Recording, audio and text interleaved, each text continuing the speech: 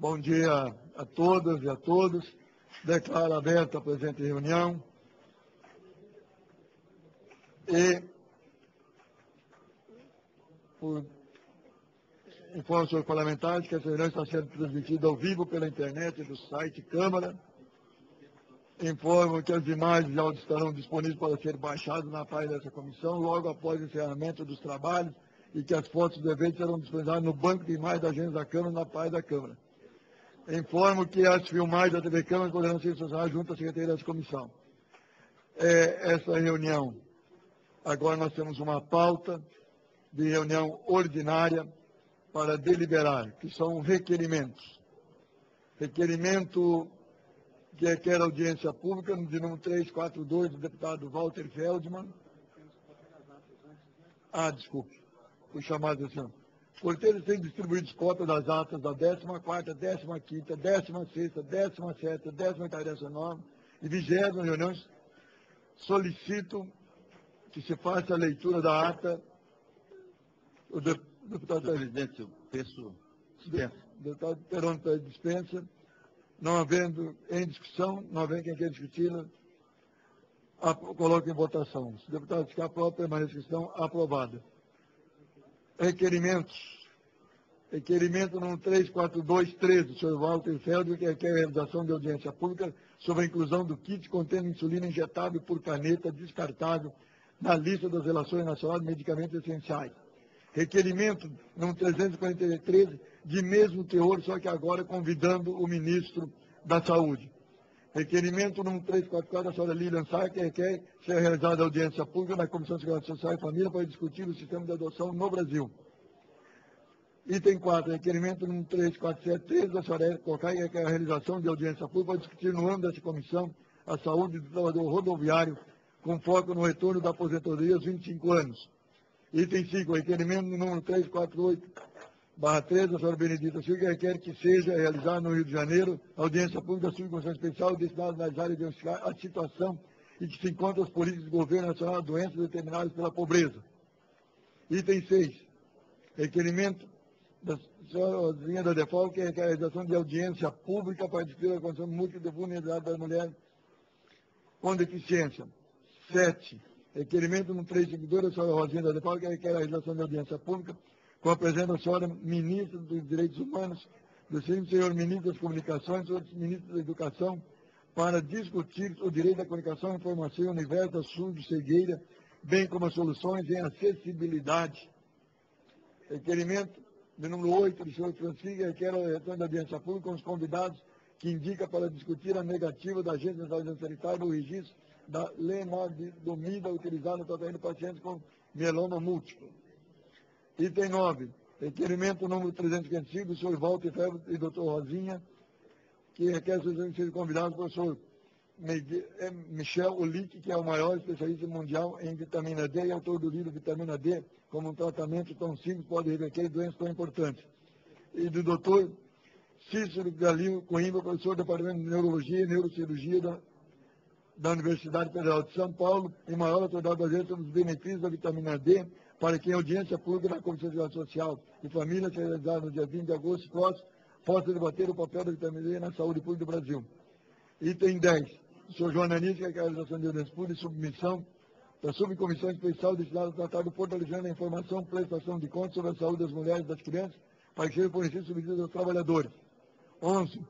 Número 3858, era colocar que requer a realização de audiência pública no âmbito dessa comissão, para discutir a situação dos trabalhadores da rede SARA em Hospital de Reabilitação da Unidade de Brasília.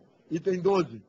Requerimento no 359 da senhora Mara, Mara Grabili, que requer a realização de seminário para debater sobre o estudo do cérebro da neurociência, bem como a divulgação de seus benefícios. Item 13, requerimento 360, Comissão sobre Violência contra a Mulher, que requer a aprovação de oitivas e reuniões de trabalho da Subcomissão Especial, com o objetivo de discutir o tema da violência contra a mulher nas cidades que se fica. Item 14, requerimento no 361, item 13 do seu Código Antigo, que requer a realização de audiência na Comissão de Relações Sociais e Família para ouvir em audiência pública Anvisa, Ministério da Agricultura, Associação Nacional de Transporte de Carga, associações ligadas ao setor de leite representantes das marcas leite líder, leite italac, leite mumu, leite lativida, leite golac, oma e só milk, sobre a fraude do leite denunciada feita pelo Ministério Público. Item 15, requerimento sobre mandeta que solicita realizar, requerimento no 36213, solicita a audiência pública para discutir a alta dos preços de medicamentos e a sua correção com a inflação. Item 16, requerimento 363, o senhor Mandetta que solicita a realização de audiência pública para que seja feito esclarecimento acerca dos programas de atenção à saúde para a população indígena e ainda sobre os denúncias de descaso e omissão veiculados pela imprensa brasileira. Senhores deputados, com exceção do item 5, item 6, porque é de minha autoria, não, itens 12 e 13, o 5, o 12 e o 13 não são audiências públicas. Solicito se podemos votar em bloco os de audiência pública. Nada se opondo. Senhor presidente, Se- não me oponho, palavra, subscrevo, não me oponho, subscrevo todos, exceto aqueles que o senhor, que o senhor escreveu. Da mesma forma, Deputada Rosina Rosina, Defal. da mesma forma, subscrevo todos os, os requerimentos, exceto os que o senhor citou. Então, em votação, item 1, item 2, item 3, item 4, 6, item 7, item 8, item 10, item 11, item 14, item 15 e item 16. Em votação, não em, em- em discussão, não havendo ninguém discutir, em votação, os deputados são favoráveis, permaneçam estão aprovados. É, há requerimento, item 13, para colocar em votação agora, que é o requerimento número 360 da 13 Subcomissão Especial sobre Violência contra a Mulher, que requer a aprovação de oitivas e reuniões de trabalho da subcomissão com o objetivo de discutir o tema da violência contra a mulher na cidade que especifica. Eu subscrevo também, deputada Rosina. Então, sendo subscrito pelo deputado Rosinha Defal e Tarcísio Peronde, em discussão. Não havendo quem queira discutir em votação. Deputado Central permaneça como estão. Aprovado. Item 12 da pauta. Requerimento no 350-13 da senhora Mara Gabili, que requer a realização de seminário para debater sobre o estudo do cérebro, das neurociências, bem como a divulgação dos seus benefícios. Gostaria de subscrever, senhor presidente. subscrito pela deputada Rosenda Defal e pelo eu deputado também. Tarcísio Peroni. Então, em discussão. Não havendo quem queira discutir, em votação. Deputados e deputadas que favorável pela questão, aprovado. Senhor presidente, e o, e o 10? O item... O senhor chegará? O senhor passou por cima. Não, es- Voltará? Não, estou chegando, é o próximo agora. Ok. Item 10 da pauta. Requerimento no 356, do senhor João Ananis, que é a realização de audiência pública da subcomissão especial destinada a tratar do fortalecimento da informação e prestação de contas sobre a saúde das mulheres e das crianças, para que sejam fornecidos subsídios aos trabalhos. Ok. Subscrevo. Subscrevo. Subscrito pelo deputado Tarcísio Peronde e pela deputada Rosinha. Da Defal. Em discussão. Não havendo que discutir em votação. Deputado, deputado favorável, permanece como estão, aprovado. Eu solicito, como há, um- há- há mais um item 5 da pauta, requerimento no 348-13 da senhora Benedita da Silva, que requer que seja realizado no Rio de Janeiro audiência pública da subcomissão especial destinada a analisar e identificar as situações que se encontram as políticas de governo relacionadas às doenças determinadas pela pobreza. Subscrevo, senhor presidente. Subscrito pela deputada Rosina Defal e deputado Tarcísio Peroni. Em discussão. Não havendo discutir em votação. Deputado, deputado São Paulo, pela discussão. Aprovado. Eu, ficou simplesmente o item 9, porque eu sou um dos autores, convidaria o deputado Tarcísio Peroni para assumir a presidência para votá-lo.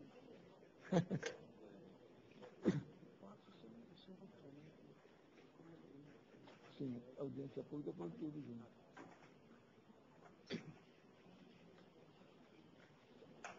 Já foi lido, inclusive. Qual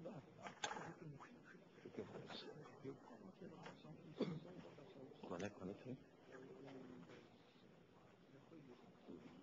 Coloco o item 10, requerimento 356-13, não, não é o 10, é o 9. O requerimento 355-13 de Veltman e Rosinha. Ponho em. A senhora. Não, tudo está aqui. Ponho em discussão. Ponho em votação. Aprovado. Tudo acertado.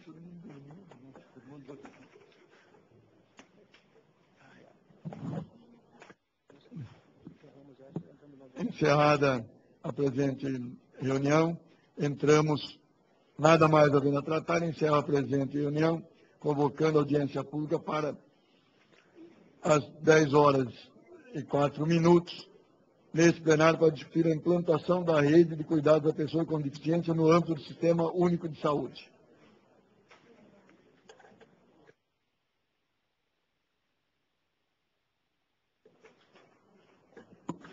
Declaro aberta a presente reunião. Informo aos senhores parlamentares que essa reunião está sendo transmitida ao vivo pela internet no site da Câmara.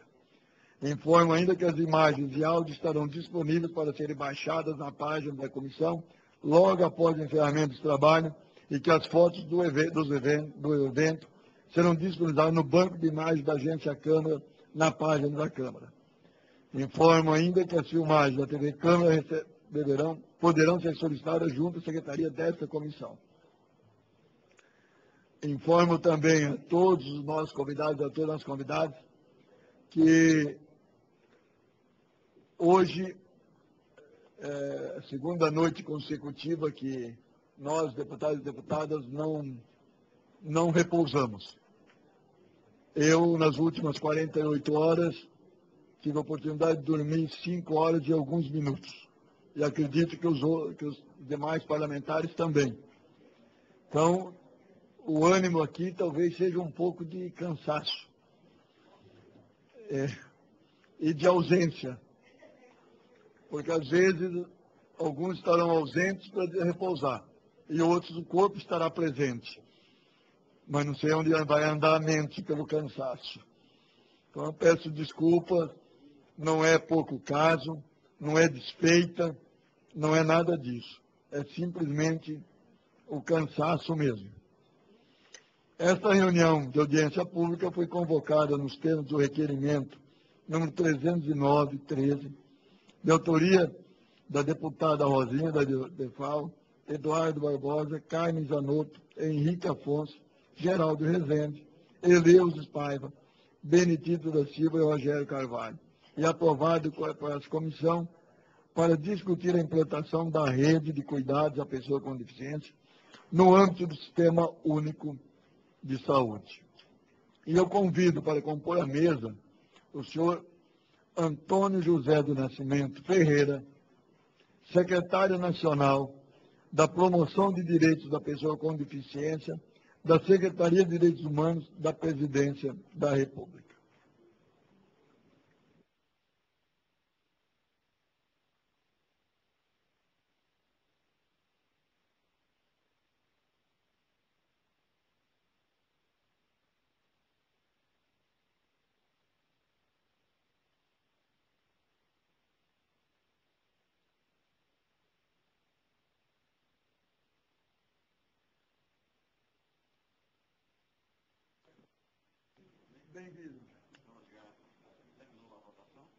A votação agora.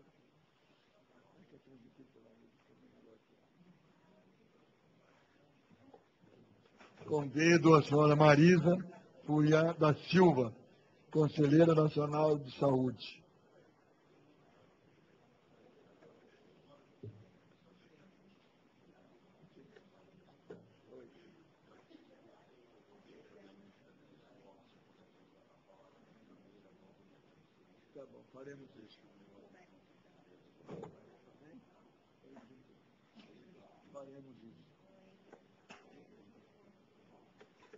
Senhora Vera Lúcia Ferreira Mendes, coordenadora da área técnica da saúde da pessoa com deficiência do Ministério da Saúde.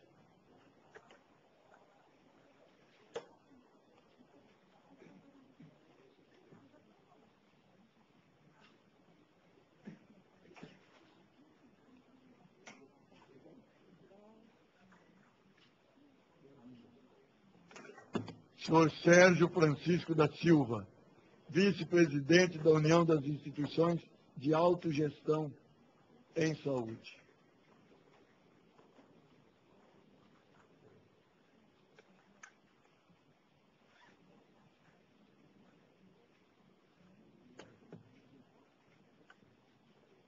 Comunico a, aos membros desta, dessa mesa, nossos convidados, que cada um terá o prazo de 15 minutos para fazer a sua exposição, prorrogáveis a juízo dessa presidência, não podendo ser aparteados. Os deputados inscritos para interpelar os convidados poderão fazer estritamente sobre o assunto da exposição, pelo prazo de cinco minutos, tendo interpelado igual tempo para responder. Facultados a réplica, a tréplica, pelo mesmo prazo, não sendo permitido ao orador interpelar qualquer dos presentes. O, senhor Antônio José do Nascimento Ferreira tem uma reunião logo em seguida, ele solicitou para ser o primeiro a falar e, ao mesmo tempo, ele já justifica que tem que sair para a reunião em seguida. Então, com a palavra, o senhor Antônio José Nascimento Ferreira. E como vai ter uma intérprete de, de Libras que ela tome posição aqui à frente, aqui na, na mesa. E antes até do Antônio José Nascimento iniciar a sua exposição, eu convido a, do, a deputada Rosane Ferreira para assumir a presidência.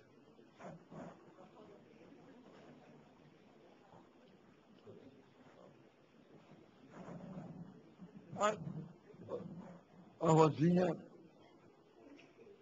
Perfeito. Então, deputada Rosinha por favor. Eu. A, pela, pela... É, ela está ela tá com metade aqui, que alguns de nós só está o corpo presente. É, não, é, só pela ordem. Primeiro, bom dia a todos. É uma honra ser convidado por Vossa Excelência para compor a mesa, mas eu tenho um compromisso que deve se iniciar daqui a pouquinho numa outra comissão, se é que ela vai acontecer. Mas eu quero, não quero, quero ver se compartilha os dois momentos. Muito obrigada, deputado Rosinha. Então, eu vou passar a presidência à Rosinha Deval e concedo a palavra ao Antônio José Nascimento Ferreira para sua exposição por 15 minutos. Oi. É, bom dia a todos e a todas. É, eu quero agradecer o convite é, encaminhado à nossa Secretaria Nacional, Secretaria Nacional de Promoção dos Direitos da Pessoa com Deficiência. Quero, em nome da ministra Maria do Rosário, a nossa ministra dos Direitos Humanos, eu quero cumprimentar aqui a doutora Marisa Fúria, é, que é a presidente da Associação Brasileira de Autismo, a ABRA. Eu quero cumprimentar o deputado Rosinha, a deputada Rosinha da DEFAL, é, cumprimentar a Vera Mendes, do Ministério da Saúde, é, enfim, a todos aqui na mesa, quero cumprimentar as senhoras e senhores aqui do plenário, senhoras e senhores parlamentares. É, quero também parabenizar a Câmara dos Deputados pelo trabalho empreendido nos, nas últimas horas aí, conforme é, comentou aqui o deputado, né, uma, uma carga horária bastante extensa aí, mas tomando providências importantes para o desenvolvimento do nosso país. É, bom, sobre a questão trazida, a rede de cuidados, atenção à saúde da pessoa com deficiência no âmbito do SUS, eu queria, como sempre faço, destacar a importância desse tema nesta casa e parabenizar a deputada Rosinha da DEFAL, que com sua atuação e a atuação dos demais deputados e deputada com deficiência têm sempre trazido a essa casa, que é o tema relativo às pessoas com deficiência, pessoas essa que hoje englobam uma quantidade de 45 milhões de brasileiros e brasileiras com algum tipo de deficiência. Então, deputada Rosinha, parabéns pela iniciativa, parabéns aqui por essa comissão ter incorporado esse tema na pauta para que nós pudéssemos estar aqui discutindo hoje. É, eu gostaria é, de dizer o seguinte, de começar dizendo, lembrando que é, em novembro de 2011 a presidenta Dilma lançou o plano Viver Sem Limite, que é o Plano Nacional dos Direitos das Pessoas com Deficiência, constituído pela lei, é, pelo decreto do Executivo, decreto de número 7612, de 17 de novembro de 2011.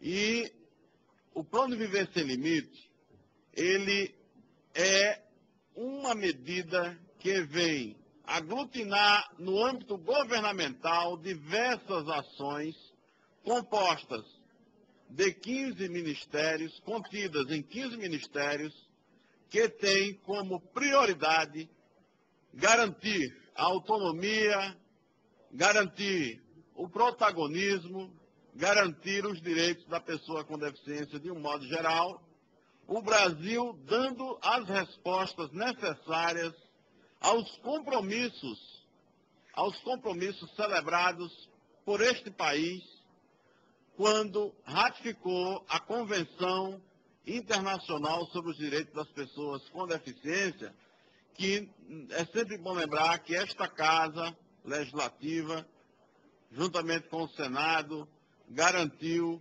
que esta nossa convenção fizesse parte da emenda constitucional, né, da, da, nossa convenção. Fosse, fosse emenda constitucional, fizesse parte da nossa Constituição. Então, então é importante sempre lembrar isso, é que foi um passo bastante importante. E o plano Viver Sem Limite, ele está, ele está organizado em quatro eixos. Nós temos um eixo, primeiro eixo, acesso à educação, inclusão social, segundo eixo, terceiro eixo, saúde, e o quarto eixo, acessibilidade. E, senhora deputada Rosinha, que preside, preside aqui a mesa, ah, eu poderia dizer à senhora e aos demais aqui presentes que o Plano Viver Sem Limite ele deixará muitos legados a esse país. Mas considero o maior legado do Plano Viver Sem Limites, sem sombra de dúvida, a portaria 793, que institui, no âmbito do SUS, a rede de cuidados e atendimento à pessoa com deficiência rede esta tão importante em sua composição para que possa estar garantindo cuidados, atenção à saúde à pessoa com deficiência, em um país continental, que as pessoas com deficiência terão o mesmo atendimento em todas as regiões, em todas as cidades, indistintamente de nosso país. Então, é um marco a se comemorar. As pessoas às vezes não têm a dimensão da importância que temos com esta portaria, que é a constituição desta rede. E a Vera vai certamente aqui apresentar né, os avanços que já tivemos com a constituição da rede de cuidados e atenção à saúde da pessoa com deficiência no âmbito do SUS. Eu vou deixar que ela faça isso. E fico lembrando aqui de que as outras ações do Plano de Viver Sem Limite vêm nesta perspectiva de estar garantindo autonomia, protagonismo, emancipação às pessoas com deficiência que por tanto tempo ficaram na invisibilidade, que por tanto tempo estiveram né, cesseadas de seus direitos, mas que pouco a pouco temos constituído na nossa sociedade, temos construído na nossa sociedade uma cultura, a cultura da inclusão, a cultura da acessibilidade, e o Plano de Limite vem nesta perspectiva. Hoje é bastante significativo chegar nos municípios encontrar ônibus do Ministério da Educação, ônibus adaptados, pegando as crianças em casa, levando à escola, garantindo o acesso à educação. Os investimentos que têm acontecido para que escolas se tornem acessíveis pelo PDDE, bastante importante né? Nós estamos nos estados, como eu acabei de chegar do estado do Amapá, e encontrar ali é, ações do Plano Viver Sem Limite já sendo utilizada pelas pessoas, já sendo utilizada pelos beneficiários. O Centro Dia de Cuidado e Atenção à Pessoa com Deficiência também constituído pela assistência social do eixo de inclusão social, também já é uma realidade. Um centro já funcionando em João Pessoa e tantos outros que passam a ser habilitados a partir de 2013, 2012. Outra realidade é o financiamento do Banco do Brasil para a compra de tecnologias assistivas. As tecnologias assistivas hoje é que diminui a deficiência porque garante à pessoa com deficiência mais autonomia, mais condições.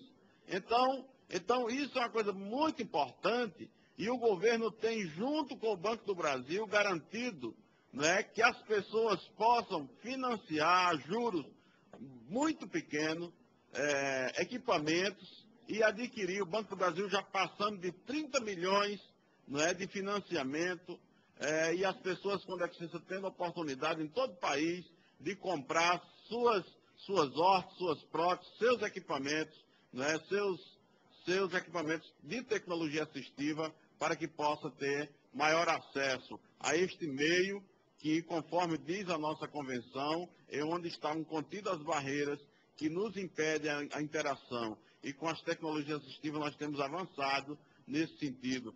Centro de treinamentos de cães-guia, é? já é uma realidade, Camboriú já treinando professores, capacitando, treinando cães também para fornecer às pessoas com deficiência visual. Cinco centros em construção pelo Brasil, dois para começar agora. A gente fica feliz porque temos também em todas as regiões e no Nordeste, aqui da deputada Rosinha, com ali bem pertinho dela, ali em Aracaju, né, se bem que ela é de Maceió, lá de Alagoas, mas ali perto, e também lá em Limoeiro do Norte.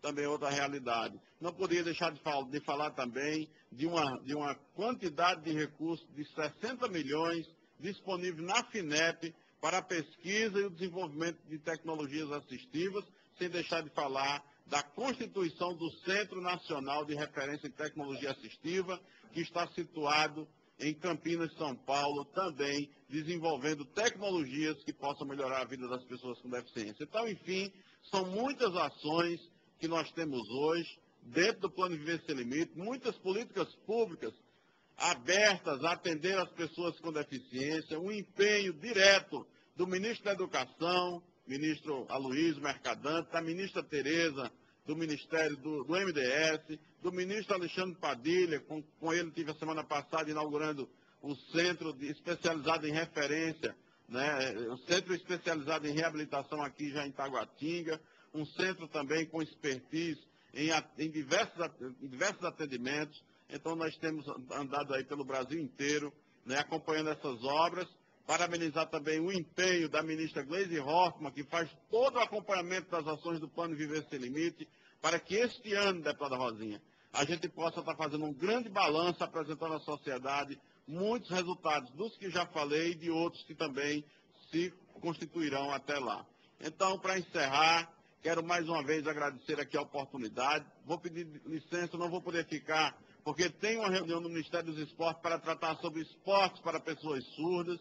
As pessoas surdas do nosso país é, não estão sendo é, atendidas com as leis que temos que, que financiam o desporto paralímpico e nós estamos indo lá né, com uma reunião com o presidente da Confederação Brasileira de Desportos para Surdos para ver se consigamos é, contribuir também nessa discussão para que os companheiros surdos e surdas possam estar também tendo suas práticas esportivas financiadas com os recursos do governo federal.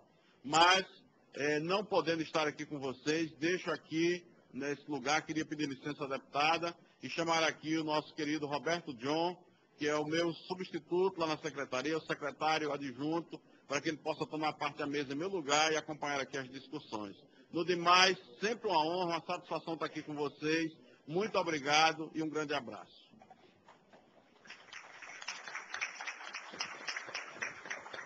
Já que é a primeira vez que eu uso o microfone nessa audiência sobre a rede de cuidados da pessoa com deficiência. Meu bom dia a todos, agradecer a presença de todos. É, já foi mais do que explicada, até para os que chegaram agora aqui, essa Câmara ficou em atividade quase que 48 horas né, para votar a MP dos portos e terminou acho que 10 para as 10.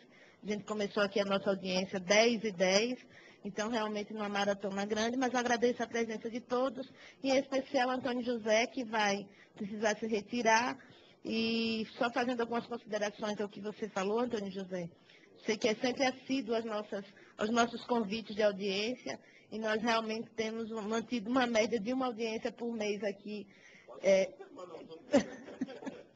é esses últimos, esses dois, esse, esse primeiro é, semestre a gente tem realmente corrido um bocado, mas é porque eu também sou um entusiasta de que o plano Viver Sem Limite dê certo. Eu tenho depositado todas as esperanças e esforços para que realmente é, o governo Dilma deixe esse legado para as pessoas com deficiência, que já está mais do que na hora, né? chegou no momento oportuno e está mais do que na hora de tirar essa população que representa quase um terço da população brasileira, do anonimato, da vulnerabilidade, até da miséria em que vive e trazer, de fato, para incluir a sociedade. Então, como entusiasta, tenho, inclusive, acompanhado o Anderson, acho que é Anderson Lopes, não me engano o sobrenome dele, né? Que é o consultor, Anderson Tavares, que é consultor da Secretaria Nacional de Direitos Humanos, que está fazendo todo o acompanhamento de, da implementação do Viver Sem Limites em Alagoas, Sergipe e Pernambuco. E a gente tem, tem acompanhado ele, tem tentado ajudar no máximo, articulando junto com o governo, junto com, com as instituições, com o conselho. Já fiz até algumas viagens para o interior com eles, porque realmente tenho é, a esperança de que esse plano saia do papel, que os recursos cheguem aos municípios, cheguem realmente às pessoas que vivem nos espaços mais distantes da capital, que são as menos assistidas e, mais necessitadas é, do nosso país. Então, agradeço a sua presença, Antônio José, mais uma vez. A gente vai ter outra audiência, você já está convocado, não é nem convidado, sobre a, a questão da inclusão no mercado de trabalho, está tá tramitando mais uma vez uma lei que faz uma flexibilização da lei de cotas e a gente precisa trazer essa discussão aqui para a Câmara e também para trazer a sociedade para fazer essa, essas reflexões. Realmente precisamos fazer ajuste na legislação, mas precisamos garantir que não percamos nenhum dos direitos já, já garantidos em lei. Então, a sua presença aqui é imprescindível, indispensável. Então, dia 4 de junho, já põe na tua agenda. Você que nunca falta, né, que faça como você fez hoje, que venha, deixa aqui o seu recado, embora não possa ficar até o fim. E só para finalizar o meu, meu comentário, a tua fala, é, vai ter agora, dia, é, sábado, é dia 19, um, uma competição dos surdos lá em Alagoas, vai ser no SESC, sábado de manhã no SESC Posto. Estou vendo aqui um monte de gente de Maceió, de Alagoas, daqui a pouco eu registro a presença de vocês. E, e eu, como sempre, que se, se hoje eu estou aqui né, na Câmara Federal, com certeza representando principalmente as pessoas com deficiência, porque um, um, dia eu fui atleta e foi o esporte que me incluiu, né, que me fez participar da sociedade de uma forma mais efetiva. Realmente os surdos ainda estão à margem, principalmente desses recursos que têm sido investidos no esporte e a gente sabe a importância do esporte como meio de inclusão. É, parabéns se envolver mais com esse com, com essa, é, essa responsabilidade. Conte também com o meu apoio para essa luta. E sábado a gente vai estar lá com os surdos em Alagoas, nessa competição. Obrigada, viu? Até breve. Deputada Rosinha. É, é, quebrando o protocolo, que normalmente os deputados falam ao fim da, da palestra, mas deputada Carmen e deputada Rosane viraram essa noite é, nas discussões da MP dos portos, 597, mas é, são inclusive. É, ai, meu Deus, Nós subscrevemos subscreveram o requerimento, mas no dia da aprovação desse requerimento foi uma discussão muito, muito oportuna. Então, a Carmen, por favor, faça sua então, Eu vou pedir, deputada Rosinha, para efetivamente mudar a ordem das salas, em função de que a gente entrou na casa ontem, nesse horário, é. e tivemos saída às 5 da manhã. Então, quer dizer, eu preciso e na condição de líder do PTS que eu estou no momento, eu preciso dar outros encaminhamentos, mas eu queria primeiro lhe parabenizar por propor essa audiência pública e na condição e como subscritora dessa audiência pública, eu quero agradecer a presença de todos, dizer que eu venho do Sistema Único de Saúde, de quem foi secretária municipal, secretária estadual, onde as políticas para a pessoa com deficiência eram totalmente desarticuladas. Um grupo cuidava da saúde auditiva, outro da visual, outro das vozes e próteses. E acredito que uh, essa reorganização que está sendo feita pelo Ministério da Saúde, com os centros de referência distribuídos geograficamente, em especial, que o SUS passe a fornecer muito mais do que aquilo que está na tabela do Sistema Único de Saúde, porque ah, uma cadeira de rodas ah, tem uma especificidade para um tipo de deficiência e a gente comprava, me incluo nisso como gestora que fui, você comprava dentro dos códigos que estavam na tabela, sem a preocupação de se esse paciente era mais pesado, né, mais obeso, menos obeso, se o tamanho da cadeira de rodas era adequada. E eu vi uma experiência internacional onde todas as cadeiras de rodas são adaptadas conforme o tipo de deficiência, a estrutura física de cada um dos usuários. E eu acredito que nós vamos chegar no Brasil num momento onde a gente consiga ter os equipamentos mais adequados, exatamente com as oficinas de adaptação, que é um avanço que a gente precisa é, ter ainda. As oficinas onde efetivamente a gente tem estudos é, é, que digam que a, aquele equipamento precisa ter um conjunto de, de adequações para que o usuário, né, e a, alguns de nós aqui, a gente ainda lembra das nossas antigas cadeiras de rodas da LBA, que eram aquelas cadeiras de lona, né? E, e, e que o esforço para deslocar a cadeira era quase é, é, impossível, porque a limitação não permitia e as rodas não ajudavam, e a gente avançou muito. Mas acredito que com a, a integração desses serviços, com uh, o oferecimento por parte do Sistema Único de Saúde uh, de cadeiras de rodas dentro da necessidade de cada um, assim como os aparelhos auditivos, a gente estimular as pessoas que não bastam receber o seu aparelho auditivo. Uh, a gente dizia muito isso, ele não pode ser aparelho do bidê, que ele tenha a orientação do fonoaudiólogo para que ele se adapte ao uso do aparelho, porque ele leva um certo período para se adaptar. E se ele não tem um olhar dos profissionais da área da saúde, apenas recebem o equipamento, eles não vão conseguir utilizar mesmo porque fica difícil. Então, a gente já avançou muito. Uh, com certeza, uh, dentro do Sistema Único de Saúde, não dá nem para comparar o que se gastava no passado com o que se gasta hoje com os equipamentos, ossos e próteses para o conjunto das pessoas. E discutir essa rede, com certeza, é fazer com que o conjunto de estados, em especial conjunto de municípios, que são aqueles que executam na prática as ações de serviços de saúde, com a orientação do Ministério, é a, a filosofia que a gente defende dentro do Sistema Único de Saúde. Então, quero agradecer a todos, pedir desculpas em nome do conjunto de parlamentares, porque efetivamente nós estamos num dia extremamente atípico, gente. Então, uh, boa audiência. Se eu conseguir retornar, eu passarei ainda aqui na manhã de hoje, mas queria dizer isso, deputada Rosinha, uh, a nossa casa tem avançado muito dentro das políticas para a pessoa com deficiência e na legislação, mas também preciso reconhecer que o Ministério e o governo está preocupado em garantir cada vez mais as condições mais adequadas para cada um dos nossos usuários. Então, parabéns, obrigado e me perdoem. Obrigada, Carmen. Parabéns também pelo seu pronunciamento. Obrigada pela sua presença e pelo empenho né, de todas as causas da saúde, em especial da pessoa com deficiência. Você é uma grande guerreira. É, e aí quero até lembrar um fato e lhe agradecer pela ajuda que você deu a gente. Há 15 dias atrás a gente estava numa grande militância e articulação para conseguir a aprovação do PL 277, que é a aposentadoria especial da pessoa com deficiência, e você puxou ali uma voz ativa dentro do plenário, a gente conseguiu parar a votação da, da questão dos partidos, do, da criação ou não dos novos partidos, enfim. Abrimos uma sessão extraordinária, votamos o 277, depois retornou a votação dos partidos. Então, você foi aquele que primeiro no microfone, como líder do PPS, puxou essa, essa discussão e, graças a Deus, a tua liderança fez com que os demais líderes viessem nessa, nessa, nesse apoiamento. Então, meu, mais uma vez, né, meu obrigado e tantas outras mobilizações que a gente faz junto com os outros deputados, Mara Gabrilli, Walter Tosta e os demais envolvidos na frente parlamentar da pessoa com deficiência. Meu muito obrigado.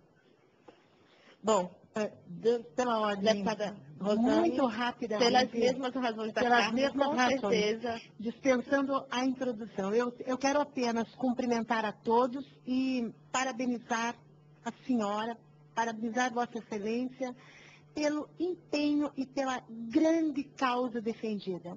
Acredite, senhores, é, vocês têm aqui uma guerreira, uma guerreira com quem vocês podem contar, uma pessoa incansável nesta luta. Parabéns. Eu quero também, eu vou pedir para me retirar, estou aqui apenas para mostrar o compromisso do meu mandato com a, com a causa de todas as pessoas que aqui estão e, e dizer que a PEC, a PEC da, a- da aposentadoria especial é, para as pessoas com deficiências foi aprovada com muita luta e por um esforço sobre-humano de Vossa Excelência. Eu, eu fico muito feliz por isso e quero finalizar dizendo o seguinte, eu tenho sobre a minha mesa uma, def- uma demanda das pessoas portadoras de deficiência auditiva. Eu não tinha ideia das dificuldades que se tem, eu não tinha ideia que a pessoa com deficiência auditiva não estava inserida, por exemplo, nas Paralimpíadas, né, que tem todo um, um- uma- um outro caminho e que nós temos que nos debruçar. E eu quero levar esta demanda para compartilhar com Vossa Excelência, para que nós possamos encontrar um caminho. É uma demanda grandiosa e nós eu sei que essa casa eh, tem capacidade de resolver esse, esse problema. né? Então, nas pró- nos próximos dias, entrarei em contato para que realmente possamos somar aqui e, e- e discutir uma- o melhor caminho. Parabéns a todos e que Deus esteja presente nesse ambiente, iluminando cada um, para que nós possamos, com essa audiência pública, alcançar o objetivo proposto. Obrigada. Obrigada, deputada Rosane. É, com certeza, suas palavras são palavras de amiga, porque esses elogios todos, é, mas de- eu, eu agradeço de, de todo o coração, você também é essa guerreira. E queria dizer que a gente tem uma- um requerimento já aprovado aqui no âmbito da Comissão de Seguridade Social e Família para discutir a questão da surdez, né, de todos os problemas relacionados ou todas as dificuldades, vamos dizer assim. Nunca gosto de dizer que a deficiência seria um problema, mas todas as dificuldades inerentes à surdez, à pessoa surda, com relação à inclusão na sociedade, através do esporte, no trabalho e também o acesso à saúde. Com certeza não vai acontecer mais esse semestre só após o recesso, mas aí a gente afina as ideias para a gente já vir com, com algumas sugestões e propostas para discutir com a sociedade e com os parlamentares. Muito obrigada. Então, mais uma vez, explicando a ausência dos deputados, já tiveram aqui também o deputado Eleusis Paivas e o deputado Francisco Peronde, mas realmente a sessão encerrou 10 para as 10, a gente começou aqui 10 e 10. Eh, Eu não consegui fisicamente amanhecer o dia aí nas discussões, duas horas da manhã eu fui para casa, dei uma descansadinha, cheguei aqui às sete e meia, oito horas, mas quem realmente ficou nesse desgaste de duas noites, porque ontem a sessão encerrou às 5 e meia e hoje encerrou às 10. Começou ontem 11 da manhã, encerrou quase, quase 24 horas de discussão. Então, é, mais uma vez explicando essa ausência, é realmente um dia atípico aqui na casa. Agora, antes de passar a palavra para o próximo palestrante, eu queria registrar algumas presenças aqui. É, a vereadora Tereza Nelma, que é vereadora por Maceió, a senhora Iraê, que é presidente da AP, Associação de Amigos e Pais de Pessoas Especiais, o Roberto Freire, que é presidente da Associação de Cegos em Alagoas, e também do Conselho Estadual da Pessoa com Deficiência, o grande companheiro de luta, João Ferreira, que é presidente da FEDEFAL, Federação das Entidades de Pessoas com Deficiência Física de Alagoas, e vice-presidente da minha querida DEFAL, que hoje é o meu sobrenome político, que eu digo que é, a gente usa o nome da família como sobrenome, né? Então a DEFAL é a minha segunda casa, é a minha, minha segunda família, e que orgulhosamente hoje eu tenho o João aqui nessa audiência, ele que participou de tantos conselhos, de tantas discussões, hoje representar o NEDEF, que é também a Organização Nacional dos Direitos de Organização Nacional de Entidades de Deficientes Físicos e representa a UNEDEF no Conselho Nacional de Saúde.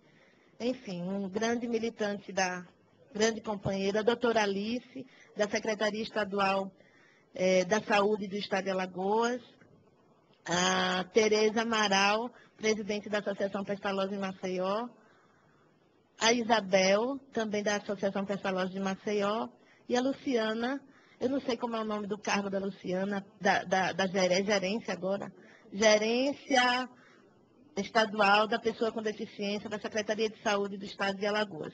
Antes de passar, de registrar as demais presenças, a gente escuta o nosso próximo palestrante, estou aqui com a lista de, de alguns nomes a mais, e dizer que a nossa sessão está sendo acompanhada via internet e que já chegaram algumas demandas do público, inclusive a ADEFAL está assistindo lá, preparou o auditório com telão e está acompanhando aqui as discussões da gente.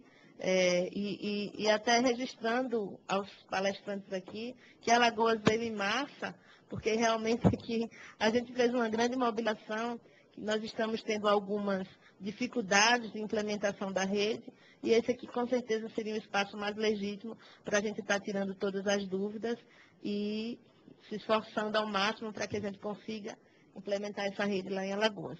Bom, e seguindo aqui a ordem que me deram, a próxima a falar seria não, será Marisa Fúria da Silva, ela que é presidente da, da AMA, Associação, Associação Brasileira de Autismo, e, e representa a ABRA no Conselho Nacional de Saúde como conselheira. Bom dia a todos e a todas. Uh, a deputada Rosinha, eu queria parabenizá-la, parabenizar o deputado Rosinha também por essa atividade extremamente importante. Realmente, esse primeiro, primeiro trimestre, primeiro semestre tem, tem sido de várias atividades aqui na Câmara. Uh, uh, o Roberto, o Sérgio e a Vera Mendes, parabenizá-la pela iniciativa do, do, Ministério da Saúde de estar iniciando a execução das políticas públicas na área da pessoa com deficiência. Conselho Nacional de Saúde, ele tem várias comissões e, e os representantes da sociedade civil são é a metade dos membros do Conselho. São 24 membros que fazem parte da sociedade civil. A minha, a minha representação é, é na área de autismo, sou da Associação Brasileira de Autismo. E dentro... Tá baixo. Dentro do, do, do, das comissões que o Conselho tem, uma das comissões que eu acho extremamente importante é a CISPD, que é a Comissão da Pessoa com Deficiência. Inclusive, tem dois membros aqui da comissão, que é o João da, e a Cecília, que é do Conselho do, da, das Fonos, né? E, e, essa comissão tem se reunido até sistematicamente, apesar de, de todas as outras comissões não terem se reunido de forma normal, porque nós estamos em reformulação das comissões do Conselho, mas essa comissão tem se reunido exatamente por causa da portaria 793 e 835, que foram publicadas o ano passado, para tentar acompanhar e discutir junto com a área técnica do, do Ministério da Saúde, para que seja uh, o atendimento mais adequado possível para as pessoas com deficiência. Inclusive, nesse, nesse primeiro trimestre, nós, nós tivemos reunidos até por causa da da área da pessoa com autismo, que saíram as diretrizes né, de atenção à pessoa com transtorno do espectro do autismo, saiu também a linha de cuidado na área das, das redes psicossociais, quer dizer, a diretriz de atenção é dentro da rede da pessoa com deficiência, então a gente se mobilizou muito no Conselho, o Conselho tem uma grande preocupação na área da pessoa com deficiência, e uh, no momento que ele tem as dúvidas, as preocupações, ele repassa para a comissão, a comissão se reúne e tenta avaliar e, e, e, e apoiar e passar para o conselho. Nós uh, fizemos um trabalho há um tempo atrás, inclusive com relação a órteses e próteses, e uma, uma das preocupações do Conselho Nacional de Saúde é que as órteses e próteses sejam de qualidade.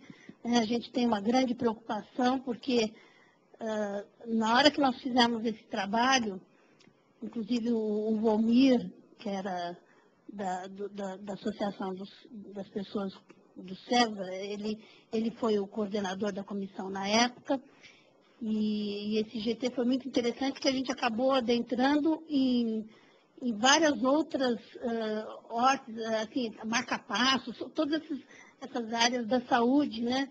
E questionando realmente a qualidade, a gente quer que tenha uma qualidade boa, porque o usuário, no momento que ele vai colocar uma órtese ou até uma lente para catarata, ele não sabe de onde está vindo essa prótese, de onde que é essa lente, ele não recebe o manual de instrução da lente, ele não recebe a nota fiscal, simplesmente ele, ele acredita naquilo que o profissional de saúde fala, o médico fala, essa lente é boa, vou colocar, e muitas vezes acabam, inclusive, falando, ah, a do SUS não é boa, compra essa que é melhor, e mesmo assim a gente não sabe se ele está cobrando e está dando a mesma, a, a, mesma lente. Então, é, essa é, é uma preocupação muito grande né, com relação ao arte e prótese. E eu acho que com relação à, rede de atenção, o, o Antônio José já falou né, do plano Viver Sem Limite e tudo mais, acho que a sociedade civil participou muito ativamente uh, desses planos todos, porque esses planos eles passam pelos conselhos. Então, nós temos Conselho Nacional de Saúde, Conselho de Assistência Social, tem o CONAD, o Conselho da Criança e do Adolescente. Eu, no Conselho Nacional de Saúde, junto com todos os meus pares, nós, nós trabalhamos no, no Plano Plurianual 2012-2015. Uh, se vocês uh, pegarem o Plano Nacional de Saúde, uh, lá no Plano Nacional de Saúde, ele fala que, em relação à pessoa com deficiência, cuja implementação da respectiva política nacional terá em conta todo o ciclo de vida.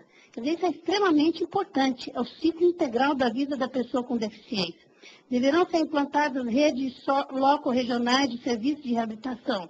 Serão definidas unidades de referência com vistas a garantir acesso a exames e procedimentos por intermédio de equipe multiprofissional, multidisciplinar, especializada para o atendimento das pessoas com mobilidade reduzida, com autismo, sobretudo em municípios com mais de 50 mil habitantes e outras deficiências. Quer dizer, esse esforço envolverá iniciativas estratégicas, como a disponibilidade de intérpretes de língua brasileira, de sinais, na assistência para as pessoas com deficiência auditiva, enfim, está eh, no Plano Nacional de Saúde. Então, eh, foi para o Plano Viver Sem Limites. Acho que é extremamente importante o que está acontecendo. Eu acho que é algo inédito no nosso país, a atenção específica que, tá, que o governo está dando a essa parcela da população brasileira que chega a ser um quarto da nossa população, que ficava invisível, inclusive dentro das políticas públicas. Mas eles estão aqui e estavam muitos fora, fora de serviço. Então, eu represento a área de autismo e a, essa área é extremamente complexa, a deficiência intelectual é muito comprometida no atendimento, e não é só no atendimento diário, inclusive um atendimento de saúde na hora que vai para um posto de saúde. Eles não se comunicam. Quer dizer, uma pessoa com autismo que está tendo alguma crise, ficando nervoso, ele não está tendo uma crise porque ele é autista. Ele está tendo uma crise, muitas das vezes, e isso eu falo sempre, eu acho que é importante as pessoas entenderem o outro lado, ele está tendo, está ficando nervoso porque ele não está conseguindo se comunicar. E quando ele não consegue se comunicar, ele não vai falar que ele está com dor na barriga e aquilo pode ser um apendicite. Ele não vai falar que ele está com, com uma dor de dente, ele não vai falar que está com uma outra dor aqui que pode ser um cálculo renal. Então, o olhar do profissional de saúde, nessa hora do atendimento de uma pessoa com deficiência intelectual, com autismo, onde a comunicação deles é extremamente deficitária, não digo todos, mas tem uma parcela grande nessa área da deficiência intelectual e autismo, que não se comunicam, então o profissional de saúde tem que ter um outro olhar. Ele tem que, que ver o porquê que essa pessoa está tendo esse movimento de crise. Eu tenho um filho, ele tem 35 anos, eu estou no movimento há 30 anos, a associação que eu fundei em São Paulo completa esse ano 20, 30 anos. A associação que eu represento hoje, que é a ABRA, completa 25 anos.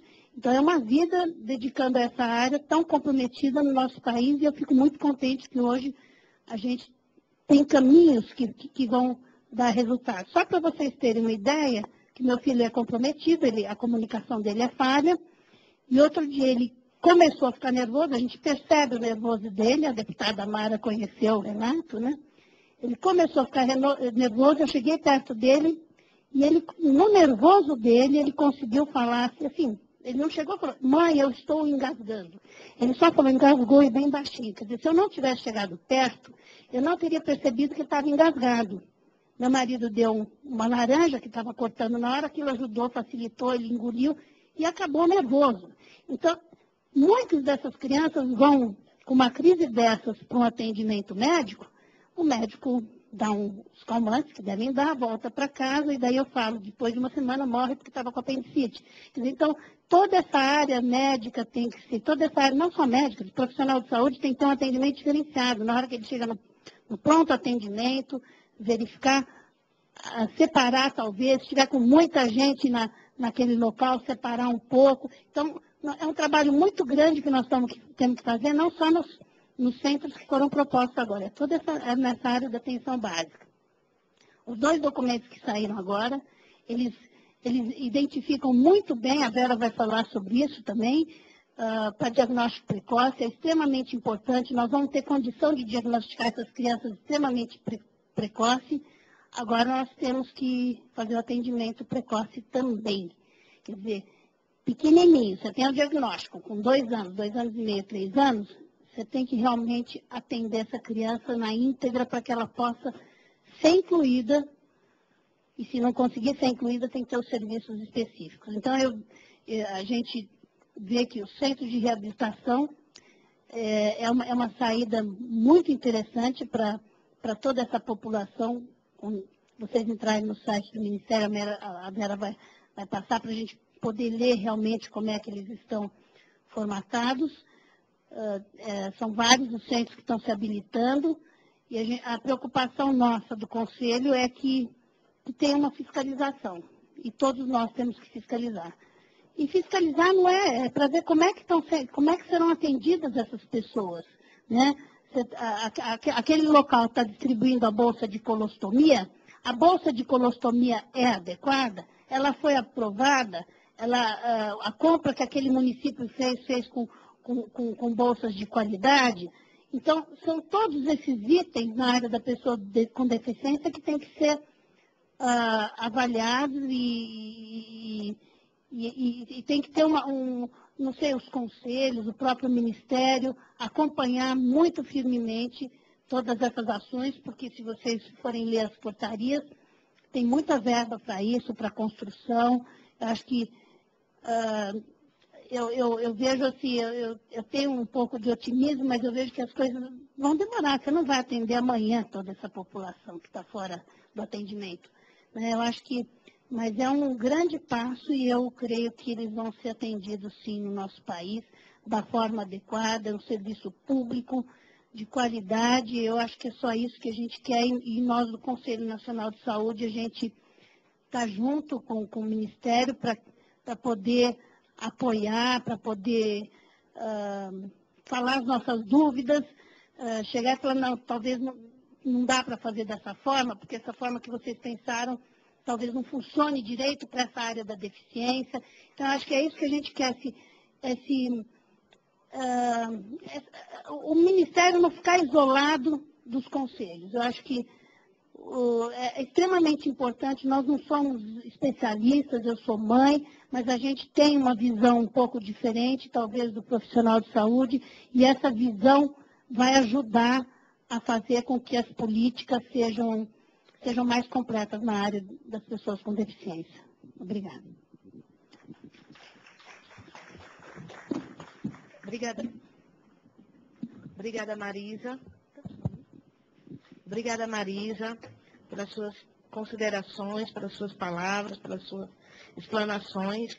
Em seu nome, eu queria parabenizar toda a atuação né, do Conselho Nacional de Saúde, é, especificamente da comissão que acompanha a política da saúde da pessoa com deficiência. É, você que é militante do movimento bem colocado aí há mais de 25 anos, mais de 30 anos nessa batalha, nessa luta. A gente tem aprendido muito com você lá em Alagoas. Eu também me preocupo muito porque eu sei que toda, todo esse desenho do Ministério não vai acontecer da gente que a gente quer de ontem para hoje, né? vai ser a, a médio e longo prazo que a gente consiga ter esses resultados. É, o acesso a essas informações, principalmente para os gestores dos municípios mais distantes, da capital, não tem sido fácil, não por conta do Ministério, muitas vezes até por conta, conta dos próprios gestores. As secretarias têm tido um, um trabalho, a Secretaria de Saúde dos estados, de fazer essa disseminação de informações, enfim. É preciso realmente um esforço conjunto. O Conselho tem uma responsabilidade muito grande em tudo isso, realmente, né? não só o, o nacional, o estadual e municipal. E é importante, por isso, né, é importante essas discussões. Queria até aproveitar esse momento, vereadora Tereza, que eu tenho já um, um ofício, depois eu lhe entrego, solicitando que Vossa Excelência faça uma audiência sobre o plano de Viver Sem Limites, uma vez que a Câmara também tem, é, as sessões da Câmara também é televisionada, e a gente possa levar essas informações para a população de uma forma geral, e mesmo, da mesma maneira eu vou fazer em outros municípios do Estado, com a intenção exatamente que a gente possa é, é, levar essas informações para as pessoas, para os conselhos, para os secretários, né, para os gestores de uma forma geral, porque eu acho que o maior problema é, é acessar esses recursos. Né? Eu acho que e cada um no seu papel, nas suas responsabilidades. Mas, antes de passar para a próxima palestrante, é, eu queria registrar a, a, presença da deputada Mara Gabrilli, né? Também uma guerreira, batalhadora, né? nós três aqui, eu, ela e o deputado Walter Tosta, nessa linha de frente em defesa das pessoas com deficiência. Né? Estamos à frente da coordenação da Frente Parlamentar em Defesa dos Direitos da Pessoa com Deficiência, que eu estou presidindo, tenho como vice-deputado Romário, somos dez na coordenação, o deputado Eduardo Barbosa, deputado Otávio Leite, deputado Geraldo Rezende, senador Wellington Dias, Paulo Paim, Lindenberg Farias, enfim, são os mais envolvidos, né? Deputado Mandetta, que é realmente o nosso porta-voz de várias, de várias é, é, articulações que a gente precisa fazer, enfim são muitos, graças a Deus, que se envolvem com esse tema, com essa, com essa questão, com essa causa. Antes mesmo da nossa presença aqui, já era assim, e a gente veio, como a gente diz lá em Alagoas, para engrossar o caldo.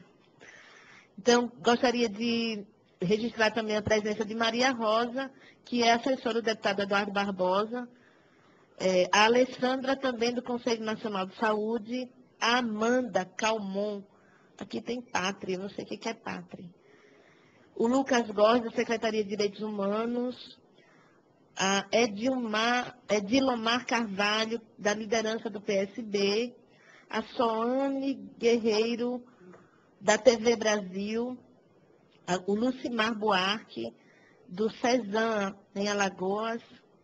Quem é a Lucimar? A Luciana, não?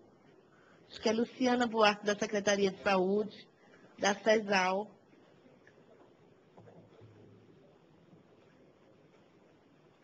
É, e eu passo a palavra para a doutora Vera e depois eu registro as demais presenças, porque a gente também está querendo um bocado ouvi-la. Tem microfone sem fio. Você vai passar um slide, né? Aí a gente desliga essa luz aqui, da frente. Ah, eu queria também informar que a gente está tendo a o apoiamento das tecnologias da legenda em tempo real e também estamos aqui com o intérprete de Libras. Sempre que a gente vai fazer alguma audiência, alguma atividade aqui na casa voltada para esse público mais específico, a gente tenta trazer todas as tecnologias de acessibilidade. Nem sempre a gente consegue, mas hoje, graças a Deus, deu certo de ter legenda em tempo real, intérprete de Libras, falta de descrição, Roberto, mas é uma tecnologia que a Câmara ainda não dispõe. Então, sempre que a gente solicita, tem que fazer uma contratação é, é, atípica, e isso leva um tempo, a burocracia nem sempre o tempo permite que a gente consiga fazer. Mas, doutora Vera, fique à vontade. Roberto, quer vir? Estão fazendo ajustes aqui de câmera. Eu vou ficar aqui embaixo, em pé. É, atrapalha? Não. Então, é, que eu prefiro falar em pé, ok? Bom, em primeiro lugar, a gente quer parabenizar a iniciativa dessa casa de convocar essa audiência pública, Acho que é super importante, uma grande oportunidade da gente debater e ir aprimorando o processo no, no modo, enquanto ele está se fazendo. Né? Isso é super importante. E para o Ministério da Saúde, uma grande oportunidade de, mais uma vez, poder colocar em análise, discussão e debate essa rede tão valiosa e importante. Né? A gente vai, eu vou tentar ser bastante breve, é, da, a rede é muito grande, os dados são muitos as notícias são muito boas. Mas é, eu vou tentar ser muito breve, é, o máximo possível, para que a gente possa, na verdade, é, abrir né, para a discussão e a intervenção da plenária. A primeira coisa que eu queria dizer é que, assim, o, fazer uma rede dessa, é importante que a gente saiba, todo cidadão brasileiro, o quanto a tarefa que a gente está se colocando, ela é importante e ela é também complexa, mas possível de ser executada, como a gente tem demonstrado. Não percam de vista o quanto é importante essa política que é o SUS no Brasil, uma maior política social do país, à medida em que ela, o Brasil é o único país do mundo com mais de 100 milhões de habitantes que teve a ousadia de assumir, pactuar socialmente um sistema único, gratuito e público para a população e a saúde ser direito do cidadão brasileiro. Isto não é pouca coisa e a gente tem tido muito sucesso. Portanto, está aí, só fica um recado do quanto valiosa é essa política e ela tem que ser defendida por todos os cidadãos brasileiros. É, pode passar. Eu vou ser mais rápida aqui. Acho que você tem que dar um toquezinho. Aí.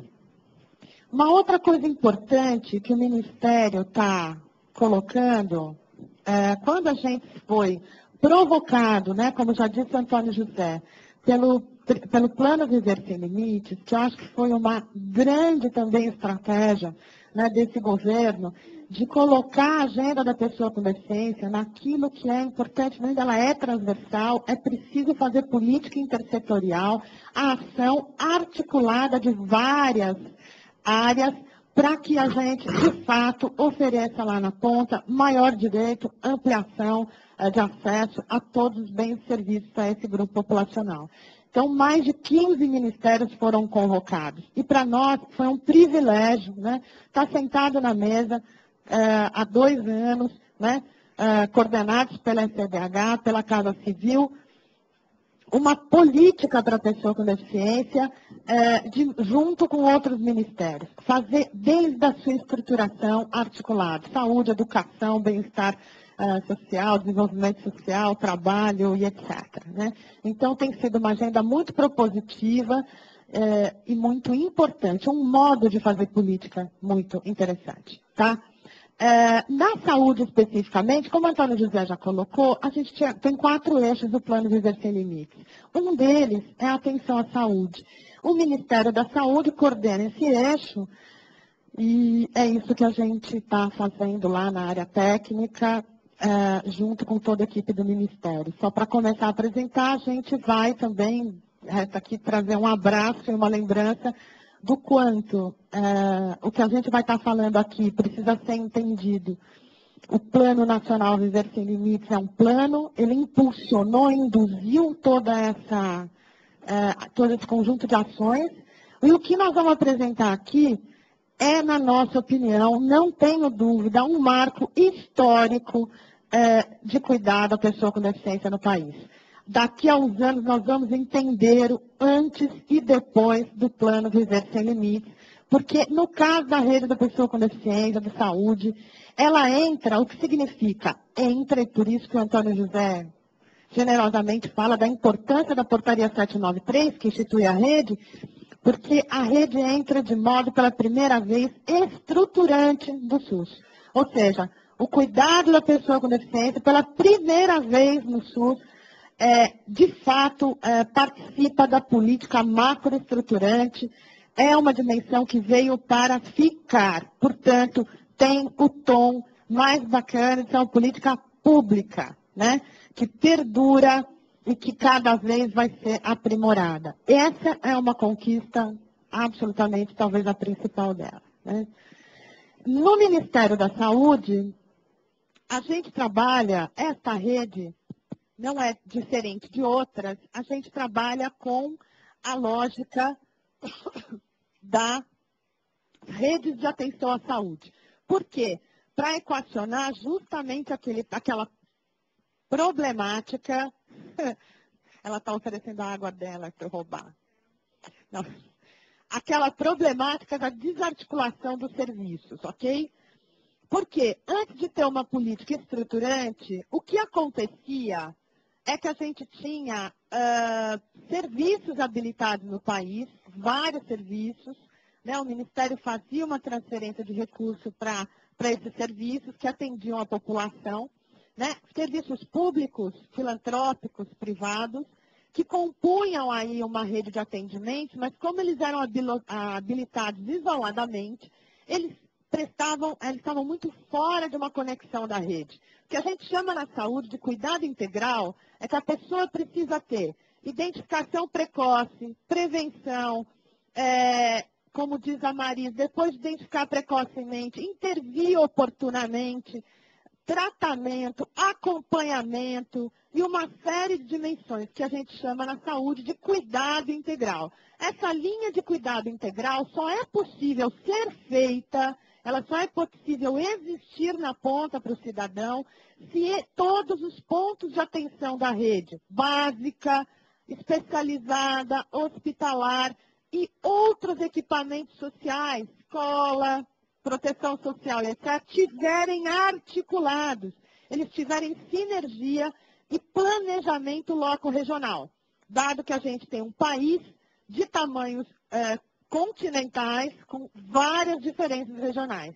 Então, a gente tem diretrizes claras, tecnicamente normas claras para poder garantir a qualidade em todo o território nacional da assistência à saúde, mas a gente também tem uh, uma, um certo mecanismo né, de poder fazer os desenhos dessa rede a partir das necessidades e diferenças locais regionais.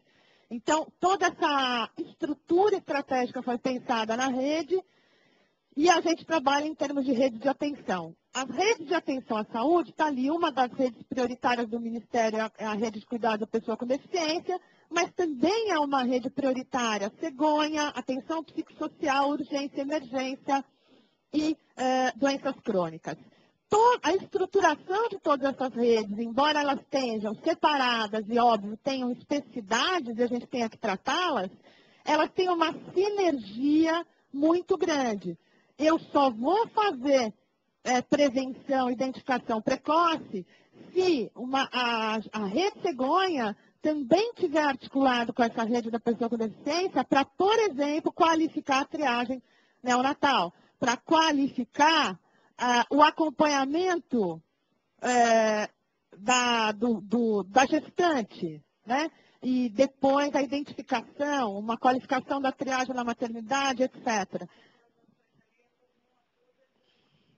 Sim, a ideia do Ministério é reorganizar e impulsionar no SUS a instituição do que a gente chama de redes de atenção, que são em cada território, né, poder pensar a partir de macro é, problemáticas, como que esta rede, com, sendo ordenador atenção básica, como que essas redes, né, elas são, a partir de mecanismos de gestão, de qualificação e educação permanente dos profissionais de saúde, do SUS, de um sistema de informação mais qualificado, de um processo de regulação que precisa regular, Parte dos problemas, eu vou falar melhor aqui, é, das hortas, próteses, etc., precisa de um processo nos territórios, estados e municípios têm que se organizar com sistemas de regulação é, de, desse trabalho que é feito para o usuário. Sem isso, a gente não gera informação, não gera uma boa, não consegue avaliar adequadamente e nem tomar as decisões de gestão tão importantes, estratégicas e necessárias sem um sistema de informação. O que acontece muitas vezes é que o gestor toma a decisão com baixo grau de informação e de regulação, o que, às vezes, né, por melhor que seja a intenção do gestor em resolver a problemática, se ele está tomando uma decisão com uma informação é, precária, né, com nível de formação precário, tende a não resolver a problemática. Então, a gente tem que fortalecer os mecanismos de gestão do SUS, é, além da promoção e vigilância em saúde, é, para que a gente possa, com a ordenação da atenção básica, qualificar essas redes em todos os pontos de atenção, ok? Então, dentro, pode passar, ah, só aí, pode passar, é um detalhe que, assim, a rede, é, quando a saúde fala das redes de atenção, nós estamos falando, portanto, de um conceito. A gente não está falando só do, dos prédios, dos espaços físicos, né? Você pode ter regiões do país que têm muitos serviços, unidades básicas, hospitais, prédios públicos, até, públicos, privados, que compõem a tal rede, mas o que a gente está falando aqui é mais do que isso. Além de existir os serviços, eles têm que estar tá, é, articulados. Então, o conceito de rede de atenção, ele fala muito mais da capacidade e sinergia desses serviços conversarem. Por exemplo, instituírem fluxos. Hoje, a maior demanda de, é, de, de produção, né, de situações de incapacidade no país é acidente de trânsito. E a gente sabe, você monitora. Então, uma, tem um acidente de trânsito, você, o resgate chega em tempo oportuno, leva para o hospital, até aí, ok. O tempo salva a vida dessa pessoa e ela, por, porventura, pode ter uma sequela dessa natureza. O tempo médio de espera entre ter alta hospitalar e acessar um serviço de reabilitação é de um ano, dois anos. É isso que nós estamos dizendo. O problema, portanto, aí não é ter ou não o serviço, porque isso acontece em locais, inclusive, que têm serviço de reabilitação. O problema é o a sinergia, os fluxos da rede de atenção entre para você acionar as vagas mais rápido, regular essas vagas, garantir o atendimento contínuo e integral. Ok? Então, é essa lógica que a gente está implementando no Ministério da Saúde em todo o país, em todas as redes, e que isso vai trazer um ganho de qualidade, de ampliação de acesso, mas um acesso qualificado, que é a bandeira do nosso ministério, do nosso presidente Padilha, para que a gente equacione melhor os problemas aí de atenção à saúde no país. Ok? É, então, aí tem uma série de questões, pode passar. É, pode passar. Vamos lá, as, as especificidades aí da rede, as notícias. Pode passar. Como o Antônio José já disse, está dentro do atenção à saúde, do Viver Sem Limites, mas virou uma política estruturante do SUS. Uh, isso são dados de DGE, só para vocês terem uma ideia. Agora, com a rede, nós também estamos, junto com a habilitação de serviços e a implementação da rede, criando sistemas no Ministério de Informação. Porque a informação do, uh, no campo da pessoa com deficiência é muito precária e a gente vai começar a qualificar isso. Para construir esse planejamento, a gente utilizou alguns dados, esse é do IBGE de 2010, né, que é o que existe no país. Não é, é um dado super importante, mas ele não é suficiente porque tem algumas questões, ele é autodeclarado e etc.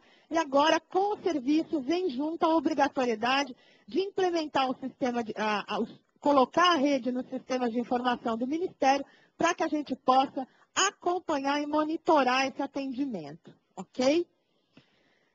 É, pode passar? Os objetivos da rede é ampliar o acesso, qualificar atendimento a pessoas com deficiência no SUS, é, garantindo esse cuidado integral. Os componentes da rede, a atenção básica, especializada, hospitalar de urgência e emergência, porque eu estou falando em rede, então também pela primeira vez a gente vai ter que romper uma, uma inflexão importante no país, que é parar de achar que a pessoa com deficiência, basta ela ter um centro especializado no território para atendê-la, porque primeiro isso não inclui, por incrível que pareça, ela precisa, a pessoa com deficiência precisa desse equipamento especializado, nós vamos inclusive ampliá-los no país, mas isso não é lugar exclusivo, porque nós temos que inflexionar do outro lado. A pessoa com deficiência também é mulher, também é criança, também é homem, adolescente, além de ter deficiência. A nossa cultura no país ainda é que a deficiência sobredetermina a pessoa E a gente ainda tem situações como é, o índice de controle de exame de câncer de colo de útero, de mama, para uma mulher com deficiência é bem mais baixo do que para uma mulher sem deficiência. Ou uma pessoa com deficiência chega numa unidade de saúde que ela tem uma cárie, porque as pessoas têm cáries, né? É, ou são hipertensas, né? diabéticas, enfim. Elas também têm que ser garantido o acompanhamento geral da sua saúde. E ela chega numa unidade básica, está com uma cárie, ele olha uma cadeira de rodas e fala, não é aqui. E manda para o centro especializado. É preciso a gente inflexionar essa cultura que está impregnada em todos nós, inclusive no cidadão. Porque você vai ter que qualificar muito essa rede para poder acolher e atender, tá certo? Garantindo o local que ele tem que, que é especializado. Se tiver, vai ter. Se ele precisar, tem algumas pessoas com deficiência para fazer procedimento odontológico precisam ser, inclusive, anestesiadas vai até para o centro cirúrgico para fazer um procedimento. Mas isto é uma parcialidade e estatisticamente muito restrita. A maior parte das pessoas com deficiência podem plenamente ser atendidas, dependendo da situação, no consultório da atenção básica. Só que a cultura é, não, mas deficiência não é aqui em outro lugar. Isto a gente tem que, que mudar. Daí a política colocar a importância do cuidado integral e de que todos os pontos de atenção têm é, compromisso no atendimento e acompanhamento da pessoa com deficiência. Dos componentes. O que a gente chama de ponto de atenção são os vários. O centro especializado de reabilitação, oficinas ortopédicas, centros de residência inclusiva, serviço de atenção odontológica, atenção domiciliar, atenção hospitalar, atenção básica, etc. Só para vocês terem uma ideia, a gente tinha um compromisso também, a, como a política anterior ela só habilitava serviço existente, não induzia é, ampliação de rede, a gente, é, se vocês olharem o mapa atual, o maior número de serviços está concentrado na região sul e sudeste, tem um vazio assistencial no norte e nordeste. Daí a prioridade, né, quando o plano foi lançado pela presidenta Dilma, de é, é, resolver esse problema desses vazios assistenciais e priorizar o Norte e o Nordeste. Evidentemente, priorizar não é dar exclusividade, porque o Sul e o Sudeste também tem muito problema e tem que instituir essa rede. Mas a gente priorizou. Tem em andamento no país 22 obras de seres novos nesses locais para atender essas demandas a, a lógica de financiamento do SUS, é, no SUS para essa rede mudou muito. Os serviços anteriores eram cobrados por uma lógica lá de produção, que a gente chama. É, agora, a, a, gente tem um.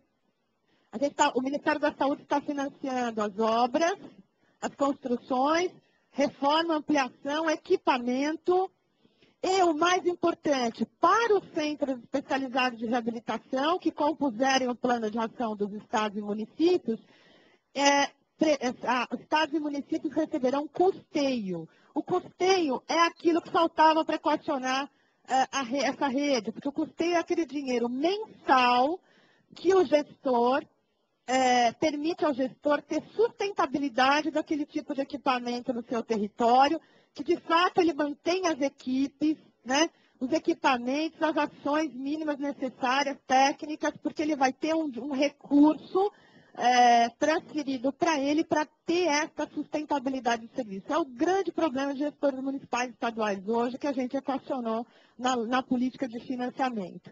E, e que está, de fato, fazendo maior sucesso, induzindo aí uma série de, de serviços. Essas 22 obras priorizadas ali, né? Pode passar. Isso é uma foto, por exemplo, de um dos centros que vai ter, uh, se eu não me engano, esse é de uh, Roraima. Tá? Tá assim. Bonito, né? Acharam? É um ser. Esse é um ser 4. Tá? A ideia do ser 2, 3, 4 eles não têm densidade tecnológica distinta. Todos têm a mesma densidade tecnológica, mas o 2 é duas modalidades, física auditiva, física visual. O 3 é 3 e o 4 é o completinho com as quatro modalidades, é o nosso sonho de rede. Por que, que a gente lançou a possibilidade de articular 2, 3 ou 4? Porque é, a prevalência é muito distinta entre essas áreas, porque os serviços já existiam, algumas regiões têm já uma boa é, prestação de serviço numa das áreas, mas está faltando em outras. Então, a política também precisa ser inteligente para é, lidar bem, adequar bem e otimizar o recurso público para a ampliação dessa rede. Então, a ideia é aproveitar o existente, qualificar o existente e é, introduzir a nova política numa nova lógica.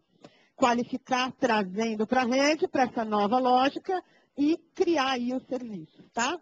Pode ir.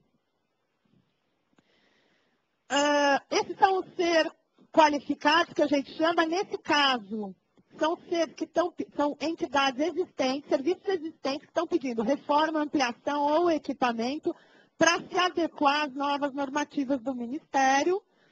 Tá? A gente tem 11 em andamento no país. Pode ir. É, nós já qualificamos, mas eu vou.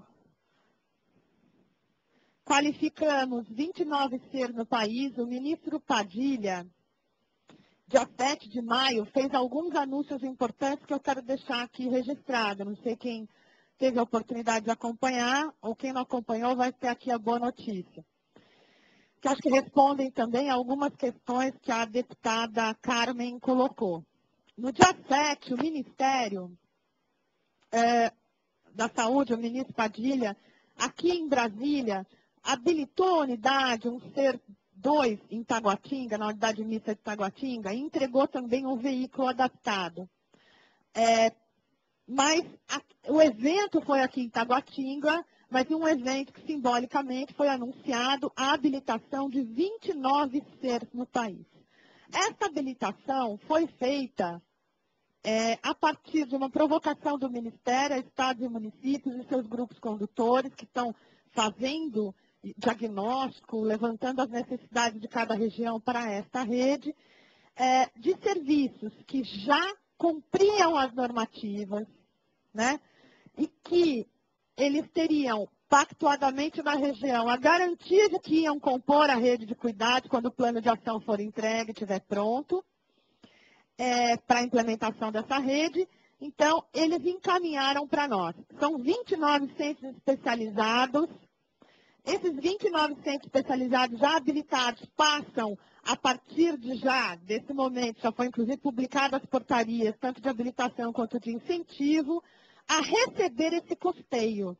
Isso, é, os estados e municípios já vão começar a receber esse custeio para poder dar sustentabilidade para o serviço. Só para vocês terem uma ideia, só esses 29 ser significou no anúncio do ministro a aplicação de 64,8 milhões de custeio anual.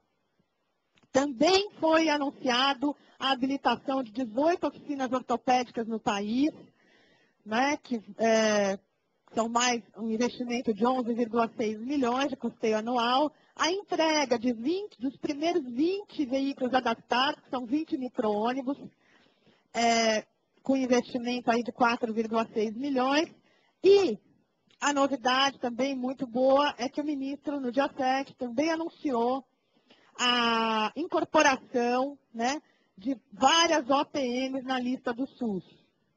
É, isso já era um trabalho que a gente já tinha identificado desde e prótese, meios auxiliares de locomoção, muito obrigada, a gente fala em siglas, é horrível. É, as órteses, próteses, meios auxiliares de locomoção, a, a gente fez uma revisão extensiva, muito extensiva aí da, da lista do SUS, e o governo federal já incorporou na lista do SUS seis modelos novos de cadeira de rodas, em monobloco, cadeira para pessoas com mais de 90 quilos, que é uma cadeira diferenciada, motorizada. O SUS vai passar a dar cadeira motorizada para as pessoas que precisam.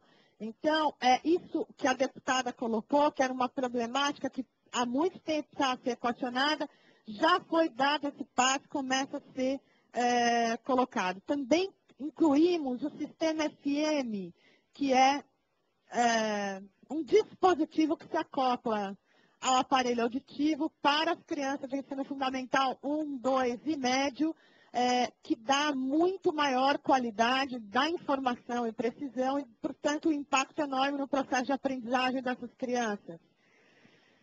É, só essas. Ah, e a adaptação de cadeira de rodas, que ela também colocou. Foi incorporado já na lista do SUS, o procedimento vai passar a ser pago para estados e municípios. É, e isso é uma estratégia super importante, porque ela tem razão. Cadeira de rodas é outra inflexão.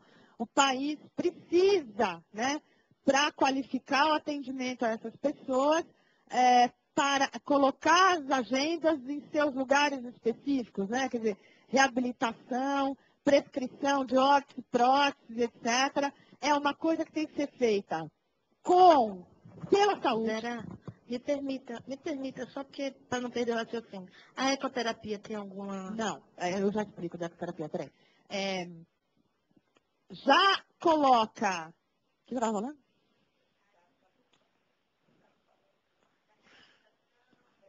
Da OPM. Ah, OPM, ela só ela tem que ampliar, nós estamos incorporando tecnologias novas necessárias, porque o custo-benefício garante isso. Né? Importa se uma cadeira de rodas custa muito item, ela é uma tecnologia mais cara que a outra, mas ela é a única possibilidade da autonomia para uma pessoa que tem uma tetraplegia, por exemplo. Se este benefício é muito maior e, portanto, como direito, que, a, que o cidadão tem a partir da política do SUS, é preciso essa avaliação quando é feita e isso tem que foi incorporado. Agora, estados e municípios vão, nos próximos meses, provavelmente começar a se organizar com essas novas incorporações, ver como é que eles vão organizar esse sistema de concessão de OPMs, né, de óteses, próteses e meios auxiliares, os critérios são definidos pelo Ministério, já estão amarrados. Não é o Estado e o município que define. Então, o Ministério, quando incorpora, ele já define quem, que quadros clínicos, de que modo e etc.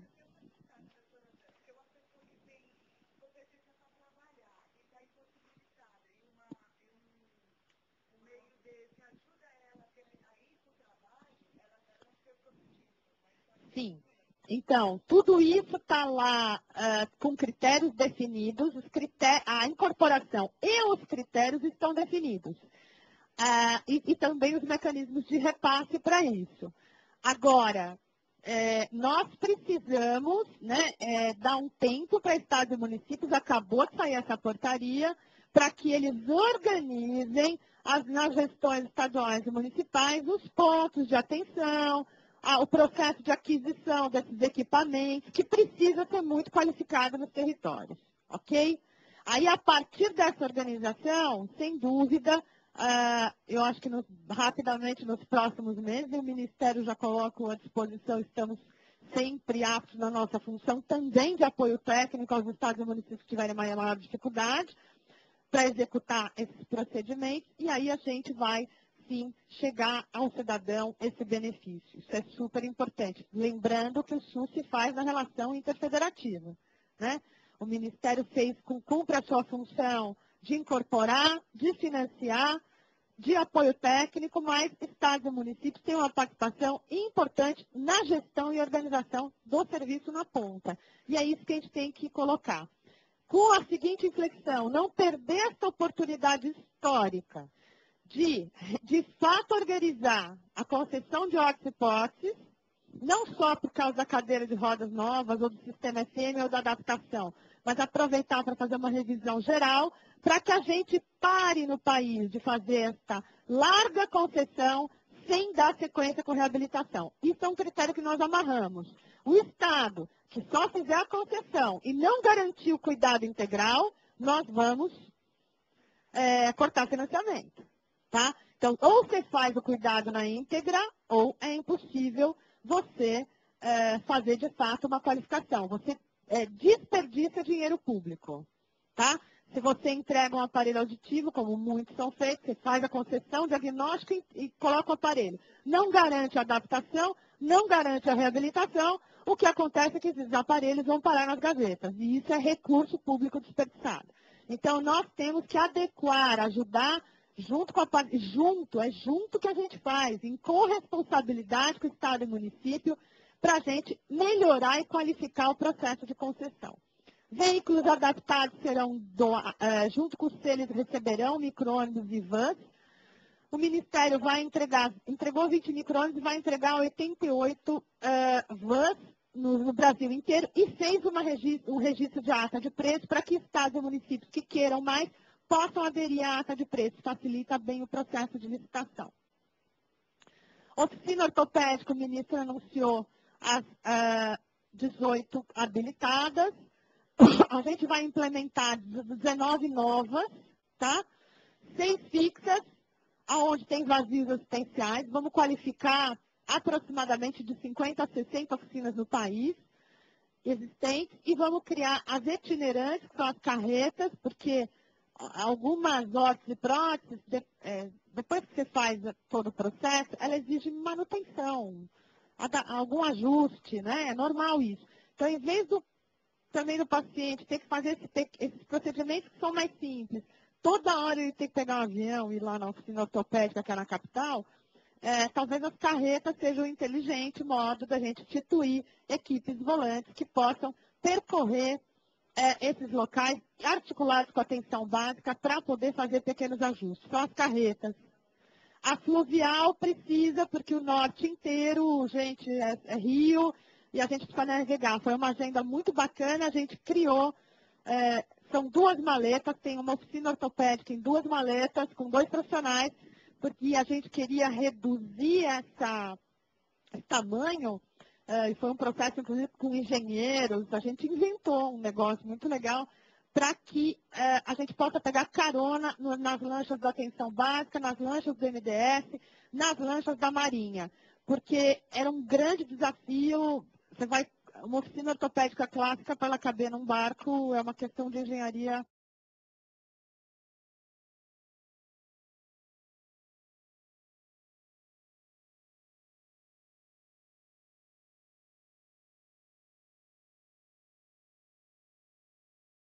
engenharia muito complexa e caríssima. Então, e não é para isso. Então, vamos desenvolver uma mala que vai junto com as lanchas, né? com as equipes, para dar atendimento às, às, populações também ribeirinhas. Pode passar. Só para vocês terem uma ideia como é importante a concessão de OPM ali, ó, no SUS. Órteses próximos auxiliares de locomoção, né? Todo mundo já decorou. É, isso aqui é um histórico da quantidade, quer dizer, a gente tinha em 2010 a concessão, a concessão de 590 mil e 1 mil com este custo. Em 2011 a gente cresceu para 3 milhões, 2012 3 milhões e meio, e a projeção agora em 2013 ainda não foi, mas é só uma projeção, pode ser mais, vai ser de quase 4 milhões de órteses próximas auxiliares concedidas pelo SUS no país a este custo. Atenção a este episódio aqui, onde eu tinha um número, aqui cresce barbaramente o valor. Não, por quê? Porque é problema aqui, foi justamente num período onde o Ministério, nos processos de monitoramento, identificou problemas na concessão na ponta, realizou auditoria e adequou a concessão de hortes próteses é, as primeiras portarias que faziam a concessão saíram com poucas amarrações de mecanismos de controle. E, portanto, isso acaba provocando situações indesejáveis aí no local. Então, a gente adequou, tá? Só para vocês terem uma ideia, são 4 milhões de ATMs concedidas por SUS ao ano.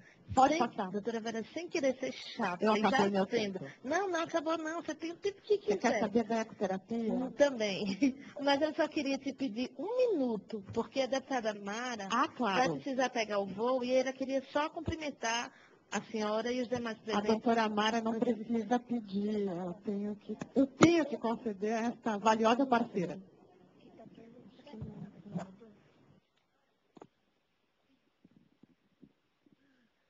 Não, eu nem não queria trabalhar. É? Não, eu queria que você falasse da ecoterapia.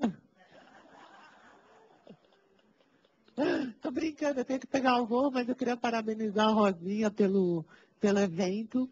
Eu sei que você acabou de fazer toda essa explicação lá em São Paulo.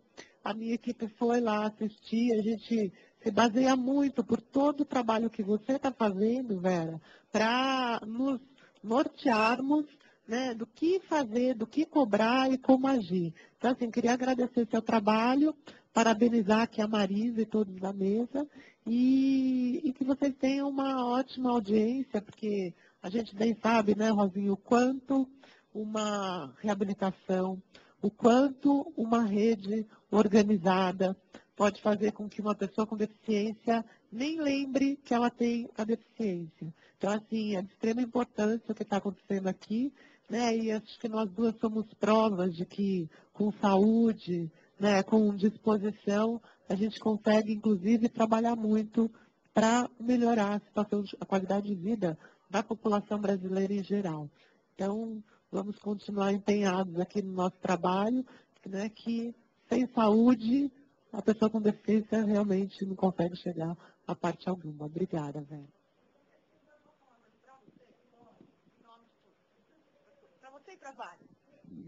Só queria colocar, antes da deputada sair, é, acho que ela já sabe disso e várias pessoas aqui, é, de fato, acho que essa política, essa rede, ela está, ela tá, a gente está muito feliz com os resultados dela em tão pouco tempo. E isso aqui vai virar uma coisa de fato muito importante.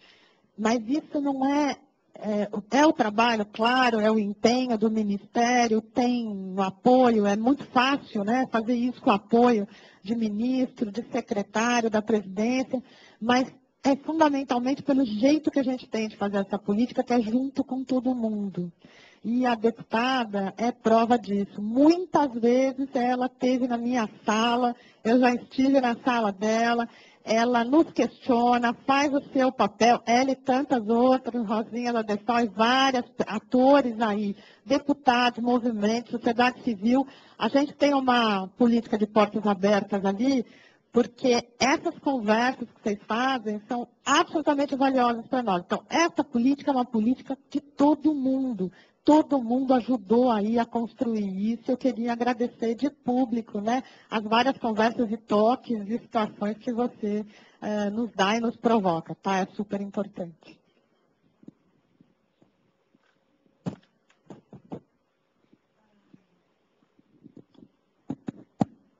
É, continuando. Posso continuar? Depois eu falo da ecterapia?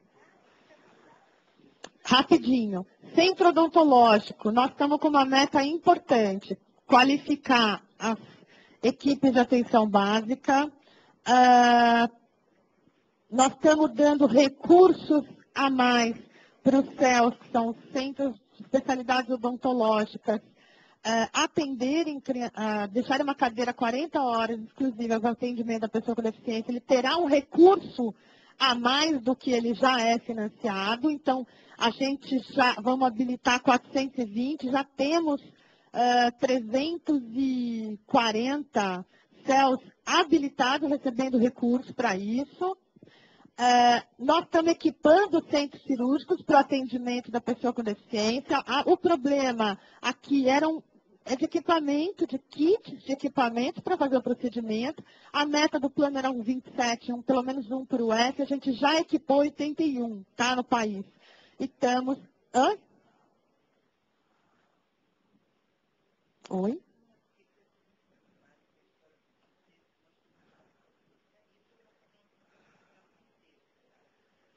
Você não quer falar no microfone? Ah.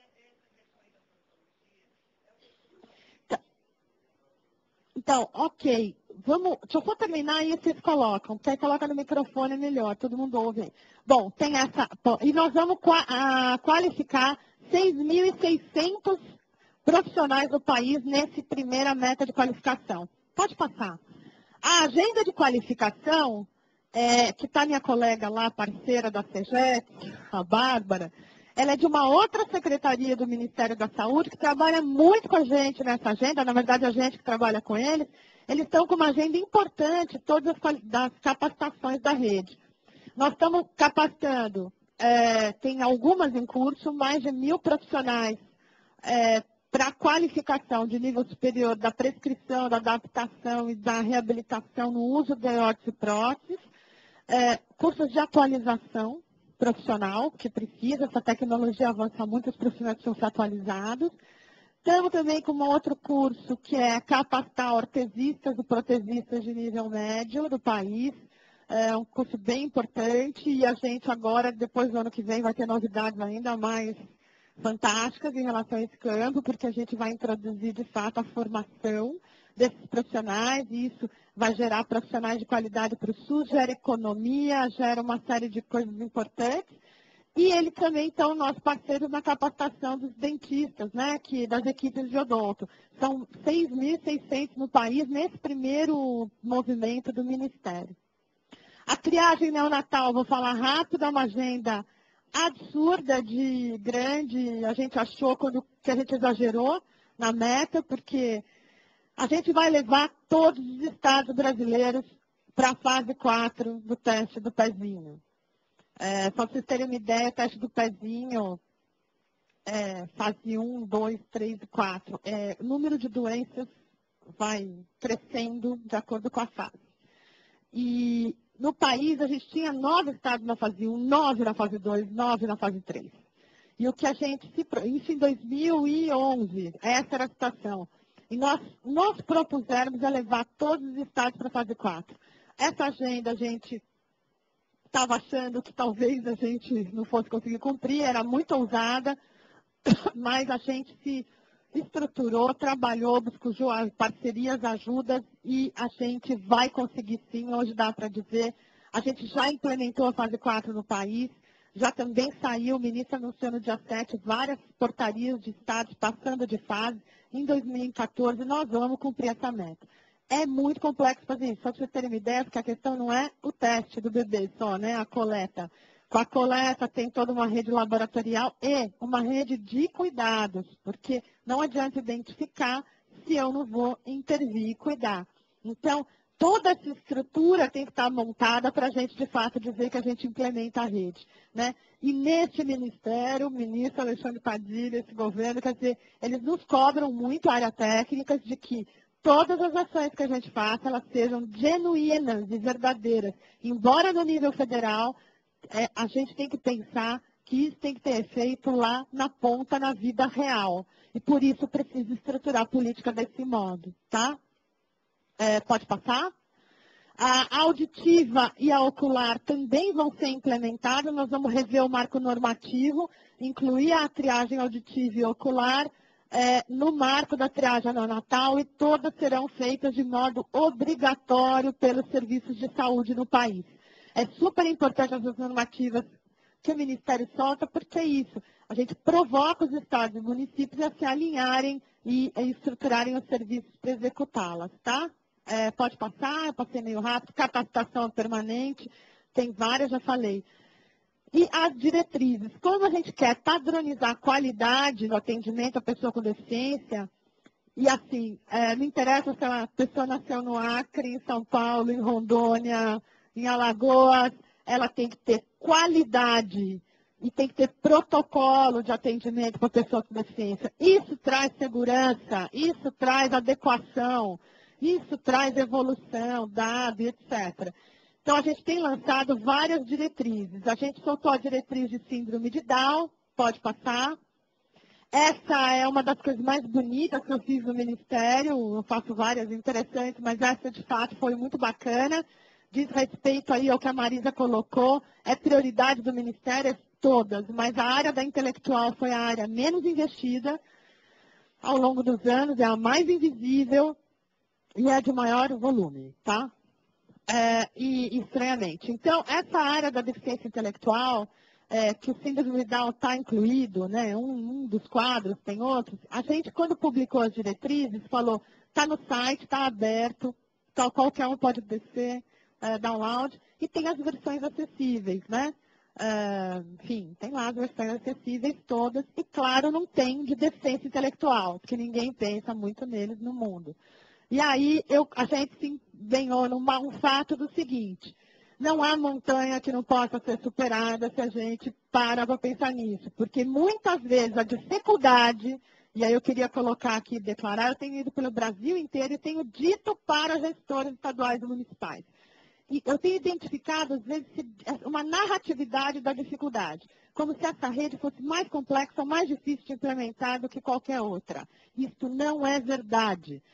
Ela é tão complexa como qualquer outra, porque é complexo cuidar da saúde das pessoas, porque são, é, um, é uma vida ali que está sendo posta. Exige técnica, competência, capacitação, uma série de coisas.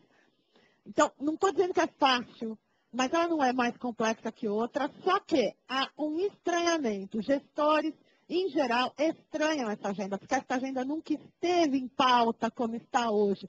Então, o que ele está falando de dificuldade hoje, na verdade, é um desconhecimento, é ainda uma pouca experiência e apropriação desse campo, tá? E isso acho que a gente supera. Como aqui. Não tem acessibilidade intelectual, como assim?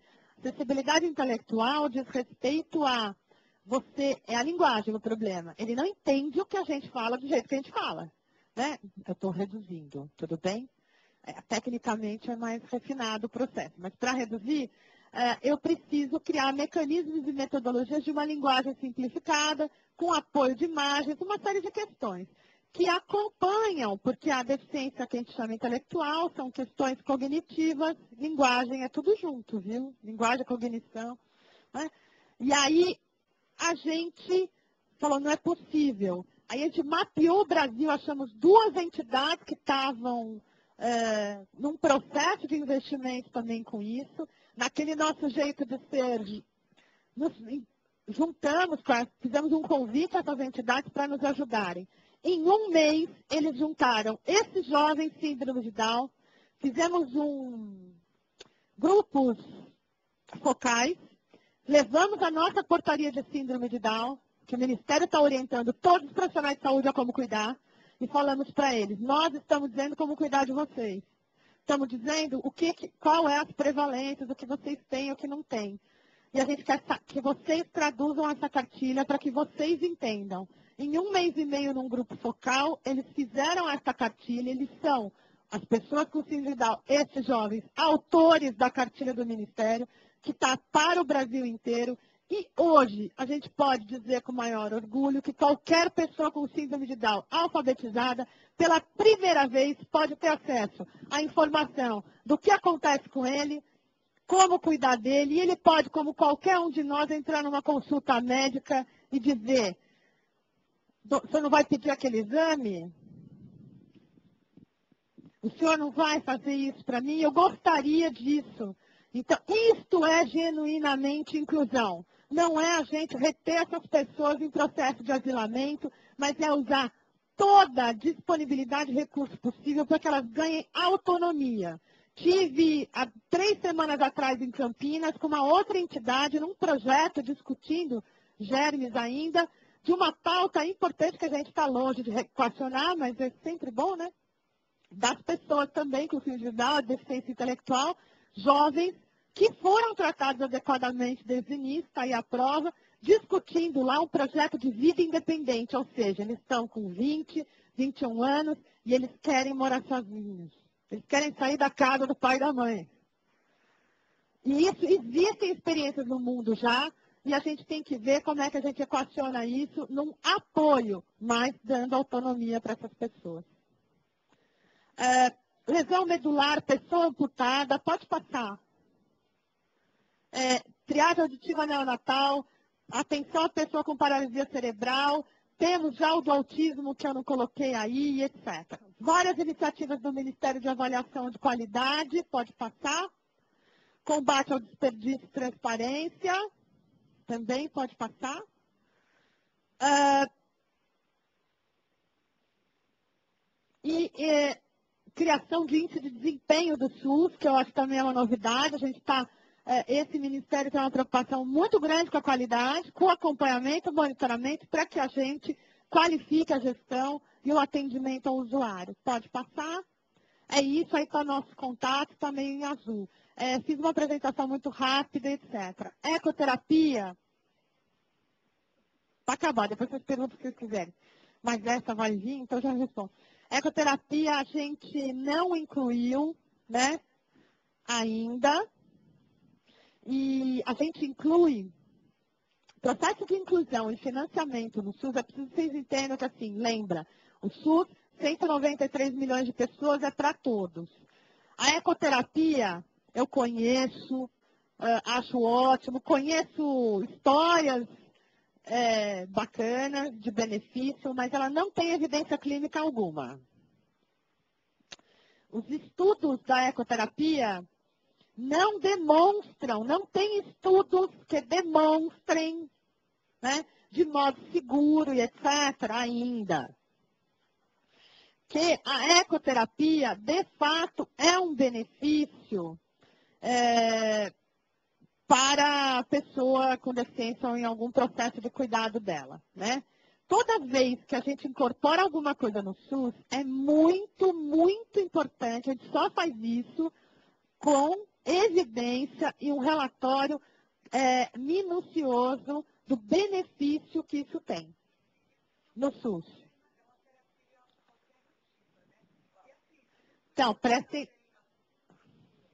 Não, mas é, não, é diferente as práticas integrativas na atenção básica, é disso que você está falando.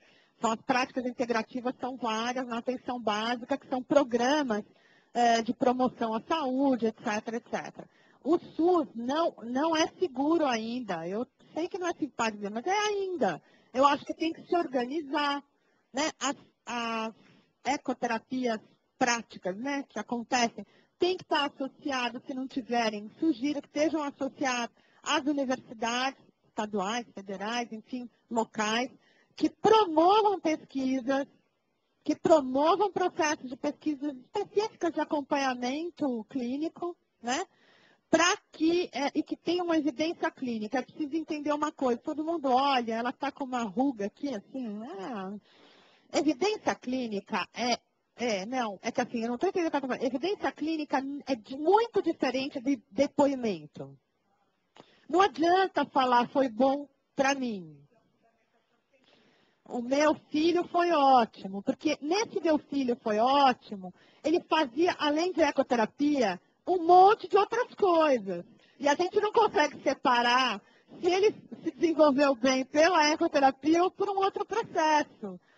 Então, o que a gente está dizendo é pesquisa científica. Por isso que eu falei, vai, se associa a uma universidade, promovam pesquisas rigorosas, com método científico adequado. Então, não é propaganda, não é a, a boa experiência, o relato da experiência, porque na hora de incorporar, a gente faz uma análise, não é só no Brasil, é no mundo do como isso está. E hoje, no mundo, ainda não temos pesquisa de evidência clínica com N, N é o número de sujeitos pesquisados razoáveis, muito menos com grau de evidência, porque existem graus de evidência, entendeu?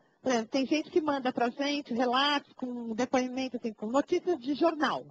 Não, jornal não tem validade de evidência. Tem que ser revista indexada, tem que ser. Cadê? Pesquisa com validade científica, para que a gente possa compreender esse efeito e fazer análise dessa incorporação ok? Mas eu quero que fique claro aqui que eu não sou contra a ecoterapia. É só uma coisa que a gente tem que ir também com rigor. Nós temos que sair do zero, essa rede está saindo do nada para o mundo. E nós estamos tendo muito sucesso, mas nós temos que equacionar, temos muitos problemas para equacionar, para que a área da saúde tenha saúde adequada, tenha reabilitação com qualidade no país. Não temos esse cenário hoje estamos com foco para trabalhar com isso. A ecoterapia, podemos ajudar no investimento de pesquisa, tá? Ainda carece de pesquisa, ok? Obrigada. Não, depois, ainda tem mais um palestra. Obrigada, doutora Vera. Tem tantas perguntas que já chegou aqui, olha. Olha quanto papel, Vera. Tudo para você.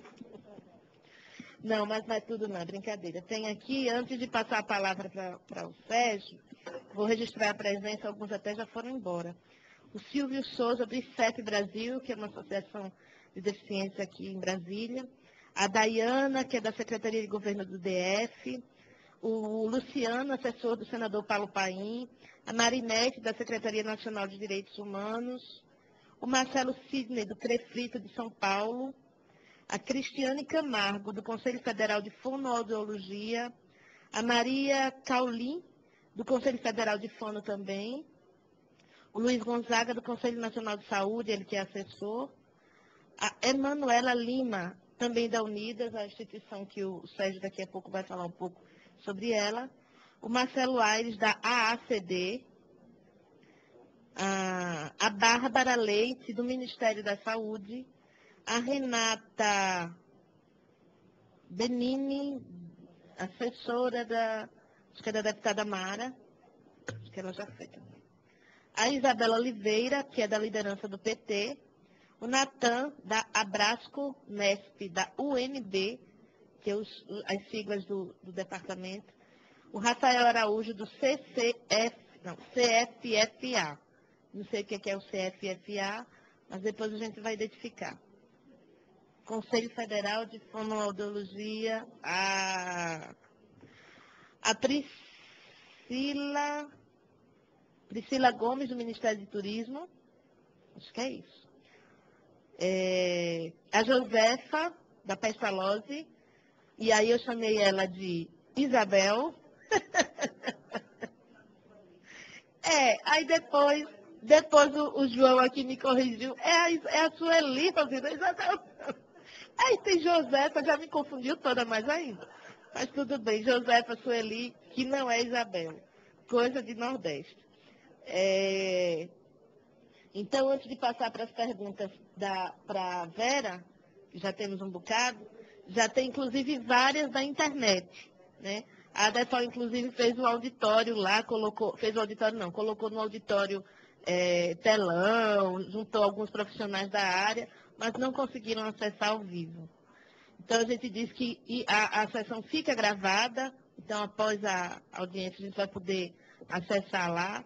Mas eles estão aqui via e-mail, né? De vez em quando entram no site e, e estão interagindo com a gente também. Então, agora eu passo a palavra para o Sérgio Francisco, ele que é vice-presidente da União das Instituições de Autogestão em Saúde. Em saúde. Bom, em primeiro lugar, acho que quase que boa tarde, né? É, fazer uma saudação especial aqui para a deputada Rosinha da ADEFAL, pela iniciativa e pela condução dos trabalhos aqui no dia de hoje. É, também para os demais participantes da mesa, e em especial para a Vera Lúcia, que fez uma brilhante apresentação e que eu acho que o plenário está todo querendo partir para a questão das perguntas. Mas é, a Unidas tem especial, é, tem dedicado especial atenção para as questões do SUS, na medida em que a Unidas, é, que congrega as entidades de autogestão em saúde suplementar, ela atende aproximadamente 5 milhões de beneficiários.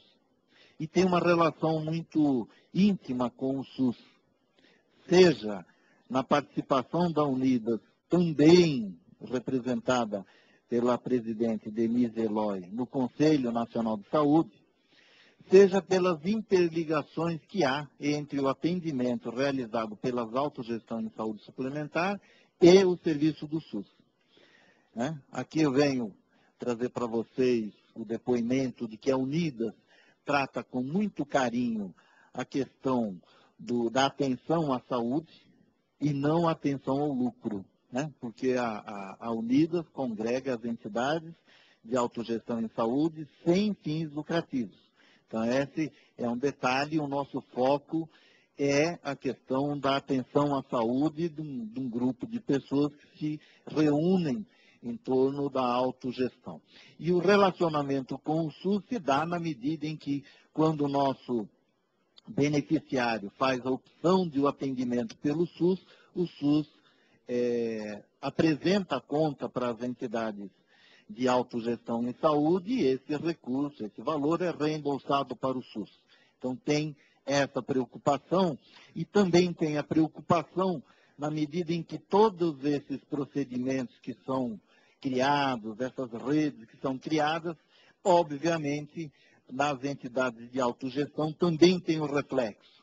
Tem alguns itens que, que a gente até pouco tempo atrás não tinha de, despertado para isso, a questão da, da atenção a pessoas com deficiência é um desses itens, mas conforme vem o crescente da política, da, da, ampliação dos direitos, desse debate que a gente está fazendo aqui, isso também é necessário nós fazermos dentro das entidades de autogestão. Então tem toda essa preocupação e é por isso que nós aceitamos o convite de participar aqui e eu faço assim de forma bem rápida, bem, bem é, é, é dinâmica, para não, não, não não perturbar, não, não atrapalhar e dar vazão para o processo de perguntas que o plenário está querendo fazer. Eu agradeço, muito obrigado.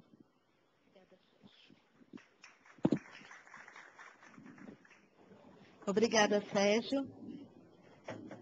É, depois eu até gostaria de conhecer mais alguns detalhes da Unidas. Eu acho que a gente precisa até é, é, tá de uma forma mais participativa, de, de, de unir forças, né? Eu, a gente tem contato com várias instituições que são prestadores de serviço na área da saúde, especificamente. Eu acho que, que a gente tem como agregar forças aí e tentar né, implementar essa política de saúde no Brasil afora. Bom, agora temos uma porção de perguntas aqui, mas antes de passar a elas, eu gostaria de fazer algumas considerações à fala de doutora Vera. Cadê ela? Ah, então vamos parar um pouquinho. então vamos conversando, gente, quando ela chega. É, é até. É, nós. É, a, dia 4 de junho, na Comissão de Desenvolvimento Econômico, Indústria e Comércio, que eu sou titular, a gente está fazendo essa discussão e vai ser muito importante que vai ter um público de empresariado forte, né, uma articulação, inclusive, deles que mais querem essa flexibilização da lei, que eu acho que é necessária uma atualização, uma discussão, um debate, mas todo cuidado com essa flexibilização para a gente não perder os direitos que a gente já tem garantidos, né, de, de da participação no mercado através das cotas. É, a gente está formatando ela ainda, quem vem compor a mesa, quem vai trazer, mas enfim. É, a discussão surgiu do, de um PL que está tramitando no Senado. Ele estava parado já há algum tempo, mas há um mês, dois meses, um mês atrás, a gente viu que ele estava com relatório pronto na comissão de assuntos sociais, não é, Rita? E o relator é o deputado, o senador Romero Jucá, né, do PMDB de São Paulo, não, é, acho que é de, do, do Amapá, isso. E a gente ficou muito preocupado, inclusive, com o próprio relatório, que, na nossa concepção, tem algumas, algumas coisas que preocupam. Então, a gente conseguiu agendar essa audiência. Estamos articulando para que o próprio senador também venha para escutar os deputados, os senadores, o parlamento de uma forma geral, mas principalmente a participação da sociedade civil organizada é imprescindível, exatamente dos empregadores. Por isso que a gente fez isso, é, essa discussão no âmbito da, da, da Comissão de, de Desenvolvimento Econômico, Indústria e Comércio, para que a gente possa estar trazendo.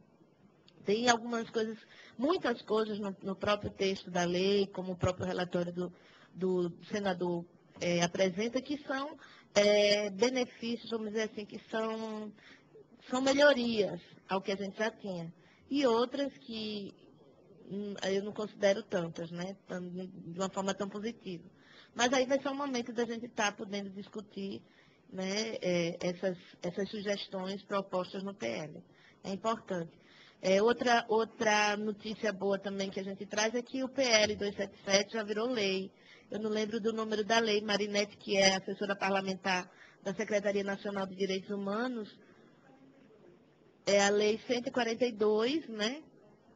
E que é a aposentadoria especial, até explicando para quem está nos assistindo, é, eu participo do movimento também já há bastante tempo, desde o do, do, de 88, e pela ONEDEF a gente conseguia fazer essa discussão a nível nacional, que é a Organização Nacional de Entidades de Deficientes Físicos.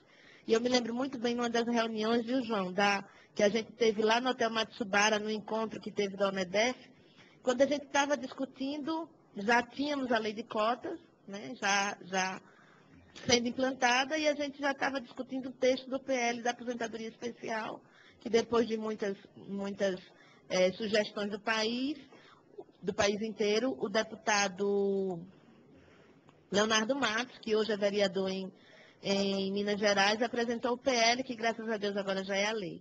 E aí eu me lembro muito bem da fala de uma colega, se não me engano, foi a Carmen Fogaça, lá do Rio, da Andef, quando ela disse assim, mas como é que a gente fica brigando para incluir no mercado de trabalho e agora a gente vai dizer que não pode trabalhar, que precisa se aposentar? Que coisa, né? Que, que paradoxo é esse? Que contradição, contrassenso. Mas aí a gente conseguiu é, é, várias, vários estudos de, de médicos, de fisioterapeutas, de pessoas com deficiências que, que, que tinham entendimento no assunto para provar que um corpo que não tem nenhuma limitação, seja era física, sensorial, enfim, é, ele não tem a mesma tempo de vida útil laborativa do que um corpo que tem as limitações, sejam elas qual for. Então a gente estava, o Brasil, o mundo estava cometendo, está cometendo ainda, mas o Brasil já está corrigindo, o erro de que a gente briga historicamente para provar que nós somos capazes, provamos que somos capazes e ao final da vida, de novo, somos considerados incapazes porque estávamos nos aposentando por invalidez porque o nosso corpo não permitia, não aguenta trabalhar o mesmo tanto de tempo que outras pessoas que não têm limitação. Então, então para mim, esse PL foi fazer uma correção nesse raciocínio, nesse entendimento, e promover uma justiça, porque é, respeitar as diferenças é, de fato, promover a igualdade. Então, esse PL foi fundamentado nisso. Agora está tendo um grupo de trabalho junto do, do, Ministério, da Secretaria de Direitos Humanos, Ministério da Previdência, a gente está segregando a, esse, a, esse, a essa discussão também para poder fazer a regulamentação. Porque esse, essa diminuição no tempo, ela é de acordo com a limitação que a deficiência possa, possa apresentar, né? E aí ele pode ser de 3 até 10 anos a diminuição, é, conforme a classificação de deficiência leve, moderada ou grave, de acordo com a limitação que ela possa gerar.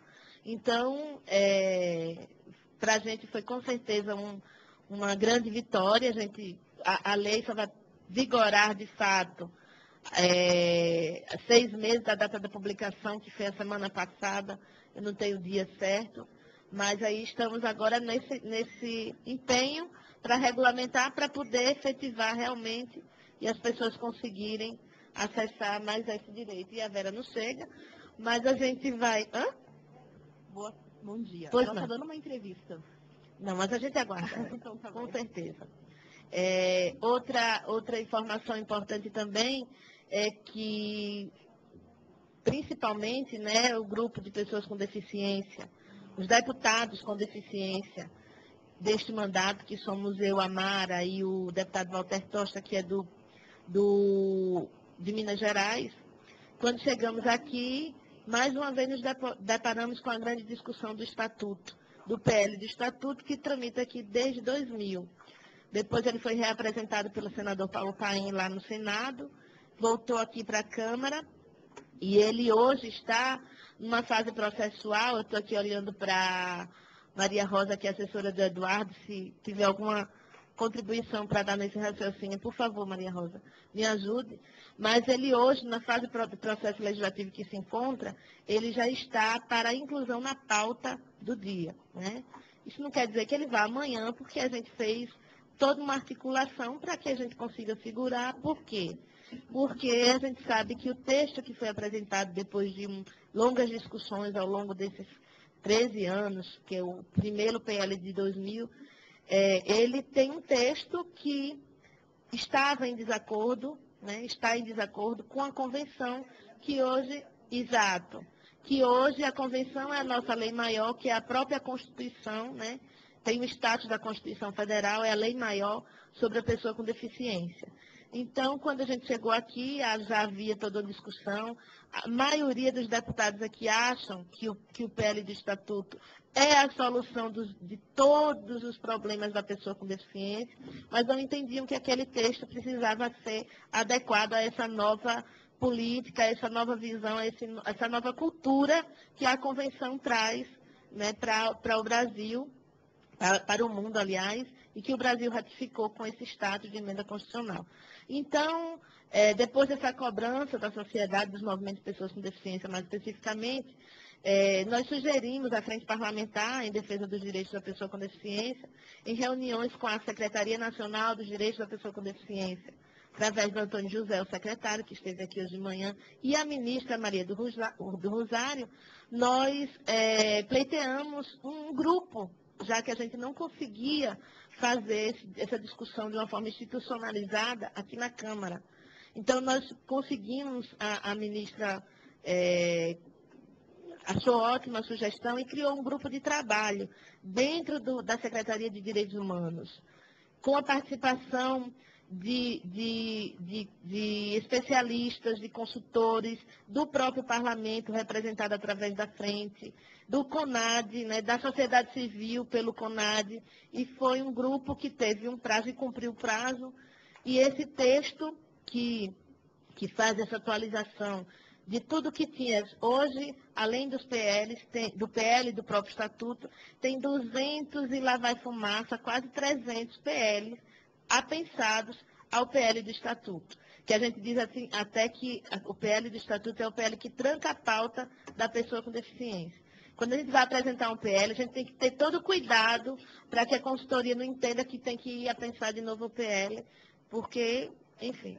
É, exatamente. Então é importante que a gente ande com esse PL, porque ele vai destrancar a pauta.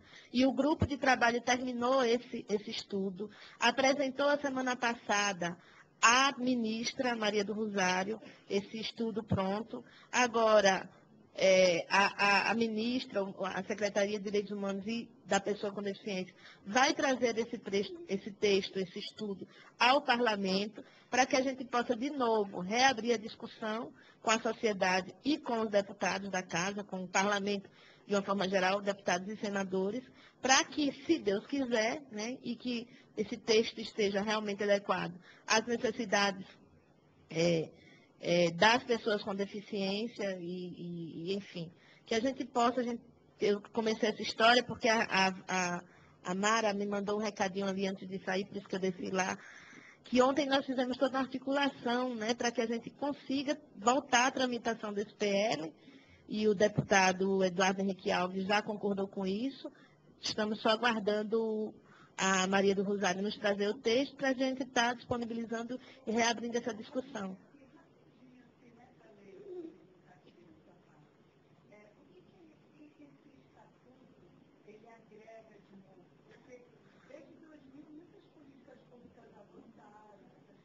Aconteceram. O que é que ele, ele vai trazer de novo? Olha, é, ele faz principalmente toda a adequação daquela, de, de, todas essas legislações que a gente já tem. A primeira coisa que modifica é a nossa nomenclatura, que deixamos de ser o portador, passamos a ser uma pessoa. Só esse reconhecimento da legislação, de nos reconhecer como pessoa, eu acho que isso já é um grande avanço. Mas a né? convenção né? fez. É, a convenção fez e ela vai instrumentalizar de uma forma mais prática a aplicabilidade da convenção que já está sendo trabalhada né, ao longo desses anos. Para a gente não ficar nessa discussão do estatuto, porque senão vem muita pergunta, e a Vera já, já terminou a entrevista, é, eu estava só te esperando para fazer algumas considerações e passar para as perguntas, Vera. Que não é só para a Vera, tem aqui para a mesa inteira. É, para que vocês possam, a gente, inclusive, comece a abrir o debate. A ecoterapia, você já, já deu os esclarecimentos, eu não quero nem fazer nenhum, nenhuma é, consideração.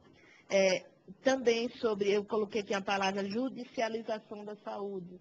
E aí eu ia especificar aquela questão da órtese e prótese. Acho que você também já conseguiu esclarecer que está havendo todo um estudo, uma mudança de como a gente vai conseguir a concessão e principalmente amarrar essa concessão à continuidade da reabilitação, né, que isso é imprescindível para que a gente não continue, não continue não, não volte a só distribuir as cadeiras e, e não dar realmente a continuidade. Dizer que o plano de ver sem limites, e principalmente essa nova, nova é, rede que está sendo desenhada, criada, instituída no país, de atenção e cuidado da pessoa com deficiência traz realmente uma mudança cultural e, para mim, uma mudança de parâmetros também. E aí eu queria só fazer um raciocínio aqui, que foi muito bem, a gente estava discutindo eu e Marisa aqui, da diferença de reabilitação e atenção e cuidado da pessoa com deficiência. Não sei se vocês já, já fazem esse tipo de discussão. Que, e, é, ou de diferenciação. Muito bem você colocou daquela pessoa que sofreu um acidente, teve algum trauma, uma lesão, que temporária ou permanente causou uma limitação, eu vou para a área física, que é mais comum, né? Uma limitação física, uma, uma deficiência física. E aí, principalmente se, se for temporária, ela vai fazer a reabilitação, se restabelecer e voltar para a vida normal. Se for uma deficiência permanente ela é devidamente reabilitada, ela também vai voltar a ter uma qualidade de vida normal e participar da sociedade, inclusive da questão da vida do trabalho. No caso da deficiência intelectual, ela é permanente. Essa reabilitação, esse cuidado não vai ser só naquele momento. Ela vai ser muito mais permanente.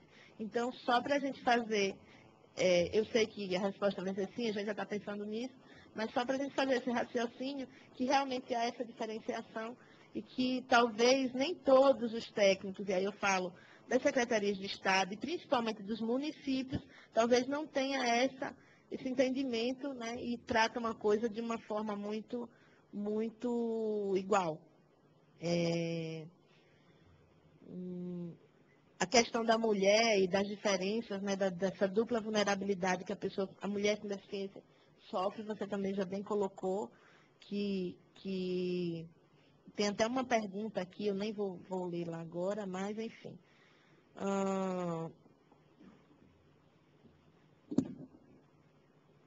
e para mim, para finalizar, a, os meus, meus, meus apontamentos aqui, eu acho que o maior desafio da implantação dessa nova, nova rede é fazer com que essas informações cheguem, principalmente aos gestores municipais, de como acessar esses recursos, né, do Viver Sem Limite de uma forma geral, mas aqui do que a gente está tratando, da rede de atenção, de cuidados à pessoa com deficiência, nessa, nessa ótica da rede, de que a gente tem que participar de tudo e não do cuidado limitado àquele espaço acessível, adaptado e preparado só para a pessoa com deficiência. É, é, e as pessoas com deficiência de uma forma geral, por isso que eu falei da gente fazer, Tereza, contar com seu apoio, com a FEDEFAL, que, que tem entidades filiadas em mais de, de 38 municípios, para a gente estar tá fazendo esse tipo de discussão e de audiência, para levar as informações para as pessoas com deficiência, mas também para os gestores. Eu tenho feito lá em Alagoas uma, uma, uma discussão com prefeitos, Vera. Né? Já, a gente já levou a discussão do Viver Sem Limites para prefeitos e secretários. Porque se fica naquela coisa de, ah, que legal, mas realmente não tem a esses detalhamentos que você trouxe hoje para a gente, a implementação realmente é muito mais difícil. Né? Então, essas seriam as minhas considerações. Agora, as perguntas, é, tem a questão para o Ministério da Saúde, que é do Natan Monsores, é, Associação Brasileira de Saúde Coletiva, da Universidade de Brasília. Ele diz como a rede de cuidados à pessoa com deficiência se articulará com as diretrizes para atenção integral às pessoas com doenças raras, atualmente em consulta pública. E aí ele parabeniza a iniciativa da nossa audiência aqui. Aí tem para a doutora Vera também. Como é aqui? Me ajuda aqui. Qual o perfil das entidades que irão gerir os 22 novos C em construção? são, são entidades novas ou já existentes. Isso aqui para aquela informação dos 22 ser em construção e não os 29 habilitados. Marcelo Sidney Gonçalves, do Crefito de São Paulo. É, para Vera também. O modelo de reabilitação historicamente põe uma realidade as práticas profissionais que preserva as relações entre os deficientes, os diferentes profissionais de saúde, concentrando um, concedendo um chefe natural de uma departamento, equipe de reabilitação. Esse papel, naturalmente, imputado ao médico, é desprovido de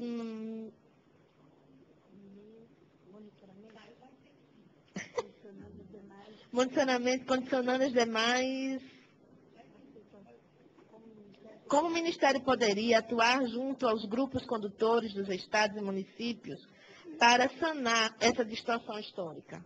É também do Marcelo, é, do prefeito de São Paulo. Não sei se ele ainda está aí é, como o programa Viver Sem Limites está dando a questão, está lidando com a questão da formação e capacitação de profissionais para garantir a qualidade dos serviços prestados.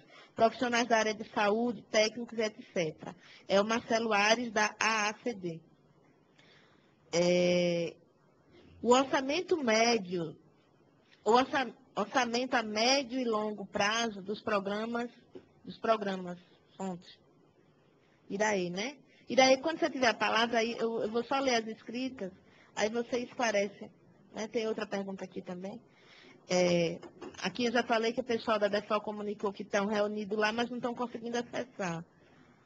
É, mas aí mandou uma pergunta pelo, pelo e-mail dizendo que, a, perguntando, né? Haverá garantia de leitos para reabilitação em hospitais credenciados ao SUS para pessoa com deficiência em conformidade com a necessidade do nosso Estado, isso é um grande problema, né? porque depois de acidentado, depois de feita a cirurgia, no nosso caso lá no interiorzão do Estado, ainda não, aí até acessar, como bem colocou a Vera, o, a reabilitação, se for só uma lesão no pé, já ficou torto, se for um PM, já ficou incapacitado para o trabalho, e aí vai o custo para o Estado, para o governo, de uma forma geral, é muito grande. É, também da internet veio como vai a questão da inclusão. O que, que é isso aqui? Do coach assistant na portaria 1370 é, de 2008. Gente, que nome bonito aqui. É, vamos praticar uma política de abrir outros canais de assistência à saúde mental sem inviabilizar o atendimento pelos hospitais e clínicas que fazem atendimento pelo SUS, apenas uma colocação do Jorge Oliveira, de Minas Gerais, veio da internet. É, vamos praticar uma política de abrir outros canais de assistência à saúde mental sem inviabilizar o atendimento pelos hospitais e clínicas que fazem o atendimento pelo SUS. Apenas uma colocação do Jorge, lá de Minas.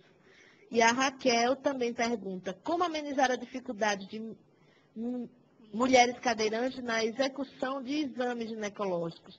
Mesas mais baixas, com regulagem, resolveria esse problema.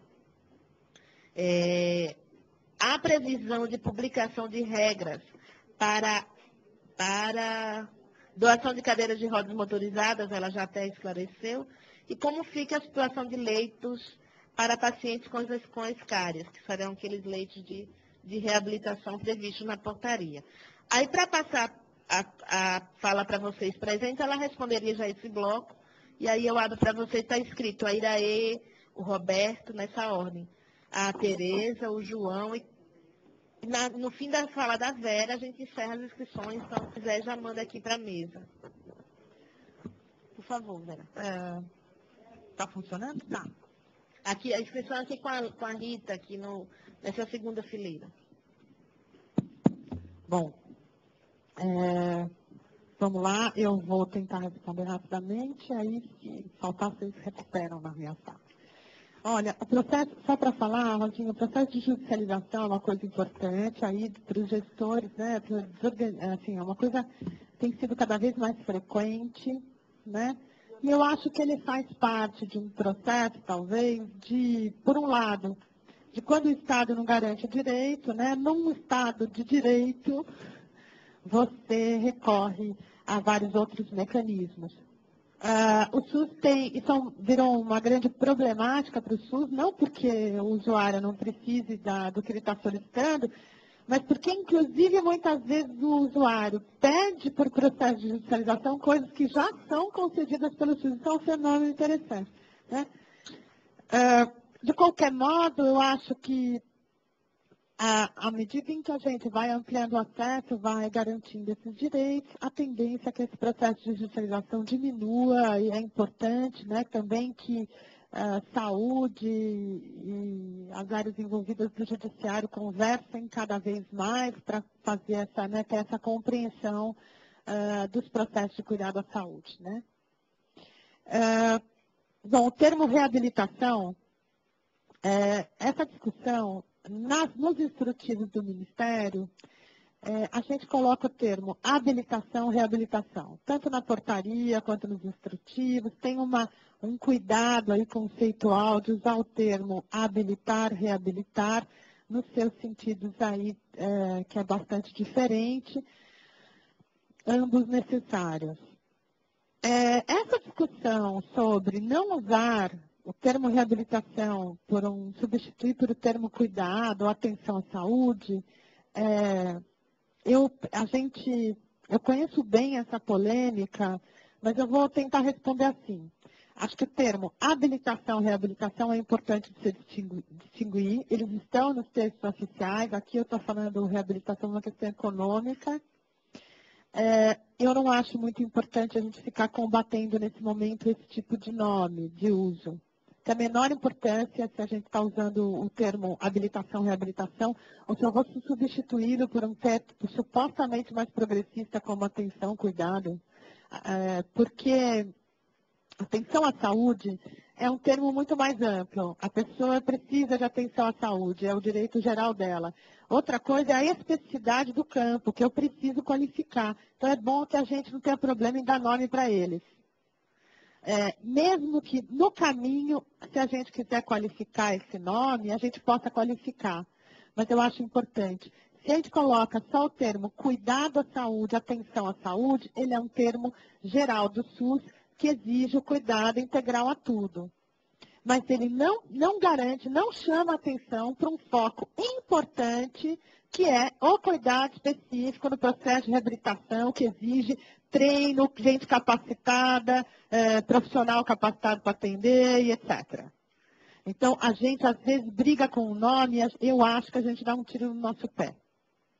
Então, eu queria tentar convencer todos vocês, nesse momento não é hora para discutir esse, esse, nome. Depois discute, mas vai ter que achar um para a área especificamente, tá? Porque a gente não pode se misturar. É, tem uma coisa muito legal que eu brinco e falo assim, olha, é, eu sou super a favor da transdisciplinariedade, das equipes, de tudo isso. Agora, ser transdisciplinar não significa colocar no liquidificador, bater e virar, sabe sopa de bebê que não gosta de legume, aí a gente bate no liquidificador para ele não reconhecer o que é brócolis, o que é couve-flor. Trabalhar interdisciplinarmente não tem a ver com perder a especificidade, a qualidade técnica de cada intervenção e área tem a ver com aprender a trabalhar junto e produzir junto cuidado. Mas, desculpa, eu não posso prescindir das expertises e especificidades das áreas. E eu espero que elas cada vez mais se qualifiquem. Para isso, eu não posso bater no liquidificador, senão eu não reconheço ninguém. É, eu acho que assim, a gente tem que caminhar um pouco com cuidado nesse trânsito. Bom, deficiência essa discussão também sobre a deficiência física em oposição à, à intelectual, essa questão permanente. Eu vou responder mais, Rosinha, do que já estamos vendo isso. Era mais fácil dizer isso. Mas eu não canso, já que eu estou aqui, de provocar também o campo. Acho que é para isso que é útil. Obviamente, não é, isso não é na intelectual em oposição da física, gente. Existem várias deficiências, é, digamos assim, dentro da categoria física, que são, é, são casos extremamente comprometidos e graves que exigem muito cuidado de muitas horas, permanente, etc. Então, essa divisão, primeiro, ela é falsa. Vamos separar, não está em divisão entre áreas, física, auditiva e intelectual. Está entre qual é o grau né, de comprometimento, qual é o tamanho da lesão, se a, se a, a questão é é progressiva, não é progressiva, é congênita, não é congênita. Tem uma série de coisas no campo que vão definir né, esse grau de dificuldade, de incapacidade, de funcionalidade desse sujeito na vida social. E, portanto, os projetos terapêuticos têm que ser singulares.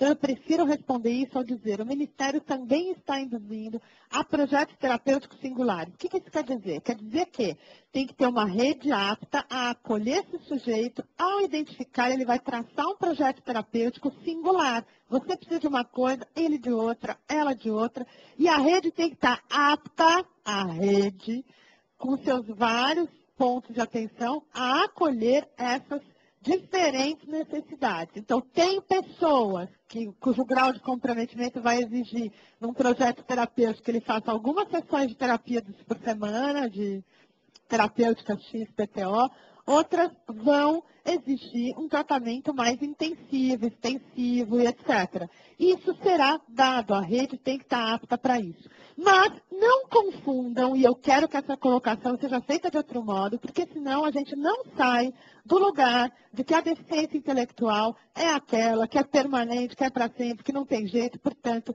é, é nessa situação que ela está. As pessoas têm as pessoas que têm deficiência intelectual, muitas delas, a maioria da deficiência intelectual, 80% estima-se, é, são leves. Portanto, eu estou falando que 80% das pessoas que têm deficiência intelectual tinham que estar muito mais na vida, do trabalho, circulando, é, podendo ter vida independente, entendeu? É disso que nós estamos falando. A situação é grave. Né? Elas têm direito a essas coisas. A gente está falando de direitos humanos, a gente está falando de direito à saúde. Então, o que eu estou querendo dizer é que a gente tem que fazer uma inflexão. O Brasil, a sociedade, hegemonicamente, não estou falando de nós aqui, hegemonicamente, tendem a olhar para a pessoa com deficiência intelectual como aquela que nunca vai ter uma capacidade de exercer a plena cidadania. E por isso elas estão, frequentemente, elas entram dois anos de idade numa instituição e aos 18 elas ainda estão lá dependentes totalmente da instituição. Eu me pergunto que modelo é esse que a gente está usando para que essas pessoas não consigam autonomia na vida. E é nesse sentido que eu quero provocar. Reabilitação é começo, meio e fim, tá? Acaba. Temos que parar que reabilitação é para o resto da vida. Não é não. A reabilitação a habilitação é um processo de cuidado que tem começo, meio e fim. Outra coisa são os mecanismos e dispositivos de acompanhamento, de é, monitoramento, né, de, de acolhimento da sequência e da manutenção é, dessas funcionalidades que a gente tem que fazer. Né? é, para essas pessoas, como tem que fazer em outras áreas, né? O dentista manda a gente lá toda hora, né, para tirar a placa, sei lá. Manda. Você não tem que voltar lá no dentista de vez em quando para fazer o acompanhamento? Então, na reabilitação, as pessoas que têm alguma discapacidade também têm que fazer isso. Mas esse é um acompanhamento, não é um processo de reabilitação para o resto da vida. Então, isso precisa ser muito debatido em todas as áreas. É necessário fazer isso, tá? Agora, Marisa, também tem os, pode ser 1% dos casos, mas esse 1% dos casos de autocomprometimento que precisam aí de serviços é, e de que o Estado organize para eles é, serviços que fiquem quase como o dia inteiro em atividade, acolhendo, recebendo, cuidando, etc., diário, é, isso, diário, tá? Eles terão atendimento. Para isso nós estamos organizando. Mas isso é 1%. Vou dar um exemplo. Autismo, que a Marisa trabalha. Por isso que ela está perguntando isso. Né? Que a Marisa trabalha com isso. O autismo é espectro autista. Ele tem desde o alto desempenho. Né? Não tem o um menino lá que está concorrendo ao prêmio Nobel? É, alto desempenho até. É, então, ou seja, é um espectro. Tem uma diferença enorme aí. É, de enfim, de comprometimento, funcionalidade, etc. Todos eles, todos. Outro dia alguém me perguntou isso numa reunião com o MEC. Eu falei, não, não. Autismo, espectro autismo, quase todos, menor ou maior grau, tem a grande barreira social é a linguagem. Em maior ou menor grau. Por isso precisa ser, ser acompanhado. Agora, esse, esse de autocomprometimento, ele tem que é, ter uma. Um, não adianta colocar ele em terapia duas vezes por semana. Eu entendo o que a Marisa está colocando. Esse, é, esse, essa pessoa ele vai precisar de um cuidado de outra natureza, né? que seja mais intensivo, etc. É por isso que a gente também está estudando na rede a possibilidade é, de habilitação e investimento em coisas específicas. Só que com o cuidado do seguinte, não pode, desde que a sociedade entenda que a gente crie regras claras, e nós criaremos, de que eu, a gente não vai criar uma rede é, para o atendimento ao autista paralela e muito menos para o autismo em geral, porque senão você pega essa criança que devia estar na escola comum, vivendo uma vida normal, só porque ele tem um diagnóstico de autismo, ele é de alto desempenho, vocês vão colocar nessa entidade que é para ele. E isso é, é replicar o modelo existente, prática excludente. Então, não é uma, o centro de autismo, não é todos os autistas que têm que estar lá. As pessoas que espectram autismo, muitas têm que estar, aliás, na vida, né? Fazendo pesquisa de física quântica e ganhando prêmio Nobel, sei lá. E outras estão na escola, e outras estão na vida, e algumas precisam de apoio, estão tendo, né? E as que precisam de muito apoio diário, todo dia, terão também. O SUS tem que equacionar isso.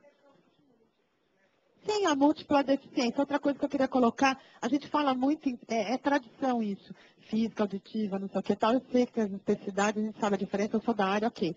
Mas é, a maioria, eu conheço poucas pessoas que têm necessidades muito específicas só de uma questão, inclusive de acidente de trânsito, tá?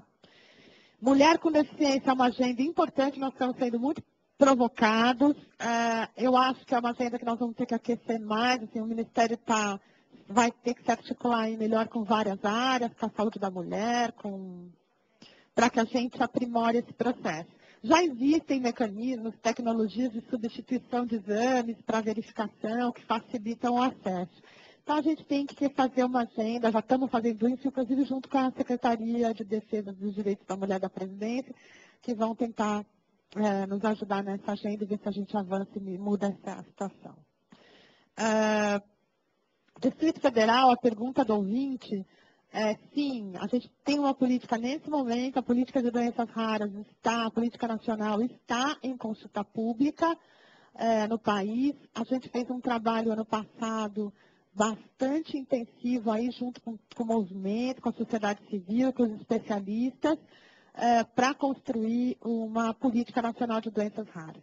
É, quem coordena essa agenda é o meu companheiro lá da Alta e Média Complexidade, Dr. José Fogolin, mas a minha área técnica é parceira junto com eles nessa agenda. Acompanhamos todo o processo e instituímos uma política. A política de doenças raras, quem já teve a oportunidade de olhar no site, ela coloca a necessidade, a gente identifica e coloca a necessidade assim, de constituir mesmo uma série de centros é, de excelência no país, é, não tem esse nome, enfim, mas centros no país é, que é, sejam capazes de ser polos de expertise para o diagnóstico diferencial de doenças raras. Né?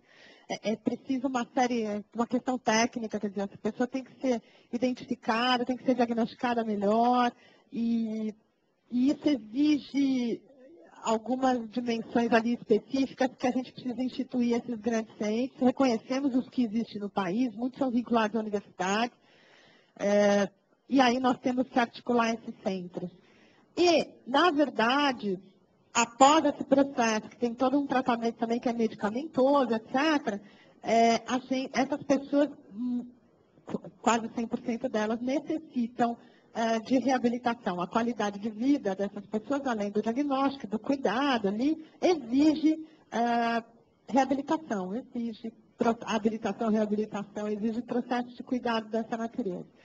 E a gente está na, na, política nacional, está lá descrito, esta rede de cuidado da pessoa com deficiência estará disponível para o acolhimento das pessoas com doenças raras. Ela é parte do processo de cuidado das pessoas com doenças raras. Então já está incluído.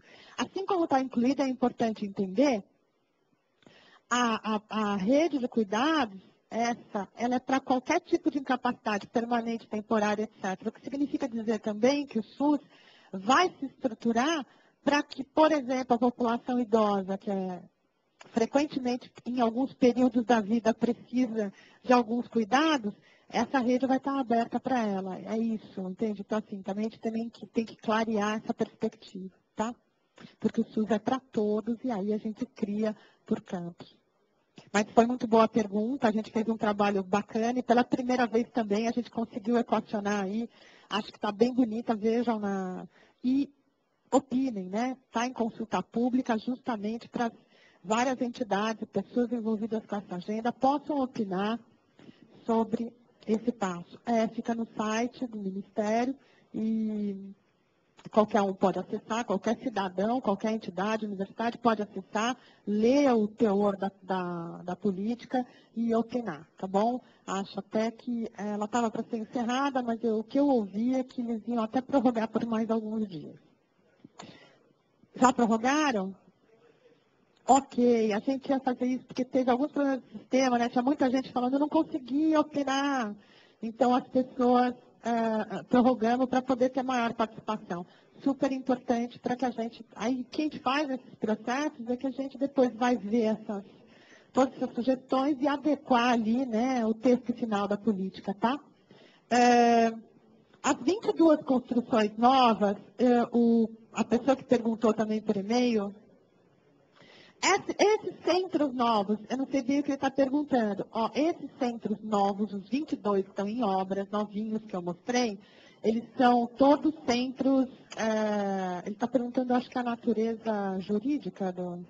Eles são todos é, públicos. Tá? Eles são é, convênios, que a gente chama de convênios, mas é convênios entre os entes federados. Né?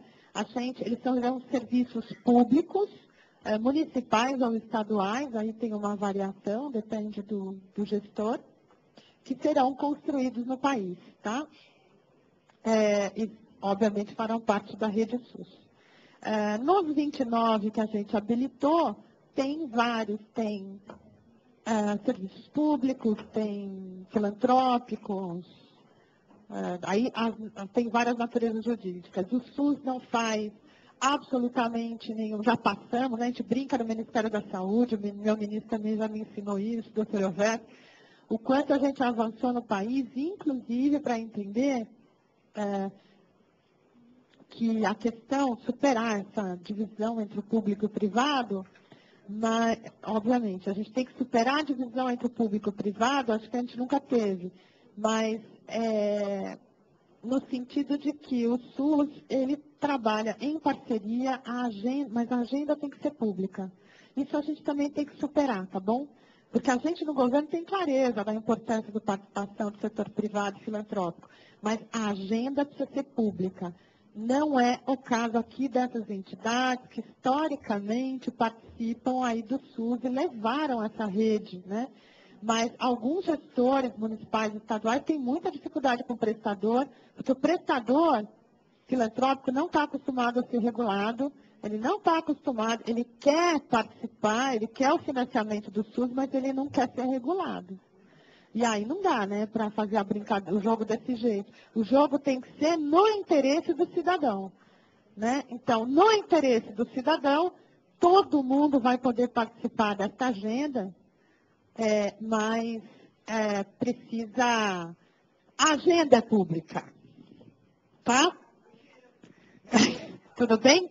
É, Crescito, o, o, é, o questionamento, sim, olha, eu acho que assim, isso já avançou muito. Eu vou responder deste modo. Eu acho que se eu entendi, porque a leitura ficou prejudicada, mas se eu entendi, a questão era é, dos profissionais questionarem na equipe de reabilitação, físicos, TOs, fonos, enfim, é, principalmente Prefeito costuma falar muito disso, é, são profissionais que, pela história, como eles nasceram paramédicos, né, eles muitas vezes, em algumas regiões, ainda ficam, digamos assim, muito submetidos né, ao, ao processo médico e tem, uma, e tem lutas corporativas que todo mundo conhece aqui, que são normais da sociedade, ok?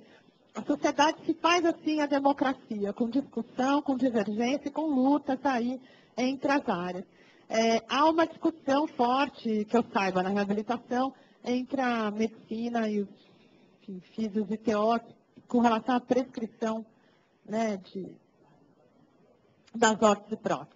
É, o que eu tenho a dizer é que esse, inclusive, passou na área já faz um tempo, foi o ano passado já essa discussão do Conselho de Medicina, pedindo para a gente retirar né, o CBO de físicos e TOs, pedindo para a gente retirar do CBO é, de algumas órteses e próteses, a gente coloca no Ministério que profissionais, o CBO dos profissionais que podem é, fazer aquilo. Ok, mas é, o pedido veio assim, né? E a eu quero dizer que a área técnica foi, deu parecer absolutamente contrário e não acatou lá o pedido do Conselho de Medicina, no sentido de que, para nós, é, é super importante, a, a gente costuma dizer assim, os, os profissionais médicos, eles são caríssimos ao sistema, eles são valiosíssimos ao SUS, mas é, a, a valiosa participação de todos os profissionais nas equipes, e a gente tem que aprender mesmo a trabalhar dentro das suas atribuições, com segurança clínica e etc., mas sem necessariamente, dentro de lutas corporativas, submeter áreas a outras. A gente acha isso meio terrível.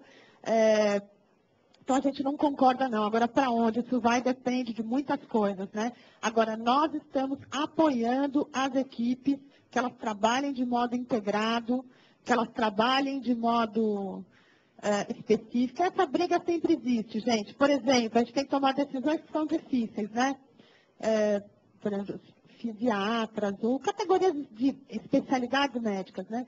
É, neurologistas, etc., eles falam assim, ah, tem que ser isso. Toda vez que a gente faz alguma coisa, tem que ser esse. Aí a gente fala, não, a gente vai colocar ou esse, ou aquele, ou aquele, ou até um médico clínico geral, pediatra, com qualificação para, que você faça um curso. Porque senão a gente inviabiliza o cuidado nesse país. Não tem tantos profissionais assim, muito menos dentro de algumas especialidades, para que a gente possa uh, dar atenção à pessoa com deficiência.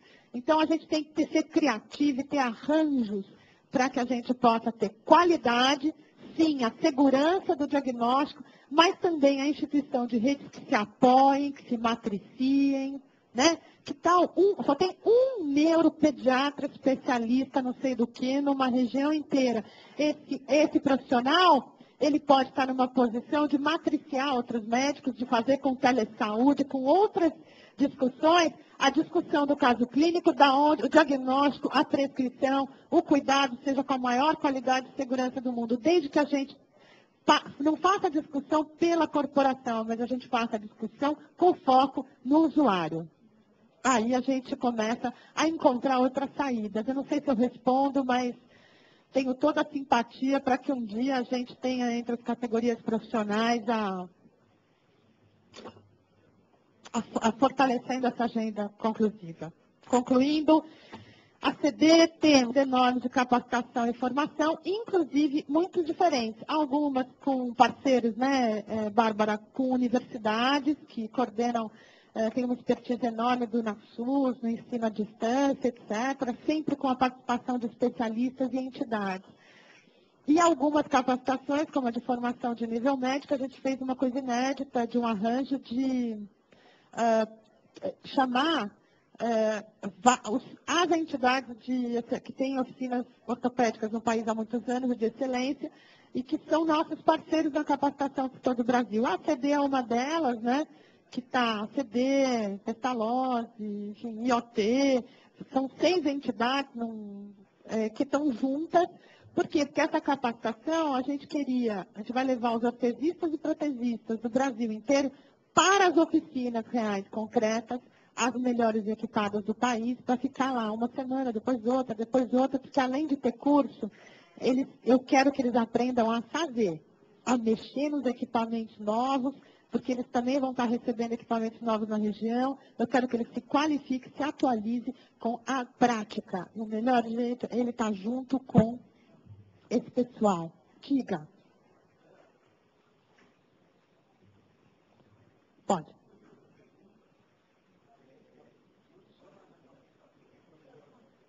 Não só. Não só na, na, capacitação, mas também na formação. Eu não sei se a gente pode avançar, Sim. porque eu, como sou, sou, da área da reabilitação e trabalho né, há 16 anos nessa área, é, nós temos, na nossa formação, qualquer que seja a profissão que vai atuar, poucos indivíduos que vão trabalhar nessa área, que se interessam por essa área. Está né? Tá falando especificamente da reabilitação ou da arte própria? Não, reabilitação, reabilitação. Tá. Né? É, médicos, terapeutas, os técnicos vão direto para isso porque a, o campo é maior.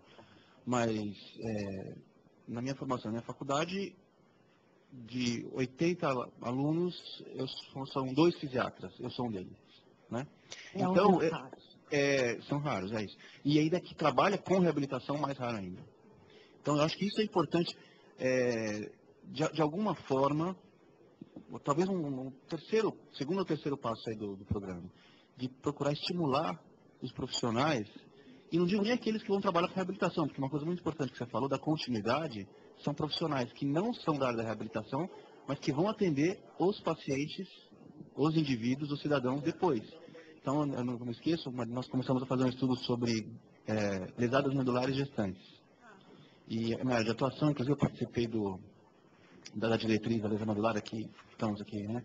Infelizmente, pude contribuir aí um pouquinho, mas nós temos que ir ao Hospital São Paulo, dar aula para os profissionais, os profissionais médicos, para que eles tivessem conhecimento das alterações, das dificuldades que uma mulher tem com lesão medular que é gestante, para que eh, a gente pudesse ter um- uma parceria. Então, porque eu acho que esse é um ponto nevrálgico aí também, né? A gente fala muito de OPM, a gente fala muito do, do equipamento, da criação dos locais, mas os profissionais habilitados para que o processo tenha sucesso, isso é muito importante. Eu, eu sei porque nas ah, unidades da CD que nós temos, nós temos dificuldade na contratação desses profissionais. E grande dificuldade. E compartilho com você. Não vou encontrar só fisiatras, eu tenho que formar neurologistas, neuropediatras, pediatras e capacitamos e fazemos com que eles atuem é, com base clínicos, com base na. O ideal seria que fosse tivesse um crescimento, mas infelizmente não. Para concluir, eu preciso que você se identifique. Eu sou Marcelo Ares da ACD. Ah, tá ok. Todos quando forem usar o microfone, Desculpe. daqui a pouco a gente vai abrir para vocês, é preciso que se identifiquem antes. Então, Marcelo, é isso mesmo, eu compartilho, informa- mas são duas agendas que entender que são diferentes, mas que a gente pode provocar. Eu tenho muita esperança, não tenho dúvida, que o próprio processo de implementação da rede e esse debate que a sociedade está fazendo está provocando as academias. Que uma coisa é trabalhar também na formação desses profissionais desde a sua eh, origem, na academia, nas universidades. Né? As universidades também estão ah, ainda aquém né, de uma formação que, de fato, qualifique esse aluno para atuar, pelo menos, na rede SUS, no Sistema Único de Saúde, com o grau de complexidade que a gente tem. Então, é importante que essa capacitação também rebata isso lá. E eu acho que rebate, a gente também vê avanços. Né? É, rebate também porque estão provocando para fazer pesquisa, porque tem mais incentivo em pesquisa, ter mais incentivo em pesquisa na academia, é também gerar interesse de que profissionais que estão lá se agreguem a esses núcleos, e aí você vai mudando o cenário, ok? É, leito SUS, rapidinho, é importante. É, leito SUS é, é, tem uma portaria ah, já publicada de reformulação é, de toda a política nacional de atenção hospitalar. Essa política nacional de atenção hospitalar do SUS, ela reformula toda a base da política e inclui as unidades de longa permanência, os leitos de longa permanência. Os leitos de longa permanência são esses leitos que vão ser destinados a, por exemplo, pessoas que, é, leitos que a gente fala assim, ah, o leito de reabilitação, não vai ter esse nome, leito de reabilitação, são unidades, leitos de longa permanência, pessoas que precisam de um tempo maior de permanência na unidade hospitalar para se recuperar, e no caso desses leitos de longa permanência, tá, a portaria também obriga a ter uma sala de reabilitação multifuncional com uma equipe de reabilitação para que, a todo mundo sabe, em tempo oportuno, a gente, desde a ocorrência do trauma, eh, comece o processo de reabilitação. Isso faz muita diferença na sequência do caso. Né? Então, isso está definido também como norma. Estados e municípios têm aí a função de estudar, lerem, né? conhecerem as portarias e, a, e fazerem a adesão e a solicitação e a habilitação. Isso vale para todos, incluindo para as regiões de vocês. Não sei se vocês já aderiram, não aderiram, mas é bom conhecer todas as normas, é super importante, traz um pagamento diferenciado aí nesses leitos, tá? É, o equipamento de ventilatório, né, é, ele é uma discussão, aqui, eu não sei quem é que fez a pergunta, mas enfim, é, isso já foi provocado, parece que a Conitec, qualquer um pode provocar a Conitec, que é a Comissão Nacional de Incorporação de Tecnologia, para a incorporação de alguns equipamentos. É importante entender que, de novo, esse processo de incorporação parece que está lá sendo analisado, até porque foi provocado pela, por outra... Você fala daquela mesa da, do, do exame, né, que você está falando aí? Não, é, o Coach Assist é ah, um tá. equipamento de assistência ventilatória, não é não? É. é. Desculpa, ele é um equipamento de assistência ventilatória, que eu saiba. Tá? E assim, na verdade, tinha, gente... Tinha uma pergunta de uma, de uma internauta que falou do, da, da, tecnologia também acessível para os exames ginecológicos aí. Então, o exame ginecológico eu falei genericamente a mulher com deficiência. Eu já falei disso. Eu falei que isso é uma agenda que tem que avançar. Falei que já tem tecnologias hoje disponíveis, mas que a gente tem que agentar, avançar nessa agenda para que a gente dê acesso, gente. Não é assim de uma hora para outra. Eu tenho não sei quantas mil unidades de saúde nesse país. A gente não vai botar cadeiras é, acessíveis amanhã em todas elas. Então, assim, isso é uma discussão que a gente tem que se organizar e depois também escolher adequadamente a tecnologia. Espera aí, isso é uma outra discussão. Assim como o coach, esse equipamento. Isso aqui é equipamento. Para começar, que a gente não incorpora marcas, a gente incorpora é, descrições, tecnologias assistivas. Mas esse, o SUS já faz isso como procedimento. Só que não com esse equipamento, que esse equipamento traz uma novidade. Sabe aquela coisa de tecnologia? Tem uma novidade a mais, tem um GPS, um ABS, conhece? Tem freio, mas não é ABS. E aí, assim, a gente, a, cada vez que a tecnologia avança, a gente é pressionado a uma incorporação. O que a gente faz, porque a gente é rigoroso, sério, é, com o gasto de dinheiro público, é receber essa demanda, encaminhar para a instância, fazer uma análise técnica, encaminhar para a instância responsável por incorporação de tecnologia no SUS, para que seja dado devido tratamento e a necessidade, de fato, que diferença traz aquilo, esse, esse novo equipamento. Tá? Vou dar um exemplo da ACD, desculpe, a CD vive ah, solicitando para a gente a incorporação da Locomate, que é aquele... A Locomate é uma marca também, né? Mas que é aquele equipamento robótico que faz treino de marcha ali. Porque a pessoa com deficiência adora aquilo, entra lá, tem maior sucesso, né? Porque imagina um tetraplégico entra ali, é uma máquina, é um robô que ele anda, né? Então eles saem de lá naqueles 15 minutos numa alegria profunda. E uh, existe esse equipamento. O SUS vai incorporar? Não. Né? Por quê? E falamos isso com a CD. A CD mandou para a gente, mas demorou né, para entender. Eles mandaram para a gente uns quatro pedidos consecutivos e a gente negou os quatro. Né? Por que, que nós negamos? Que nós somos contra o equipamento, somos contra que as pessoas sejam felizes? Não. Porque esse equipamento não tem nenhuma evidência clínica de que esse equipamento que custa uma fortuna é melhor que uma boa sessão de fisioterapia. Estou sendo grosseira, mas dá para entender? É, não há nenhuma evidência clínica. Eu, isso aqui, o benefício para o usuário, é maior ou menor que uma boa sessão de um fisioterapeuta? Não há resposta para o problema. Se não há resposta para o problema, desculpe, gente, a gente tem que ser um pouco sério nesse país, rigoroso, com o cidadão brasileiro, com o imposto que ele paga, que retorne o serviço para ele, porque o SUS tem recursos limitados, é uma área estratégica importante, estamos tratando de direito, portanto, a gente incorpora, não importa o custo, desde que a gente tenha clareza daquele benefício. Aí, o que, que a gente fez com a CD? A CD Vamos fazer uma agenda diferente. Vamos fazer pesquisa de evidência clínica para que a gente possa produzir evidência clínica e daqui a pouco, lá na frente, se for o caso, incorporar, mas incorporar com segurança para quem que é esse, etc. E eu estou falando com propriedade, porque devido às demandas, nós fizemos pesquisa na área técnica no mundo. Não há evidência clínica no mundo no uso dessa tecnologia. E, portanto, nós temos que proceder à pesquisa clínica. Então, vamos fazer pesquisa, vamos evidenciar o que, que é isso, para quem é e etc., porque é muito diferente. Né? Nós estamos fazendo pesquisa para uh, a, a AVC, né? sequelas de AVC, sequela disso, paralisia cerebral, porque às vezes o benefício é para um caso, não é para o outro. Então, tudo isso precisa ser muito rigorosamente pensado antes, porque senão a gente não incorpora com segurança para o usuário. Então, essas pressões a gente tem que responder desse modo. Obrigada. Vera, é, eu, eu bombardeei você com um monte de, de perguntas e de, de, de raciocínios. Eu, eu não sei como é que você aguenta, mas ainda tem mais. É, é, é só porque os dois, dois palestrantes, a Marisa e o Sérgio, Marisa tem voo daqui a pouco, o Sérgio também tem uma, um, uma atividade, já são uma hora.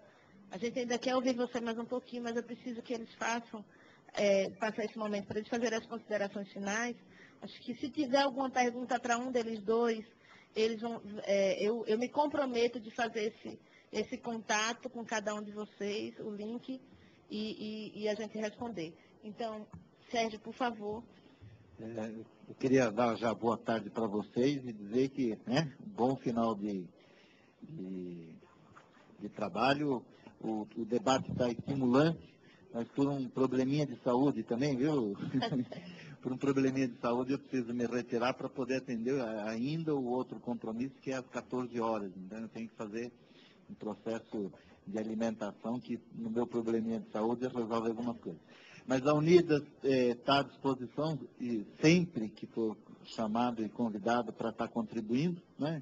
embora nesse tema aqui não podemos, não pudemos contribuir de maneira considerável, mas outros temas nós eh, com certeza estaremos contribuindo muito mais. É www.unidas.org.br.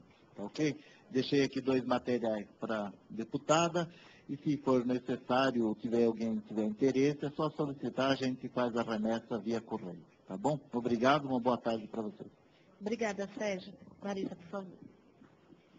Uh, eu queria falar para as pessoas que estão nos assistindo e a vocês, né, que é extremamente importante que as associações de pais e associações de pessoas com, com deficiência, as próprias pessoas com deficiência, nos seus municípios, acompanhem e vão conversar com seus prefeitos, com a Secretaria de Saúde, para ver como é que vão, vão ser instalados os centros de reabilitação, como é que eles vão funcionar.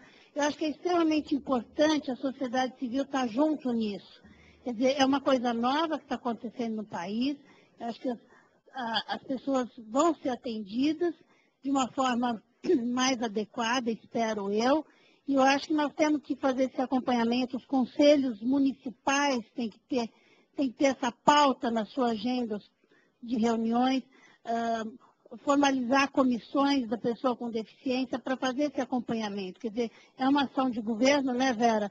É uma ação de governo nova, ampla, uh, com verba, com muita verba, é uma coisa que nunca aconteceu no país, realmente.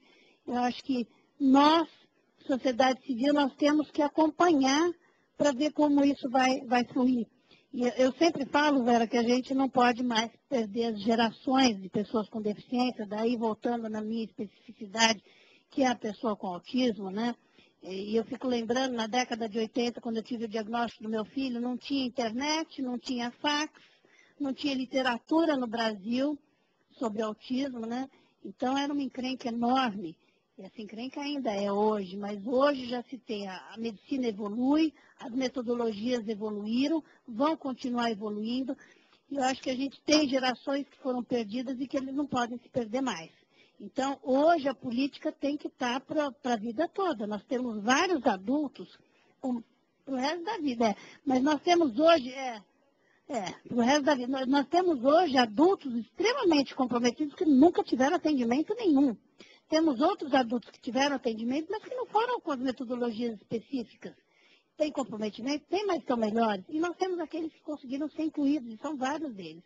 Então, eu acho que aquilo, diagnóstico precoce, atendimento precoce, invariavelmente, um percentual muito grande dessas crianças serão incluídas na escola e, e, e, vai minimizar o atendimento de adulto e o, e o custo e o custo para a nação vai ser menor, porque eles vão ser incluídos com maior facilidade.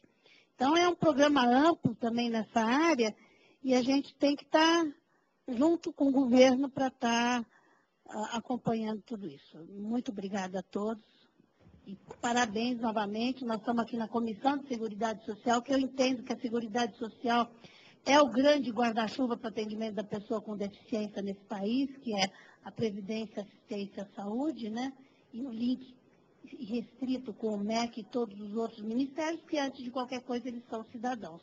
E como cidadãos eles têm todos os direitos constitucionais e eu espero que a gente realmente tenha um atendimento específico, especializado, muito melhor do que teve até hoje. Muito obrigada.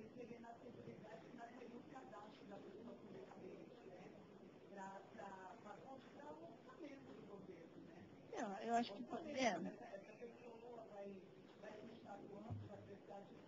E com... É porque você tem, você tem o cartão SUS também, no cartão SUS. Eu acho que é uma coisa. É, pode até ser isso. É. é. É. Não, eu acho que é importante isso. Eu acho que a gente tem que saber no orçamento quanto que precisa para. Custa, tá, mas é aquilo, né? Quanto, mais, quanto melhor o atendimento inicial, menos custo será no futuro, né? Mas eu acho que o governo vai ter um, um, um gasto grande agora no começo, é. para toda essa implantação, né? Muito obrigada, Vera. Marisa, muito obrigada.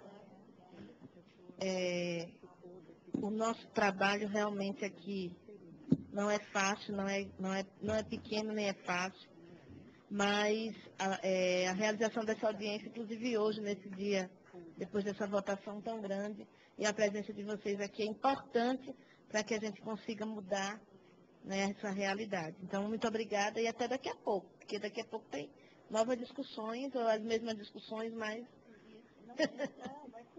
tá ok. Bom, temos aqui cinco inscritos da plateia. E aí, pela ordem, o Roberto, a Iraê, a Tereza Nelma, o João e a doutora Alice. Como eu tinha falado no fim da fala da Vera, a gente encerrou as inscrições, né? Então, o Roberto, que ele, ele que é presidente da Associação de SECOS de Alagoas e presidente do Conselho Estadual dos Direitos da Pessoa com Deficiência. Por favor. É, a gente precisa dinamizar um pouco aqui, a, organizar um pouco o tempo, já são uma hora e cinco minutos. Né? Todos, com certeza, temos outras atividades e a doutora Vera também. Então, eu queria fazer um tempo de cinco minutos para cada indagação e para que depois a Vera possa nos responder. Por favor, Roberto.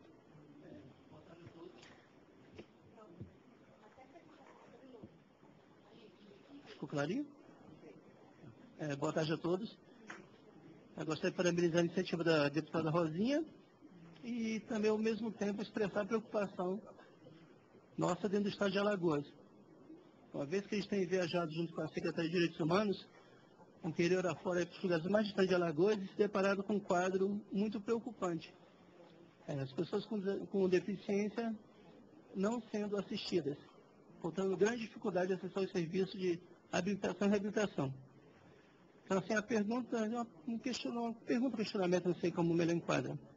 É, Maceió, ele centraliza a maioria dos atendimentos, porque o estado de Alagoas está acima da média nacional de pessoas com deficiência. É muito acima.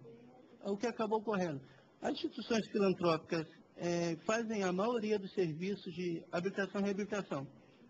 É, e, esses serviços estão a cargo das filantrópicas.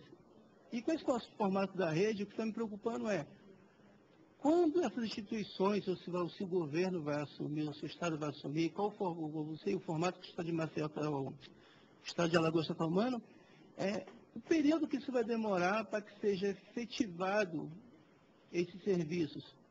Porque todos nós bem sabemos, como disse a doutora Vera, é, o, o, tempo de, de acesso e de ingresso na reabilitação ele tem um custo muito alto quando você é, você a consequência é muito grave quando você trabalha com pessoas com deficiência.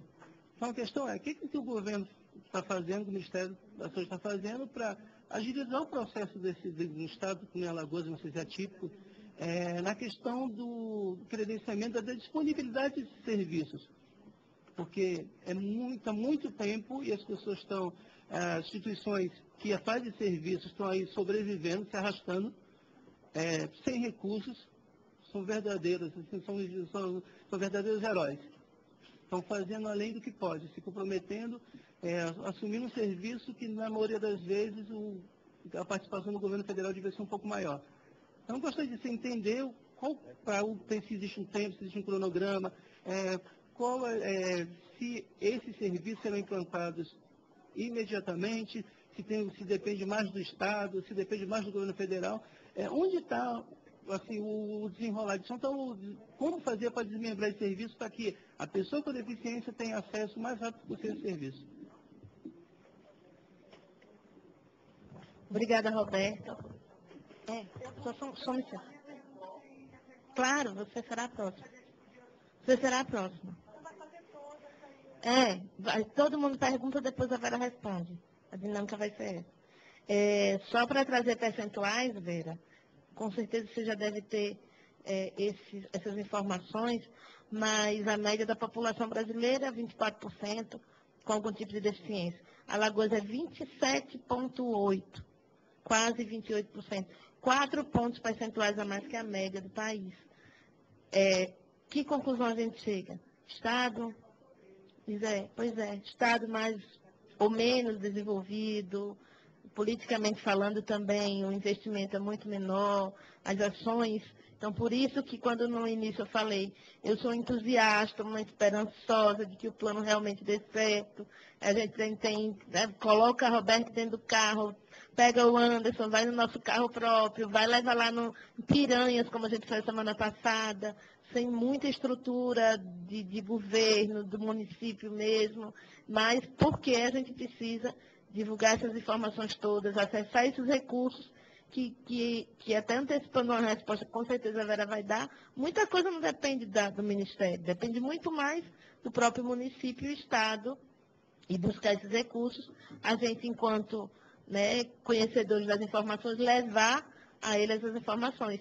E a gente sabe que muita coisa, às vezes, é só preencher um, um formulário eletrônico lá, com o próprio ônibus para o transporte escolar, e muitos não estão, muitos municípios não estão sequer fazendo isso. Né? Então, até fazer essa divisão sinceramente e a, chamar todo mundo para essa campanha junto a prefeitos, secretários, para que a gente possa né, acessar esses recursos. Mas, Iraê, você tem sua palavra.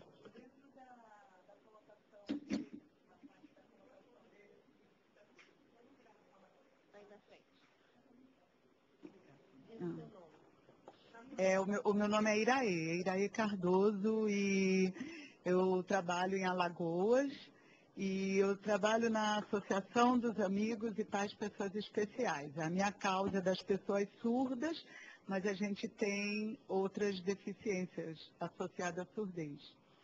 E estamos presentes no Sertão e no Baixo São Francisco. E aí, é, a minha preocupação, doutora Vera, é se existe uma estimativa, uma expectativa da implantação dessa política. Antes, eu queria dizer assim que é, eu, eu, eu lhe acho super empreendedora da política pública, eu quero lhe dar os parabéns. Você está trabalhando muito, está magrinha. É muito apaixonada pelo que faz, responde com a maior boa vontade. E você está de parabéns. Mas eu tenho essa preocupação porque assim a política, essa política, ela é muito ambiciosa, ela é muito grandiosa. E aí eu me preocupo com o tempo de implementação, principalmente na região Nordeste, porque enquanto isso acontece a realidade, né? Então tem a política que é o ideal e tem a realidade. Então para eu, para a gente levar um neuro para Penedo, por exemplo, Enquanto o SUS paga 7, ele cobra 100 da gente por consulta, né? Entra aí a contrapartida dos 93. E isso é real, lá não tem neuro. Então, tem que levar, e outras especialidades. E eu fico preocupada com, com, a, com a realidade, esse espaço entre a realidade e o ideal. É isso que me preocupa. A outra coisa que me preocupa, eu sempre penso no custo das coisas. E, e a saúde, ela tem um custo muito alto. E a presidenta, ela fez um investimento no programa Viver Sem Limites. E aí, na área da saúde, que é esse projeto tão ambicioso, qual será é, a fonte, se ele está previsto já no orçamento do SUS, qual vai ser a fonte mantenedora disso porque ele é tão bacana e até ele acontecer em todas as suas nuances, né, para ele não correr o risco da descontinuidade. Porque pode mudar o governo, mudar os gestores, eu estou falando que muita coisa pode mudar com a mudança de governo, e é um programa desse governo, então eu fico preocupada com a continuidade de tudo isso, para não se investir em grandes centros e depois como é que vai se manter tudo isso. É outra coisa também que eu queria, eu, fico preocupada, sabe? Eu sempre tive que me sustentar. Então, essa coisa da sustentação, ela é muito forte na minha cabeça, principalmente pela beleza desse, desse programa. Próxima inscrita, vereadora Tereza Nelma, vereadora por Maceió. Depois, só para é, ficarem aí na, na, na, linha já, João, doutora Alice Marcelo, do Crefito 3 de São Paulo. Boa tarde, eu Ô, Tereza Nelma, vereadora por Maceió, tem uma militância na área de 30 anos, Vera. Por isso, vendo aqui Marise, né? Tantos outros militantes dessa época, que quando nós iniciamos a década de 80, conheço tanto o outro lado, porque eu já fui gestora também, na, eu era muito mais da área da educação, é? Quero parabenizar você, eu vim assim na expectativa de conhecer você, porque eu ainda não tinha tido acesso a você é? mas o pessoal da Pestalozzi, da AP, a Iraê e outras pessoas já tiveram, mas eu vim com uma outra imagem, tá? Eu imaginava você bem diferente, tá? Bem diferente, mas diferente assim, no seu biotipo eu esperava, estava falando meu Deus, pelo que me falaram da Vera, da força, da energia, seria uma mulher gorda, gorda, o cabelo desvoaçante, tá? E, mas eu quero lhe dizer que eu estou admirada do seu potencial. Eu me identifico muito, porque eu sou muito técnica também, tá certo? Todos sabem que eu iniciei como professora de pré-escola, tá certo? Na área da deficiência.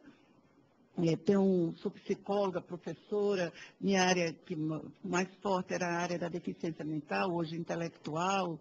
Entende? E acredito no, no trabalho, no desenho que você tem idealizado para o nosso Brasil. É? Eu estou muito preocupada, Vera. É o tempo para chegar na ponta. Tá? E aí, quando você fala no, no expertise, né, de, de, várias situações, eu ainda não sinto a valorização do governo, é o, o expertise das instituições, das entidades sociais. Vou lhe dizer por quê. Vou lhe dizer. Veja só tem toda uma história.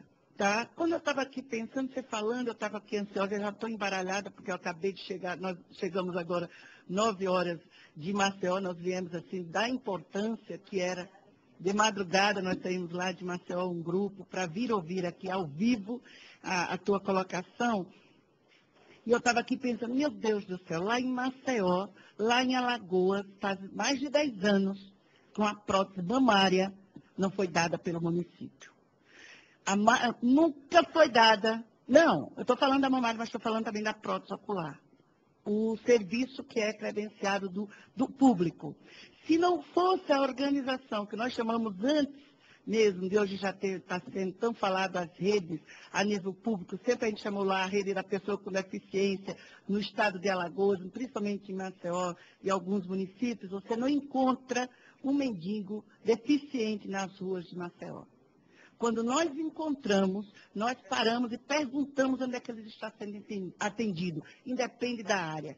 Tá? Nós fazemos isso. Tá? Então, hoje, há uma discriminação muito grande com as entidades. Tá? É, isso é real. Eu venho da área da educação, tá certo? Eu dou parabéns à área de saúde, o Ministério da Saúde está de parabéns, porque está à frente porque a política da, eh, da, educação deixa muito a desejar a nível nacional, não está chegando a ponta. A questão da inclusão ainda é muito faz de conta. Eu sou uma defensora da inclusão. Hoje as entidades de Maceió não têm mais escolaridade. Nós estamos muito mais na, na, na perspectiva do AEE, entende? Mas isso não tem funcionado bem. A, as famílias sempre recorrem e a questão da saúde. Lá em Alagoas, praticamente o público Tá certo? Ele não tem toda essa, essa expertise. Quem tem muito mais são as entidades, como em muitas partes no país. Então, eu gostaria, assim, de fazer um, um, um, um destaque, eu vou insistir, tá certo? Eu, eu, eu concordo com você quanto à questão da ecoterapia, mas em parte. Mas eu gostaria que você, você, dentro da sua equipe, de todo esse olhar seu, da sua agilidade, entende? Porque o quanto de bem a ecoterapia tem feito, não só de depoimentos. Então, eu gostaria, assim, eu estou aqui pensando, vou voltar para Marcel e vamos procurar a, a, universidade. Qual? A federal, a UNCISAL, que seja um laboratório de pesquisa, tá? Isso é o que eu sempre entendi. Muitos já digam assim, olha, as entidades deveriam ser laboratórios de pesquisas. Entidades sérias. Eu não estou, eu tô, sabe, não estou defendendo só porque eu já vim do, do, do público, tá? Então, eu acho que a questão da ecoterapia, ela não é só um atendimento complementar ele tem tido muitos resultados dentro de um conjunto de atendimento, não é a ECO só, mas a ECO dentro de um conjunto de atendimento. Então, eu gostaria que você, junto com a sua equipe, se nós pudermos sentar junto também, de ver uma forma tá certo? E agilizar até esse processo, porque eu acredito que já tem experiências acadêmicas, não lá em Alagoas, tá certo? Mas no Brasil, sobre essa questão da ecoterapia. Então, há uma necessidade tá, sobre isso. Uma outra coisa que eu gostaria também que você visse é a questão da odontologia, tá? Apesar de ter o céu, essa coisa toda, mas deixa muito a desejar o atendimento. Nós, nós temos lá, mas acredito que no país você deve ter também essa demanda, da questão dos atendimentos. O, a, a maioria dos deficientes desdentados, porque quando vai ver a cara e já não tem mais jeito. Lá em Alagoas, nem a universidade mais está fazendo mais o serviço de odontologia com anestesia para os casos mais graves. Nós estamos com problemas sérios.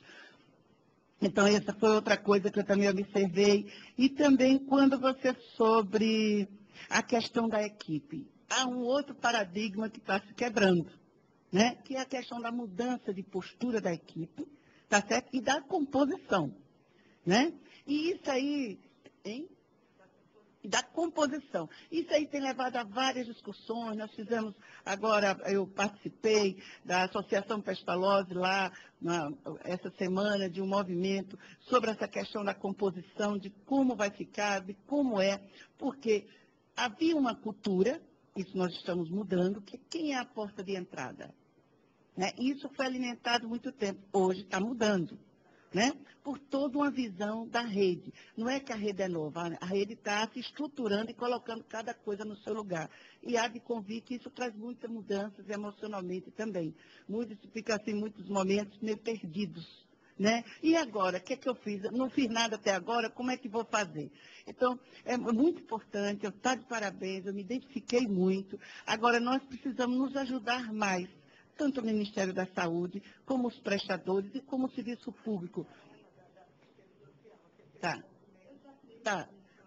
Não, ela sabe. Ela sabe que é o problema do profissional do serviço social, como também de outros. Ela sabe. E que eu estou respeitando. Hoje de manhã, se acredita, madrugada, a gente estava discutindo isso. Entende? Mas eu também tenho acreditado, sabe, Vera, que é uma questão de visão, é uma questão de mudança de postura, de, de, de paradigma. Quem é a porta de entrada? Tá? Numa visão tá, do que era feito de um século, era o assistente social. Hoje estamos aprendendo, estamos ouvindo mais que a porta de entrada é o médico. Entende? É, mais ou menos assim que tem se colocado. Não, pode ser relações públicas, pode ser, sim, mas isso aí você toda mudança traz uma instabilidade emocional, né? Principalmente no, no, no, no, estado como Alagoas, com o nível de desemprego, de pobreza, de tantas coisas, que eu não quero falar mal do meu estado, que ele é maravilhoso, que eu moro lá e estou lá. Tem praias lindas, vou falar, eu, sou a agenda positiva do meu estado. Entende? Então, fazendo todo esse panorama de todas essas dificuldades, tá? Eu queria encontrar junto com você, tá? A forma de agilizar todos esses processos. Entende? Principalmente nessa questão do atendimento, na questão das ordens na questão do atendimento mesmo específicos. Porque, por exemplo, não sei se você já chegou a conhecer, mas sei que a, a, há toda uma disponibilidade do Ministério do credenciamento da experiência lá de Arapiraca, do TRAT, né? que tem sido uma experiência exitosa na relação com o autista. Né? E aí a gente mesmo está maravilhado. A, mesma própria Pestaló já está tentando fazer o, o, atendimento do autista mais especificado, porque era tudo dentro de um grupo só. Isso tudo são tentativas, tá? Mas aí a gente se preocupa. Eu tenho me, me perguntado muito, até com o pessoal do CRAT. Vai ser credenciado e o tempo e a duração para o atendimento individual de cada criança ou de grupo? Será o mesmo de 20 minutos, 30 minutos, 40 minutos? Duas horas, qual o tempo? Então, será uma rede específica, apesar de você ter sua fala dizer que todos juntos vão ser atendidos, mas tem suas especificidades. Então, são várias angústias, eu tenho certeza que eu vou ter outro momento com você mais perto, né, para nós discutirmos essas ações, mas eh, você está de parabéns e o Ministério por ter essa coragem de enfrentar esse Brasil todo na mudança de cultura e de quebrar paradigmas fortíssimos pelo, pelo país afora. Muito obrigada. Aí eu fico aqui me coçando para comentar. Não vou ficar calada. João Ferreira, por favor. Boa tarde a todos e a todas. Eu gostaria, em primeiro lugar, né, dizer que meu nome é João Ferreira, faço, estou hoje vice-presidente da ADEFAL, como já foi falado, e estou presidente da Federação é, de entidades de pessoas com deficiência do Estado de Alagoas. E gostaria de parabenizar essa audiência pública né, pela a iniciativa da deputada Rosinha. Eu acho que nós devemos caminhar por aí dentro dessas nossas discussões. Né? É uma, um assunto pertinente, um assunto que está nas nossas cabeças, nos nossos pensamentos, na nossa vivência a cada dia, né? que esses centros de reabilitação. E a nossa preocupação maior né, é sobre o acesso nos novos centros de reabilitação, uma vez que as entidades né, que são é, é, que iniciaram esse processo no, Estado, principalmente em Alagoas, né, dentro da reabilitação, e nós temos um atendimento, ele é completo, inclusive uma vez eu até disse lá na comissão, né, foi rebatido pela senhora, doutora né? né? É um atendimento completo. São centros que nós temos é, a reabilitação, né, cursos profissionalizantes, é, atendimento de várias especialidades, enfim. Né? E, então, e, e, nossa preocupação, quando a gente se discute hoje essa reabilitação, e a gente vê que a nossa discussão está sendo direcionada para as pessoas que moram é, exclusivamente na zona urbana das cidades. Né? E os centros de reabilitação que estão sendo criados no interior, com suporte de transporte, por exemplo, será que nós vamos ter um atendimento é, para as pessoas que hoje moram nas fazendas, hoje moram numa, nos povoados, que moram é, nos lugares difíceis, acho que estão lá precisando do atendimento. Né? Aí se diz, mas eles têm as unidades básicas de saúde, porque hoje a gente sabe, é, é, povoado tal tem sua unidade, no sítio tal tem sua unidade, mas não funcionam. Né? Não funciona porque nós temos uma experiência muito grande que mesmo na capital, né, foi feito, por exemplo, em Marcel foi feito um levantamento, né, uma revisão, inclusive por uma comissão da, da, da Câmara de Vereadores, né, Tereza? Foi detectado que não funciona. Imagine, né, Exatamente, a questão de transporte, enfim. Então, tudo isso dificulta para que esta rede ela possa funcionar da forma como a gente desejaria. E eu, minha pergunta seria nesse sentido. O que dentro dessa política é, tem alguma proposta para essa demanda que estão fora da zona urbana das cidades? É, e uma outra questão, é, doutora Vera, é sobre a regulação dos serviços, onde hoje a gente passa por uma experiência assim muito grande lá em Maceió, que é a implantação do BioSUS. Né? A gente, nós estamos preocupados porque nós temos uma demanda de pessoas com deficiência dentro dos centros de reabilitação, que têm suas dificuldades em coordenações motoras, que não consegue né, identificar pela sua digital. Nós temos uma de demandas de pessoas que são, que não têm suas próprias digitais, são amputados dos braços, das mãos, sei lá. Então, aí o sistema é criado dentro de um município, desse centro de reabilitação que é criado, foi criado no, no modelo geral, não se discute as dificuldades de cada um, né, das, das áreas. E hoje a gente diz, a pessoa que não tem uma digital, como é que vai identificar o serviço no SUS? Traz uma procuração no cartório, não sei o quê. Existe uma dificuldade e existe um impasse, que eu acho que está existindo um impasse do acesso aos serviços. E que eu acho que a proposta, eu acho que deveria partir pelo, pelo, a nível nacional, que tem que ser diferente. Né? Ou a gente implanta um serviço diferenciado, ou então as, uma demanda de pessoas com deficiência vai ficar fora do serviço por falta de sua identificação no Sistema Único de Saúde. João, Muito obrigado. É, você poderia explicar um pouco mais o que, que seria esse BioSUS? Que regulação é essa? Explique. Ah, Alice, então, por favor. Doutora Alice, Secretaria de Saúde de Alagoas. Bom, meu nome é Alice, eu sou médica pediatra. Aqui eu estou como diretora médica da Pestalozzi, porque eu tenho, eu tenho, eu trabalho no Estado, mas eu tenho essa assessoria que eu dou a Pestalozzi. O município de Maceió, ele desde o ano passado veio com a proposta de implantar esse sistema que, que ele chamou de BioSUS, que nada mais é um sistema como se fosse no plano de saúde, você, quando chega, você coloca a sua digital. E aí, então, ele, ele implantou esse sistema e todo o procedimento é feito através da, do controle digital. É, e aí ele implantou em todas as unidades. Só que a discussão que a gente está colocando e que ele já, o município de Marcelo já vem entendendo e vem discutindo também com a gente, tem, tem vários momentos que são difíceis. Tem crianças, eles não querem, eles, eles querem que o próprio paciente coloque. Eles não querem que a gente trabalhe muito com o responsável. Até porque a mãe, quando é cadastrada, como responsável, ela também tem que ser cadastrada como pessoa física no sistema. Isso aí é uma coisa que complica. A outra questão é que a criança, às vezes, ela se apavora. Ela vê aquela máquina acesa, ela grita, ela parte para agredir a quem está fazendo a, a, o cadastro e a coordenação.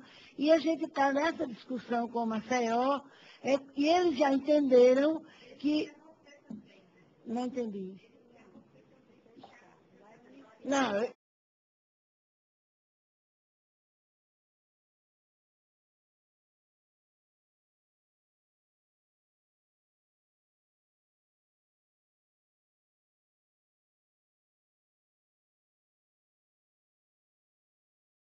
Estou falando aqui como BioSUS municipal. Né? as instituições estão com essa discussão com Maceió, que esse sistema não é o Estado quem implantou, é o município de Maceió. É, estão nessa discussão, é, é, o primeiro município no país que implantou esse sistema. E aí é, a gente está nessa discussão que não, nós não somos contra o sistema. Somos, é, é, ele é importantíssimo para regular. Agora, que ele tenha uma maneira especial como quando foi implantado o CORA. Porque quando o município implantou o outro sistema de regulação, que é o CORA, nós tivemos um momento de discussão e foi diferente para o deficiente o número de marcação e a maneira de marcação. É isso que o João está colocando aqui, não é isso, João? A dificuldade que nós estamos tendo. É, e a gente a está fazendo esse levantamento, é, de, e, e, todas as dificuldades para ser discutido com o município de Maceió. Essa é uma questão. Agora, já que eu estou falando, queria completar a minha fala. É já é minha vez? Só uma contribuição em relação àquela questão da cama gineco, da ginecológica. Nós, como, como fomos implantar no Sincov um, um convênio de, de aquisição de equipamentos, a gente teve essa dificuldade. Porque quando a gente ia nos equipamentos, a mesa não, não não constava. Aí nós fizemos uma consulta ao Ministério, o Ministério pediu que a gente fizesse por escrito e uma exposição de motivos, e já tivemos a resposta. Eles colocaram que estava já em discussão e que talvez lá para o final de 2013 ou 2014 a gente já tivesse uma, uma posição mais, mais, mais é, favorável a gente fazer essa. Olha, quem fez foi a Silvia, que é a pessoa que trabalha com o Cicov lá, lá ela, a, gente, a instituição fez a consulta para o Ministério. Agora, não sei qual foi a área, realmente, mas houve já a, a devolução da, da, da pergunta. É.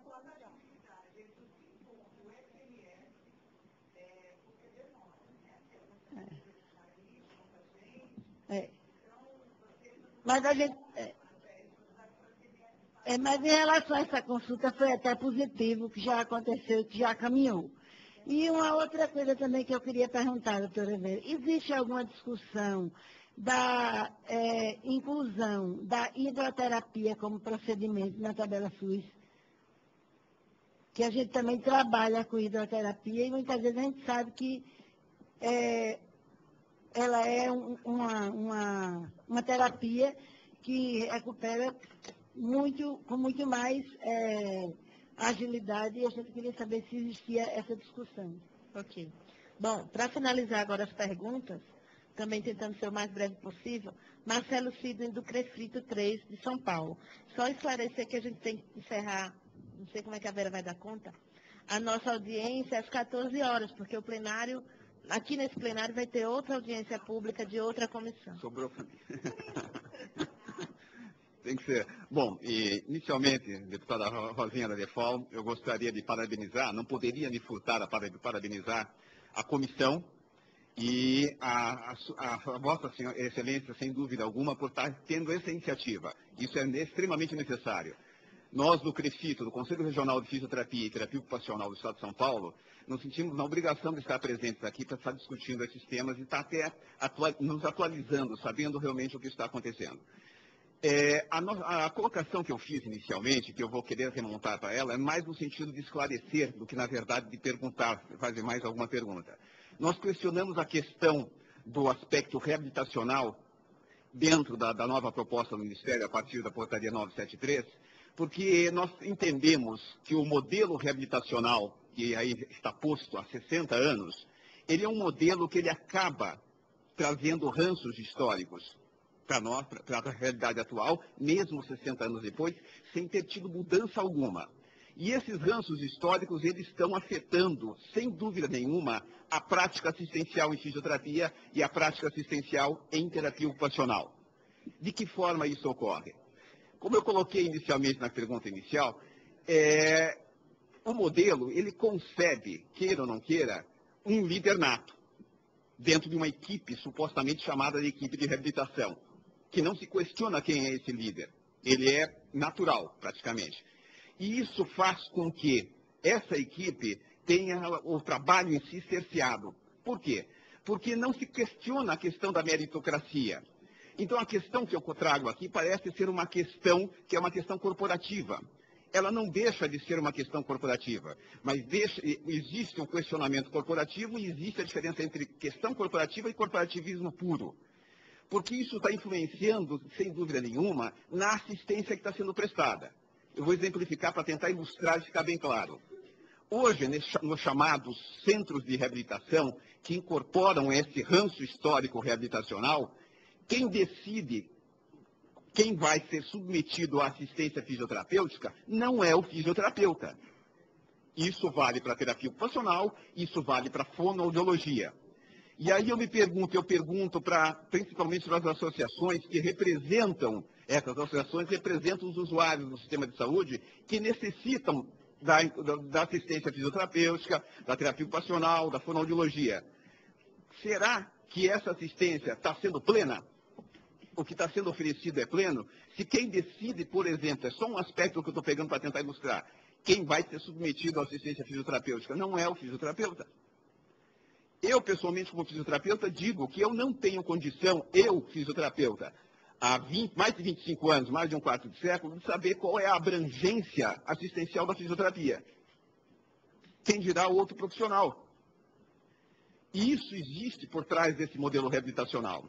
O conceito de reabilitação, que vem dos anos de 1950, é o mesmo em 2013 e é o que é praticado hoje pelo Ministério da Saúde. Certo? Isso é um erro crasso, porque reabilitação na área praticado na, no sentido conceitual do, do, que vem a ser reabilitação.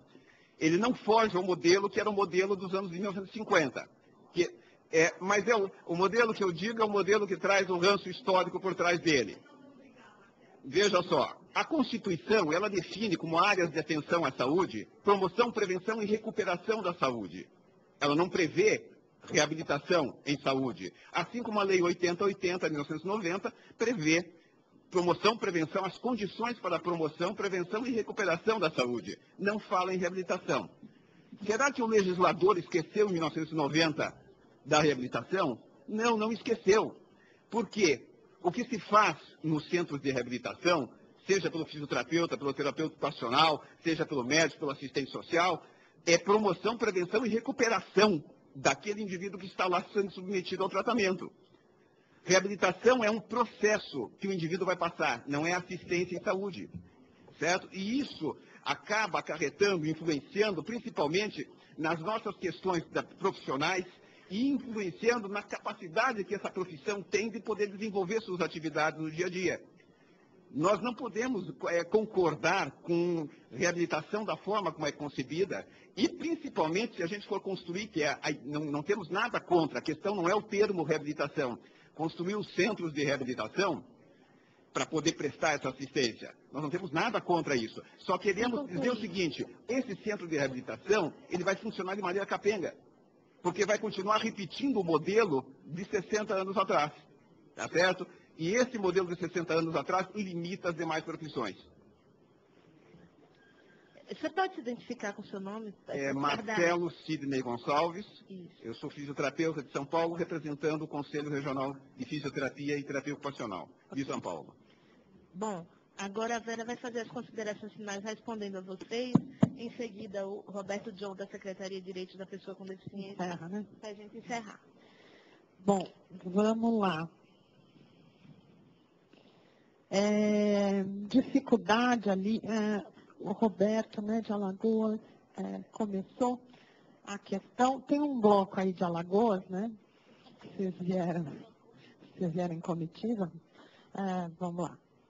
Então, é, dificuldade de acessar o serviço, como é que a gente poderia agilizar o processo de habilitação, enfim, passa um pouco por torno disso.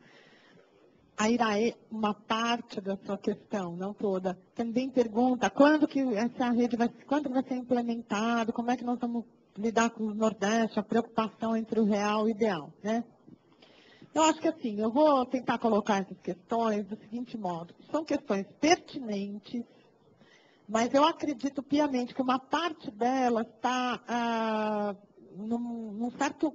tem a ver com que a, a vereadora colocou, Tereza, de modo muito brilhante, sobre essa, essa, essa o modo como a, como a gente reage, a gente é todos nós, a processos de mudança. Né? Há uma síndrome nas mudanças, qualquer que sejam elas, que a primeira coisa que aparece é uma reatividade e uma sensação de, de fora. Esqueceram de mim, eu estou de fora. É incrível isso, gente. Podem analisar qualquer processo, mudou o chefe, mudou o que, dos mais micro aos mais macros processos de mudança, a gente tem mesmo uma sensação muito desconfortável é, de que eu perdi o chão. Ela, ela fez uma descrição brilhante na não só questionamento, como colocação e análise que a vereadora fez. Então, assim, é isso tem processo de mudança, eu falei, agora, como é que eu faço isso aí que eu estava tão habituada, tão confortável, né? É, por mais que eu tivesse críticas, eu sei aonde eu estou pisando, está muito demarcado a minha, circulação ali, e de repente vem um monte de coisa que você fala, pô, tirou o nosso chão, como é que eu combino aqui, qual é o jogo aqui, até eu me achar, demora um pouco. Então, assim, eu estou te dizendo isso para vocês, porque uma parte também das falas, eu acho que são é, é, que é isso, esse processo de mudanças é bom ele é ótimo. E por que, que ele é ótimo? Não porque a gente vai conseguir resolver tudo. Nós vamos resolver uma boa parte, vai ficar uma boa parte para o resto da vida, senão a gente podia, inclusive, acabar nossa missão. Nós não queremos isso. Nós queremos continuar que as outras gerações pensem coisas melhores do que a gente está pensando. Então, assim, embora a tarefa nunca acabe, a gente tem uma ansiedade enorme. Então, eu queria apontar por uma fala do seguinte, muitos de vocês falam assim, ah, mas quando vai ser implantado e o Nordeste, a dificuldade de acesso dos serviços. Vocês falam, eu fico olhando e falo assim, gente, a política 793, o plano é de novembro de 2011, a presidente Dilma lança, só para lembrar, vou começar a responder a Tereza, mas só para lembrar, é, deputada, que é o seguinte, o plano, quando é lançado lá em 2011, ele junto com o plano, o ministro Padilha assina uma portaria que institui o Comitê Nacional de Apoio e Assessoramento à Política, à implementação da rede, e que participam desse, desse Comitê Nacional, tiraram foto com o ministro, com o presidente Dilma, e participam desse, é, desse comitê, por portaria, por decreto, só entidades de reabilitação no país, todas filantrópicas, que é o absolutamente gesto de reconhecimento desta política e deste governo para dizer nós vamos estar tá fazendo uma transição e uma mudança de uma política que tem que estar tá sendo feita junto com as entidades, que é outra coisa do processo democrático. É ótimo, quando o Estado se isenta é, é meio forte dizer isso, mas podemos dizer que o Estado negligenciou esta agenda durante um tempo, e esta, ainda bem que existe a sociedade que se organiza e que é, é, capaz de assumir um trabalho e desenvolver uma expertise aí, que o Estado, pela negligência do campo, não assumiu em outras épocas. E é perfeito, e esse reconhecimento é este. Olha, institui a política. Antes da portaria, as entidades estavam lá. Eu me encontro. Tem portaria que regula ela, tem função, tem participação, tem as plenárias. Duas plenárias enormes anuais, quatro reuniões, são seis reuniões por ano. A cada dois meses eu estou com esse comitê, com mil, um monte de entidades. Claro, por representação, hoje tem 35 entidades que participam. É, desse comitê que acompanham e opinam é, para, para passo a evolução da política. Então, assim, em hipótese alguma, é preciso que a gente entenda, e acho perigoso, assim, acho que é importante a tua questão, mas, é, ou seja, a política não ignora as entidades, ao contrário, é, deu um lugar de absoluta relevância, privilégio, é, pra, e reconhecimento dessa expertise. Não tem um, um, um GT, uma diretriz clínica, não sei o que, que tô, cada um de vocês a cada momento é convidado para vir ajudar a construir isso. Ponto um. Então, não é isso. Outra coisa importante é, é os movimentos locais. Aí eu queria de novo dizer, acho que há culturas que a gente estabelece. Essa política também é verdade que ela empodera o gestor do SUS. Sabe o gestor do SUS?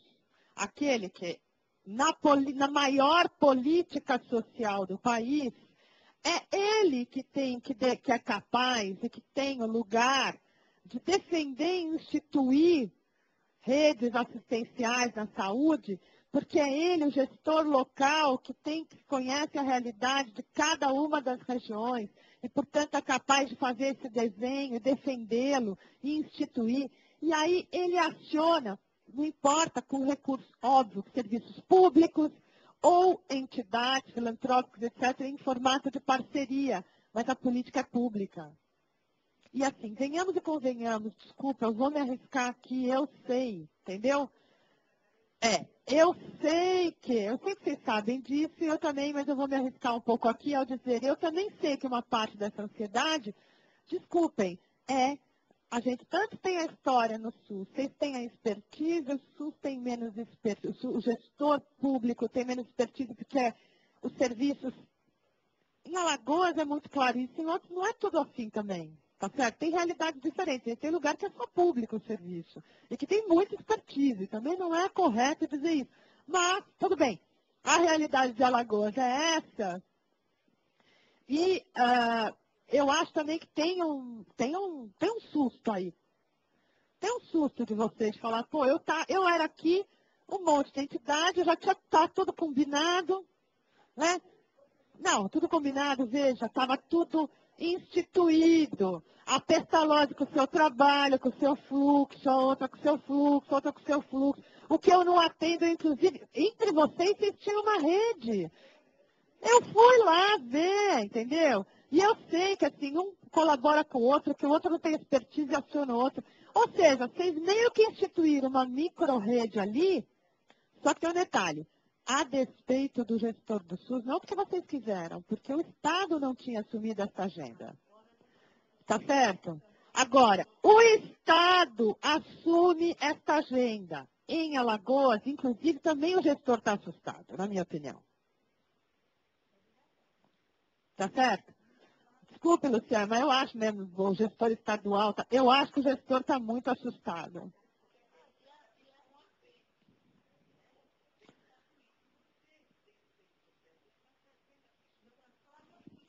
Isso, então. A política é pública, então é mudança para todos os lados. O gestor tem que se apropriar como gestor.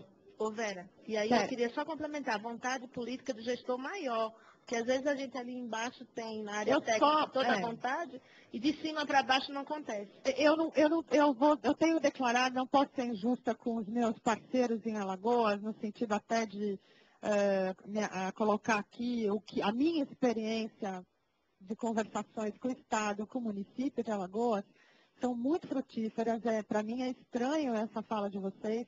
O grupo condutor de Alagoas. É, é não, é estranho, porque eu acho que eles estão avançados. É, eu acho que eles estão avançados. Eu acho que tem uma discussão sempre muito difícil, mas é, é difícil, as coisas são difíceis, mas assim, Acho que eles estão aquecidos. Eu tive lá numa reunião de grupo condutor, né? É, conversamos com eles, acho que tem, foram tiradas várias dúvidas, o processo está interessante e não é à toa, temos no pacote do ministro já três serviços habilitados na rede. Desculpa, quando que vai estar a rede funcionando? Eu fico olhando e falo, gente, aonde que não está chegando a informação? O Grupo Condutor Estado de Alagoas está fazendo seu plano de ação estadual, uh, regional. Como é que a gente funciona? Primeiro, região, viu? Já respondo a sua coisa da densidade demográfica. Ele também perguntou, né, do João. É, como é que a SUS está direcionando essa rede? Para começar, o Grupo Condutor Estadual, ele não define a rede. Ele é estadual. Ele organiza, e a função dele é dar apoio e organizar que as regiões de Alagoas, que são duas, né? Que as regiões de Alagoas é, se estruturem para fazer o seu desenho de rede. Por quê, João? O modelo do SUS prevê essas coisas, porque se você está numa grande metrópole, o seu desenho de rede é um, porque os seus problemas são um. Embora você tenha estrada, asfalto, em tese o acesso é maior, você também tem, às vezes, uma população concentrada muito maior. Então, é uma situação, a metrópole ali, a capital, o entorno. Outra coisa é uma região rural, que a rede, como é que, que é região de saúde? É um monte de município que, que entre eles sentam e pactuam a rede. Eles fazem um diagnóstico dos seus problemas, da sua necessidade, propõem o que eles precisam e necessitam, aonde, de que modo, e fazem o plano de ação e apresentam para o grupo condutor estadual que debate esses planos regionais, que acolhe os planos regionais é, e faz um estadual e que, por sua vez, é encaminhado para Brasília, aonde aqui a gente avalia, passa pela CIB lá, aprova e a gente avalia o plano. Então, assim, eu não acho que o Estado da Alagoas está muito atrasado, não.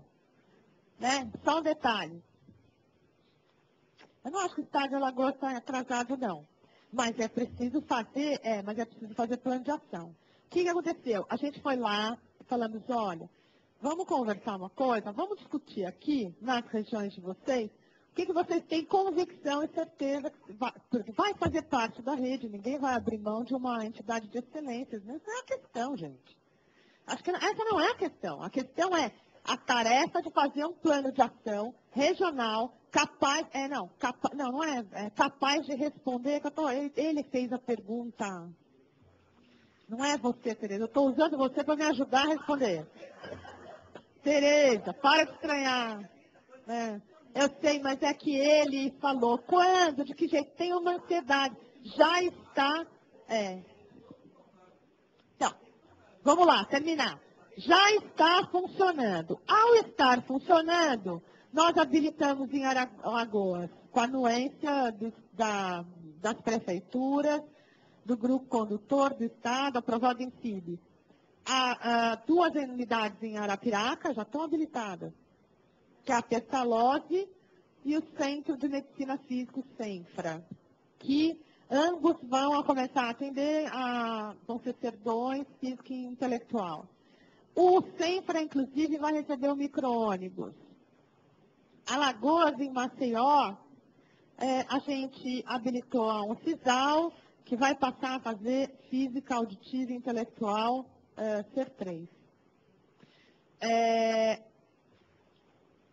isso são os primeiros três serviços habilitados, tá? E vai receber um ônibus também.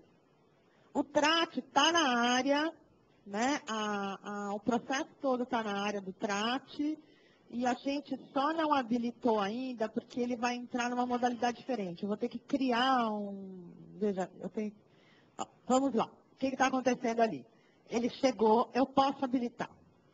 Se eu habilitar o traste do jeito que ele está, ele não se enquadra, ele não é ser, porque ele é daquele coisa, uma modalidade que a gente deixou espertamente na política. É boa. Ainda não precisei revisar é, um artigo de cláusula de excepcionalidade, eu falo, eu não vou mais habilitar isoladamente, mas eu tenho um, uma modalidade de excepcionalidade justamente técnica, de necessidade epidemiológica, etc., tal que a gente está analisando. Esses centros que precisam, para acolher uma demanda específica, serão habilitados pelo Ministério. Que que nós, por que, que não saiu a portaria ainda? Porque como ele é uma modalidade, não sei o quê, a, a gente, o que a gente está terminando o estudo é como que eu vou financiar esse serviço. Porque como não é, a questão não é previsão se ele vai ser, o ser 2, 3 ou 4, está tá definido a, o financiamento. Esse isolar, o centro que já é habilitado em uma única modalidade, que já fazia parte da rede, ele é, é o mecanismo também está dado, ele continua como está, passa que parte da rede recebendo por produção.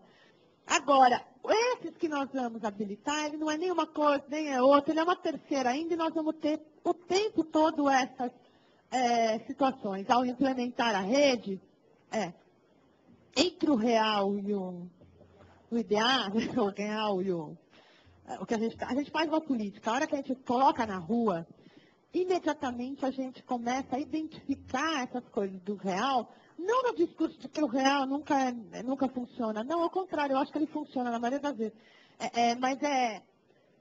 O que, que a gente ainda não previu? Vão acontecer milhares de situações. E o Ministério, o que eu posso dizer é que nós estamos à disposição, minha área inteira está fazendo levantamento. O doutor Elvésio, que é o secretário de saúde, que apoia essa agenda é, muito, né, junto com o ministro, ele já fez duas reuniões comigo, eh, preparatórias, para eu levar os dados de como a gente vai fazer o desenho de financiamento desse serviço. Porque eu não posso abrir, é o trate, mas quando chega o trate, eu não posso pensar no trate, eu tenho que pensar no Brasil. E aí nós estamos pensando como é que nós vamos financiar. Tá? O trate especificamente. Como é, que, que, que, que nós vamos ter que inventar? Entendeu? Mas tenho certeza que nós estamos. Microfone. Microfone. É claro que vai ser específico. A questão é que não é um específico, também não é um específico como era antes, né? Ele é um específico do específico, ele é uma novidade importante, a gente vai criar um critério. O, o, o, Tanto a novidade que a cartilha está de parabéns, ah. eu, tive acesso, já encadernei, já tenho dado para algumas pessoas, e as mães de Arapiraca me levaram uma cartilha encadernada. Ah, que legal. Então eu fiquei muito orgulhosa, porque as crianças são as crianças lá do trato. É isso então eu digo assim, é o serviço pioneiro do pioneiro, país pioneiro. que está tratando disso, e foi uma iniciativa pública tá certo? De duas profissionais, uma psicóloga e uma ver? Deu o que virou? Deu o que deu. Então, eu valorizo muito o serviço público. Entende? Porque a minha natureza veio de lá, assim. Sim, entende? Então, eu estou assim, ansiosa, assim, quando credenciar o trato, olha só a minha, o meu entendimento. Quando é, é, credenciar o trato, nós vamos ver a especificidade do atendimento ao autista. É isso aí. Aí nós vamos conseguir, junto com vocês, o TRAT e outros centros que, que a gente já identificou no país, nesse caso, ah, inclusive poder acompanhar junto com vocês, aprimorar o processo da diretriz, ah, investir, porque precisamos levantar essa agenda. É Ô. Vera, o, o, o da Uncisal, habilitado em Maceió, na capital, é novo. A Uncisal, como é novo? Ele já, Universidade é, ele, ele já existe. Ele foi habilitado. Foi só habilitação. É. Todos os três. Os três. Não A tem nenhum Uncisal, não. Os novos estão em construção, não acabou ainda, Não. ou estão em qualificação. A Uncisal, e vários deles aqui também pediu reforma de ambiência, né? Sabe? Reforma. Não, eu, que eu queria fazer a diferenciação... é Então ela tá, tanto, a reforma ela ainda não finalizou. Claro, claro. Mas ela já tem condição técnica. Não, a de ideia era, a- a- o raciocínio que eu não consegui entender é assim. Há já o processo de habilitação das instituições em Maceió, que está lá caminhando. Então, aí É. eu quero conversar. Ainda está lá. Veja, nós fomos para o grupo condutor, negociamos adiantar algumas agendas para que a gente pudesse, inclusive o gestor já se qualifica, encaminha para nós, etc. Né? Então, a gente pactuou esses três serviços, habilitamos, cumprimos, e encaminhamos, inclusive daqui a pouco está chegando lá os micro-ônibus, tá? Só faltou o TRAT, que a gente está, é o quarto, que a gente está só fechando o mecanismo de financiamento. Aí, eu recebo na área, tá lá, viu? Vocês podem ficar tranquilos, não extraviou. Alguns pedidos. Alguns pedidos que eu aproveito de público, eu ia falar privadamente com a Luciana, só que, só que depois eu falo, eu falo em público mesmo, fica grave. É, existem uns 12 pedidos lá que chegaram de habilitação, e que é assim, eu, tô, eu, eu vou proceder à análise, a questão não é essa, mas eu vou retornar para o Estado e dizer, cadê o plano de ação? Porque uma coisa é a gente ter ido lá, negociar com o gestor estadual e municipal, que nós iríamos adiantar as agendas e habilitando alguns serviços enquanto o plano de ação se faz, justamente para não ficar, porque não adianta também, nós não estamos naquela política de vamos esperar tudo ficar pronto, não é que nem tese de doutorado, né? Que você só defende depois de quatro anos. Não, ela pode ir existindo, né? Mas é, eu, tô- eu quero entender direito, de repente chega, qual é o medo nosso do Ministério? De que a gente habilite esses 12 sem questionar cadê o plano de ação? Porque aí é demais, porque eu estou habilitando quase uma rede inteira, aí, não- aí nós não temos. Isso é uma prática insegura, porque aí nós não vamos ter a segurança de que o Estado vai mudar, gente, os fluxos, qualificar o processo e o modelo. Nós estamos falando de uma mudança de modelo. Nós não estamos falando de uma política que dá mais recursos para fazer a mesma coisa. Estamos? Não. Nós estamos falando de mudar modelo, de ampliar e qualificar. Não é mais recurso para fazer a mesma coisa. Portanto, por isso que o plano de ação é importante. Então, eu quero saber, esses 12, mais os quatro que vocês já tinham pedido, cadê junto um plano de ação, pelo menos um plano de ação mínimo, não precisa, pode ir ajustando, não é isso, não precisa estar a tese pronta. Mas qual é o plano de ação que garanta como ser os fluxos? Como é que a atenção básica vai entrar no jogo? Como é que a atenção hospitalar vai entrar no jogo dessa rede? Porque senão é isso, a gente acolhe um pedido do gestor que é só habilitação de centro especializado para receber mais recursos, para fazer a mesma coisa. Não estou falando que é o caso, mas você entende. Eu vou questionar o Estado, aguarde, você está chegando oficialmente. ok? Ou, ou seja, não estamos dizendo que nós não vamos habilitar, não, a questão não é essa. Só estou querendo entender como chegou 12. Chegou os quatro, eu habilitei os três estou analisando o quarto. De repente baixou 12 lá. esses 12, eu falei assim, mas veio o plano de ação? Ah, chegou. A primeira fala foi de comemoração nossa. Chegou o plano de ação do estado de Alagoas. A gente ia comemorar, estourar champanhe. Quando eu fui entender, não, não chegou o plano de ação, chegou pedido de 12 habilitações. Isso eu olhei e falei, opa, mas como assim? Eu não fui lá, não combinei isso. A gente tem que, para isso, a gente tem que ter pelo menos um plano de ação mínimo. Veja, eu estou dizendo, você escutou, João? Então, João, vamos lá de novo, para ficar bem entendido. Eu fui lá e assumo isso, e é isso que é para trabalhar. E nem estou dizendo que eu vou exigir do Estado de Alagoas o plano de ação completamente desenhado para habilitar novos. Eu só estou dizendo para você que nós fomos lá, conversamos, eu fiz visita técnica, eu conheci esses serviços, a gente discutiu do Estado e tirou pactuação. No Sul se faz pactuação.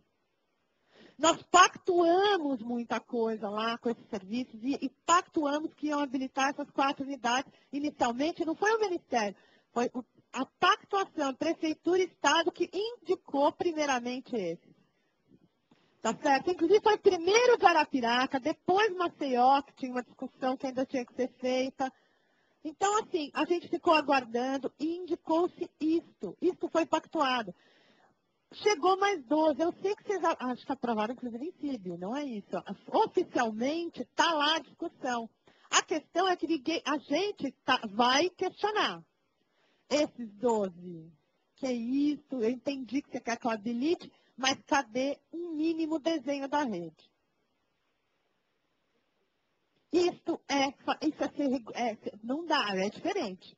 Eu estou habilitando quase todos os serviços de Maceió, de, de, de Alagoas, e cadê a, o plano de ação?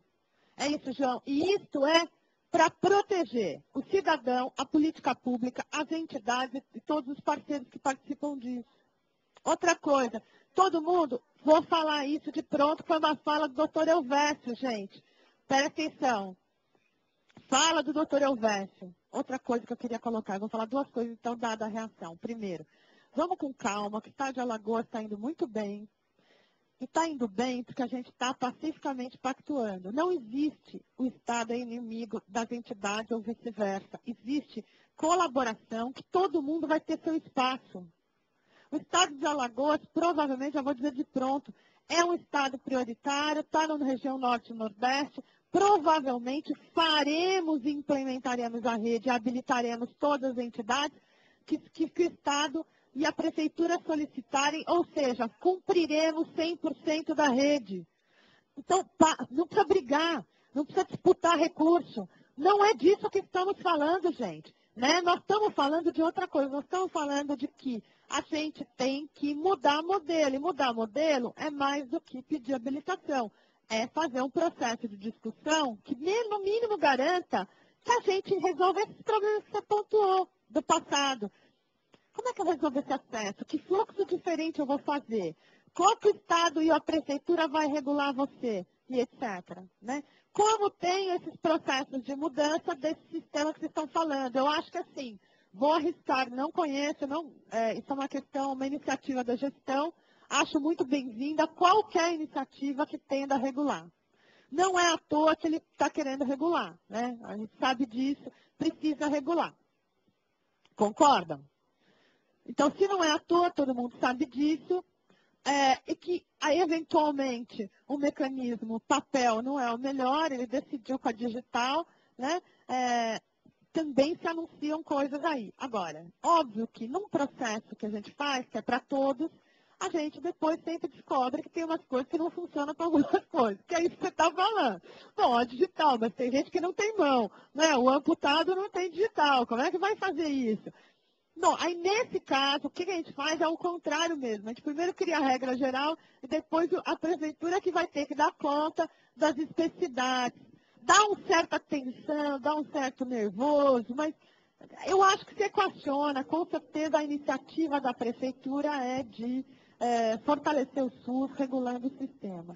Ô Vera, é, eu quero aqui dizer que lá em Alagoas, agora nós estamos vendo um novo momento com a gestão da Secretaria Municipal de Saúde. Claro. Há uma participação maior. Efetiva? O novo gestor do Poder Executivo tem dado essa liberdade.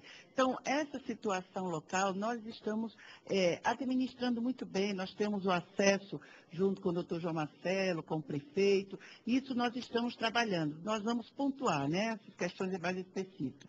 Mas, e também quanto a, eh, também o Estado. O que nos preocupa muito, tá certo, é, é- não é só a demora, a burocracia, porque nós agilizamos, tá certo? As, as entidades, junto com o Estado, trabalham junto, em parceria, mas nós compreendemos também, que é como você falou, né, que existe a regra geral.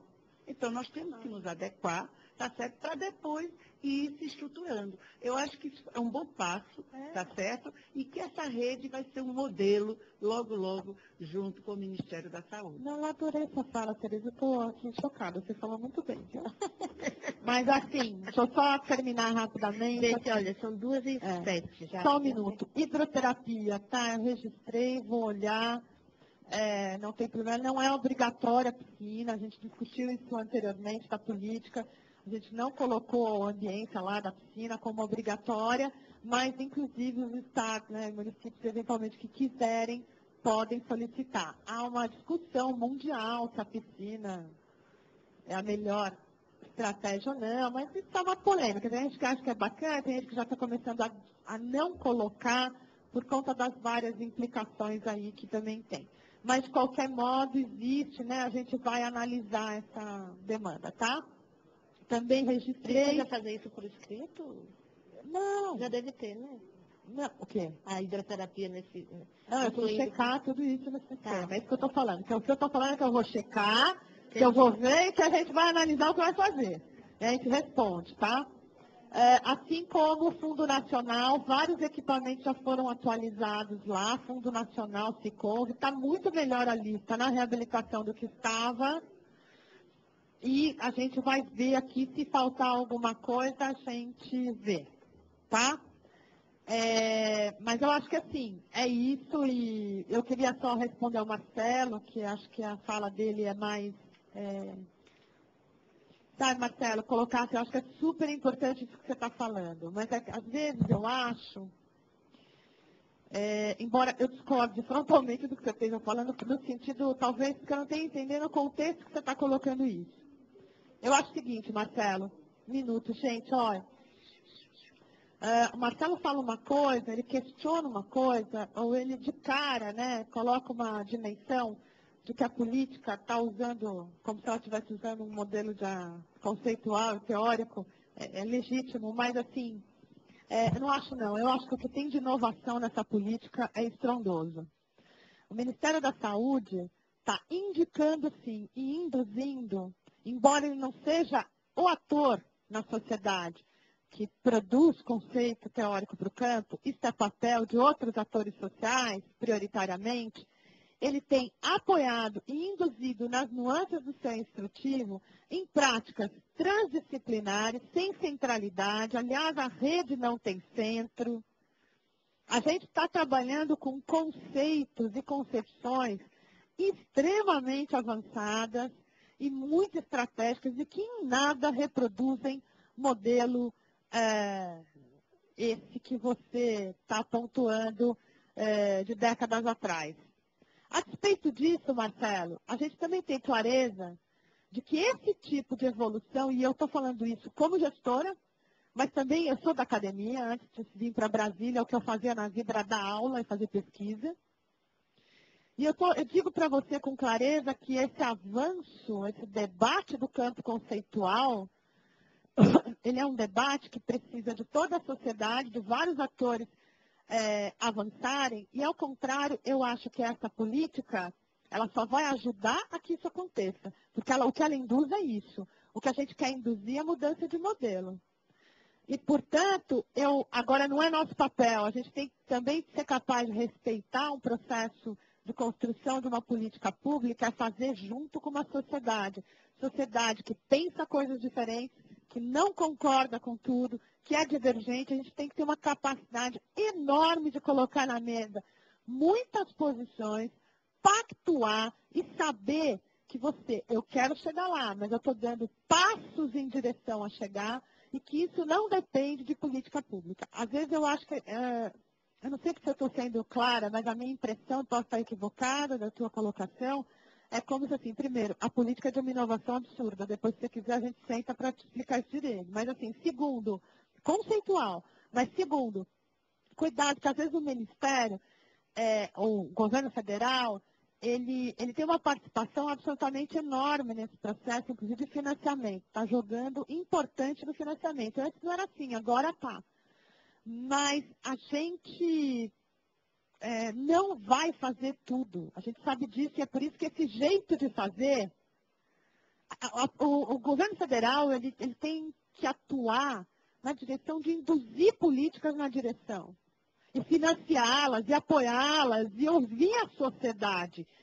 Fazer junto com ela. E fazer junto com ela é negociar muitas coisas.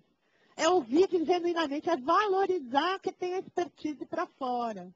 Né? inclusive posições como a sua, mas assim, não no sentido, parece que assim, o Ministério vai resolver tudo. Às vezes eu olho e falo assim, tem uma ansiedade que a gente fala assim. Outro dia eu estava num lugar e falava assim, gente, existe Estado, viu? Existe município, a gente não destituiu os três entes federados. A gente continua. Porque a participação é essa, porque assim, por mais a gente faz, faz, faz, fala, mas isso, e aquilo, e aquilo, é aquilo, todo mundo tem que ajudar, tem que ter contrapartida. A universidade tem que dar a sua contrapartida, qualificando suas pesquisas, debatendo esse campo conceitual que é super frágil. Acima de tudo, Marcelo, é frágil esse campo conceitual. Né? Mas podemos de início, mas eu, eu acredito piamente numa absoluta inovação conceitual que está expressa nas entrelinhas daquilo que um gestor público pode legislar.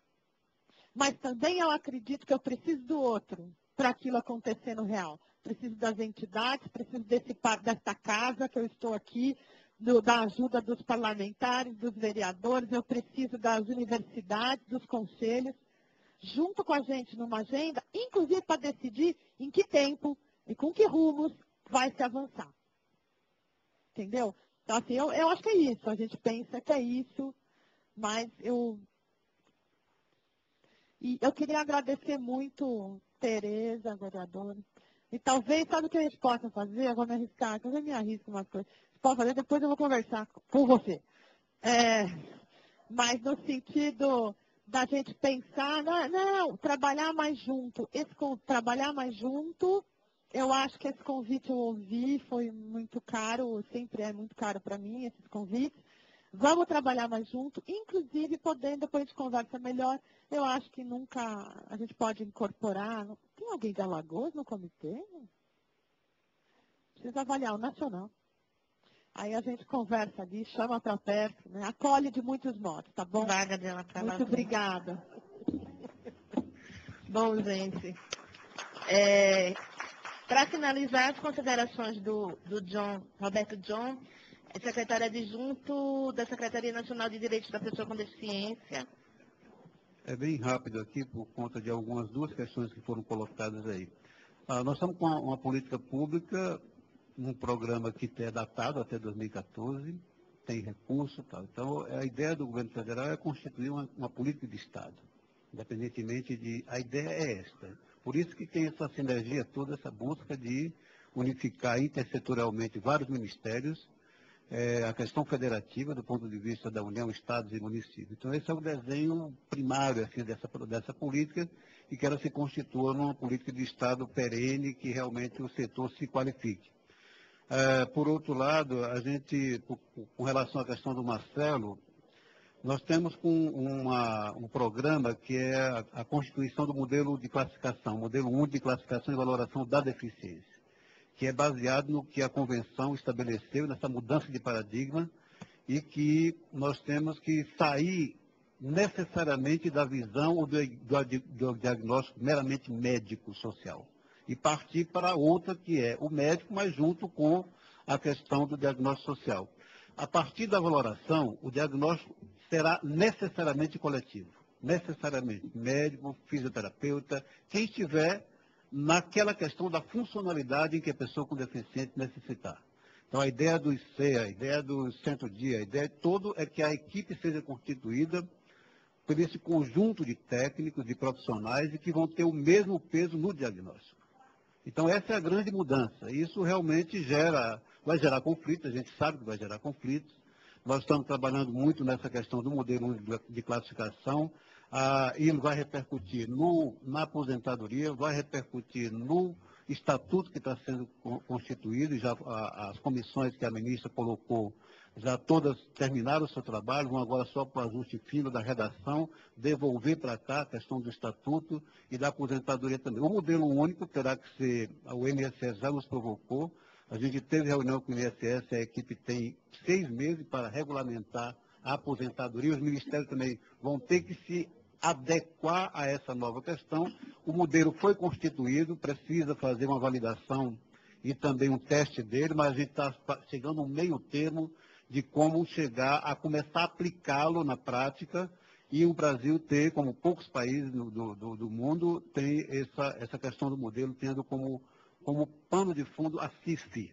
Então a CIF é que é o, o que vai, que é a questão da funcionalidade, o que vai dar exatamente o norte da, de dar o, o ranking das pessoas, independentemente da, da, da dificuldade que ele tenha corporal, de estrutura de corpo, mas também a relação que ele estabelece com o meio ambiente, os recursos de acessibilidade e um conjunto. Então é uma questão complexa, mas eh, a gente cons conseguiu constituir o um modelo, o, nós temos já isso constituído, foi feito pela Universidade do Rio e o IETS, vai ser testado e depois validado. A gente está chamando, inclusive, os técnicos que vão testar, são dos, dos ministérios, inclusive está aí fazendo já o, o treinamento para fazer esse tipo de ação. Uma coisa que, com relação à ecoterapia, está na mão da ministra um, um relatório, a gente foi amando dela lá em Passo Fundo e Sertão, em Rio Grande do Sul, que tem uma experiência muito boa, mas a ideia principal é que os Institutos Federais, os Institutos Federais, a rede federal, tem um convênio já com a, o Instituto de, do, de, do Distrito Federal, já tem um convênio com a CETEC, para estabelecer dentro daquilo que a Vera colocou. Não é simplesmente colocar uma terapia por uma terapia. Ela vai participar com um conjunto de atividades que passa pela extensão, passa pela pesquisa e passa pela, pela a, a pesquisa, estágio também para alunos, um conjunto de coisas. E envolve todo um conjunto de sinergia onde ele for implantado. Depende muito da adesão dos institutos isso está sendo formatado, a ministra vai procurar um contato, o relatório está nas mãos dela, ela vai procurar o CETEC, mas não só o CETEC, o, IF, o IFB, o Instituto Federal de Brasília, mas o de Passo Fundo tem toda uma expertise, foi desativado, que era particular, mas tem o de Sertão, que é o Instituto Federal que está funcionando a 42 quilômetros mais ou menos de Passo Fundo. É um modelo da ecoterapia dentro dessa, desse princípio que a Vera colocou. Não será uma coisa meramente assim de uma, de uma terapia, ela tem que ter todo um fundamento para depois ser instituído via SUS, já via, tá dentro de. Já está. Todo, todo um trabalho. Agora, essa, esse trabalho está sendo uma prospecção inicial para ver o modelo que, que pode ser implantado. Brasília já tem uma experiência boa com relação a isso. O Instituto, de, o Instituto que é o Instituto é, Federal de Brasília, com uma instituição que é a ANDE, Associação Nacional de, de Ecoterapia. A ANDE já está junto com isso, então tem um conjunto de, de instituições trabalhando isso. É o passo inicial para se chegar futuramente uma possibilidade de ser. Hum, pode, pode.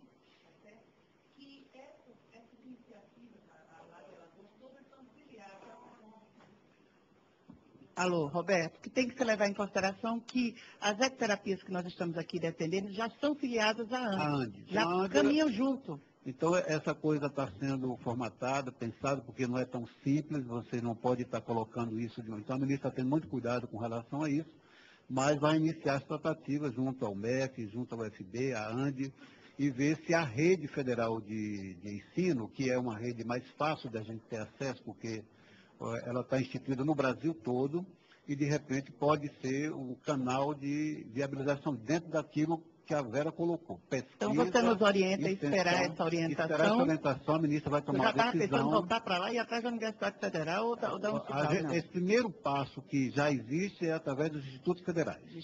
Tem, federais. até eu tenho. E aí tem, já tem um convênio com a UFB que pode ser estendido. Aí depende muito de negociações e de É importante agilizar isso e mandar essas orientações através dos conselhos, entende? É, isso passará necessariamente por essas. E o, esse instituto, essa classificação do modelo único será a base de todo o acesso das pessoas com deficiência à política pública no Brasil. Há o exemplo da Espanha, do Equador, do Pana- eh, Panamá, não, da Estados Unidos, mas aqui na América Latina nós temos dois, é Equador e México.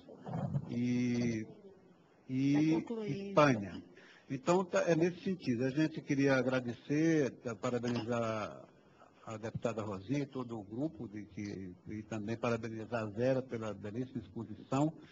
Nós temos três áreas ainda além da saúde, a Rosinha sabe aí como é que é. Isso aqui só é uma amostra da parte da saúde, vai ter a educação, acessibilidade, um conjunto de coisas que o plano desse limite estabeleceu.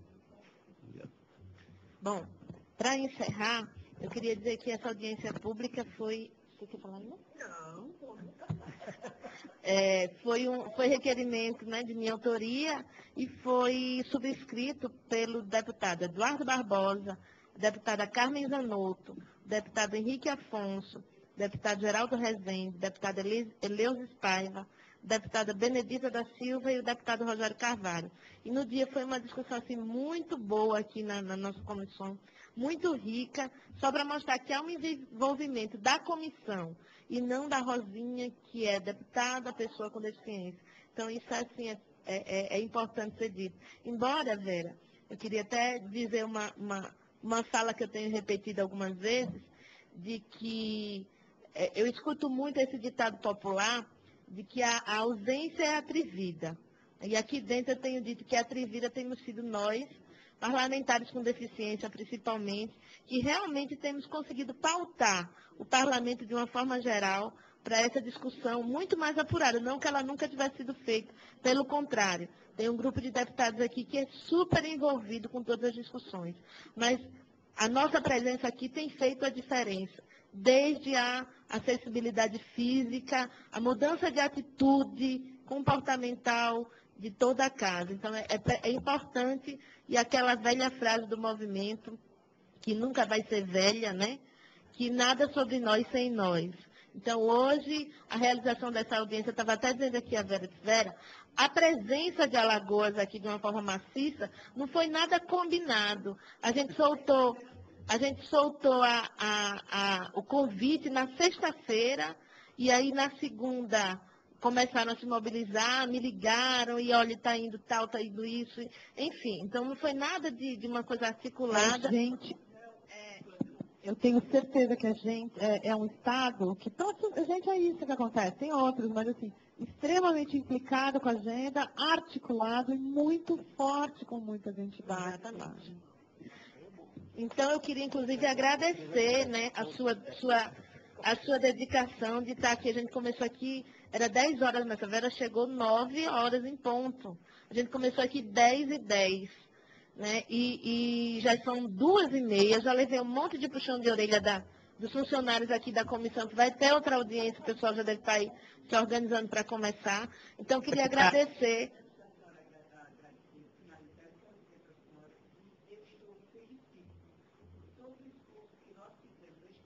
Valeu a pena.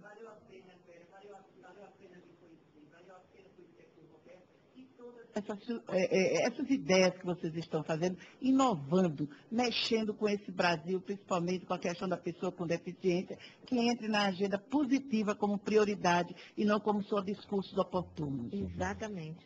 Então, eu vou até usar uma palavra que Iraê falou para é, é, qualificar, habilitar a Vera. É uma empreendedora. Então, assim, a gente marcou essa audiência acho que umas três vezes, quatro vezes. A agenda dela não dava, a minha agenda não dava, e marca e desmarca. Por isso que a, a, o convite só saiu agora, já na sexta-feira, eu comecei a, a mandar por e-mail, a colocar no site e tal, porque realmente havia essa dificuldade. Mas a dificuldade nunca foi falta de empenho da equipe técnica do governo, como eu falei no início, Antônio José, a Secretaria da Pessoa com Deficiência, sempre se faz presente nas discussões aqui. Enfim, então, muito obrigada, Vera. Foi muito elucidativa. Muito obrigada aos que não estão mais aqui, mas se fizeram presente, que é o Sérgio, que é da Unidas, que faz toda essa parceria também né, nessa, nessa é, implementação das políticas de saúde, e a Marisa, representando o Conselho Nacional de Saúde, o órgão é, de controle social, que é imprescindível também para que a gente efetive as políticas públicas. É, então, muito obrigada, realmente. Nada mais havendo. Agradecer também a presença de todos vocês, o empenho de quem aí ficou até essa hora nos acompanhando também pela internet. Nada mais havendo a tratar, vou encerrar a presente reunião, antes convocando a audiência pública para terça-feira, dia 21 de maio, às 14 horas e 30 minutos, neste plenário para discutir a venda da Amil para o United Health. Está encerrada a reunião.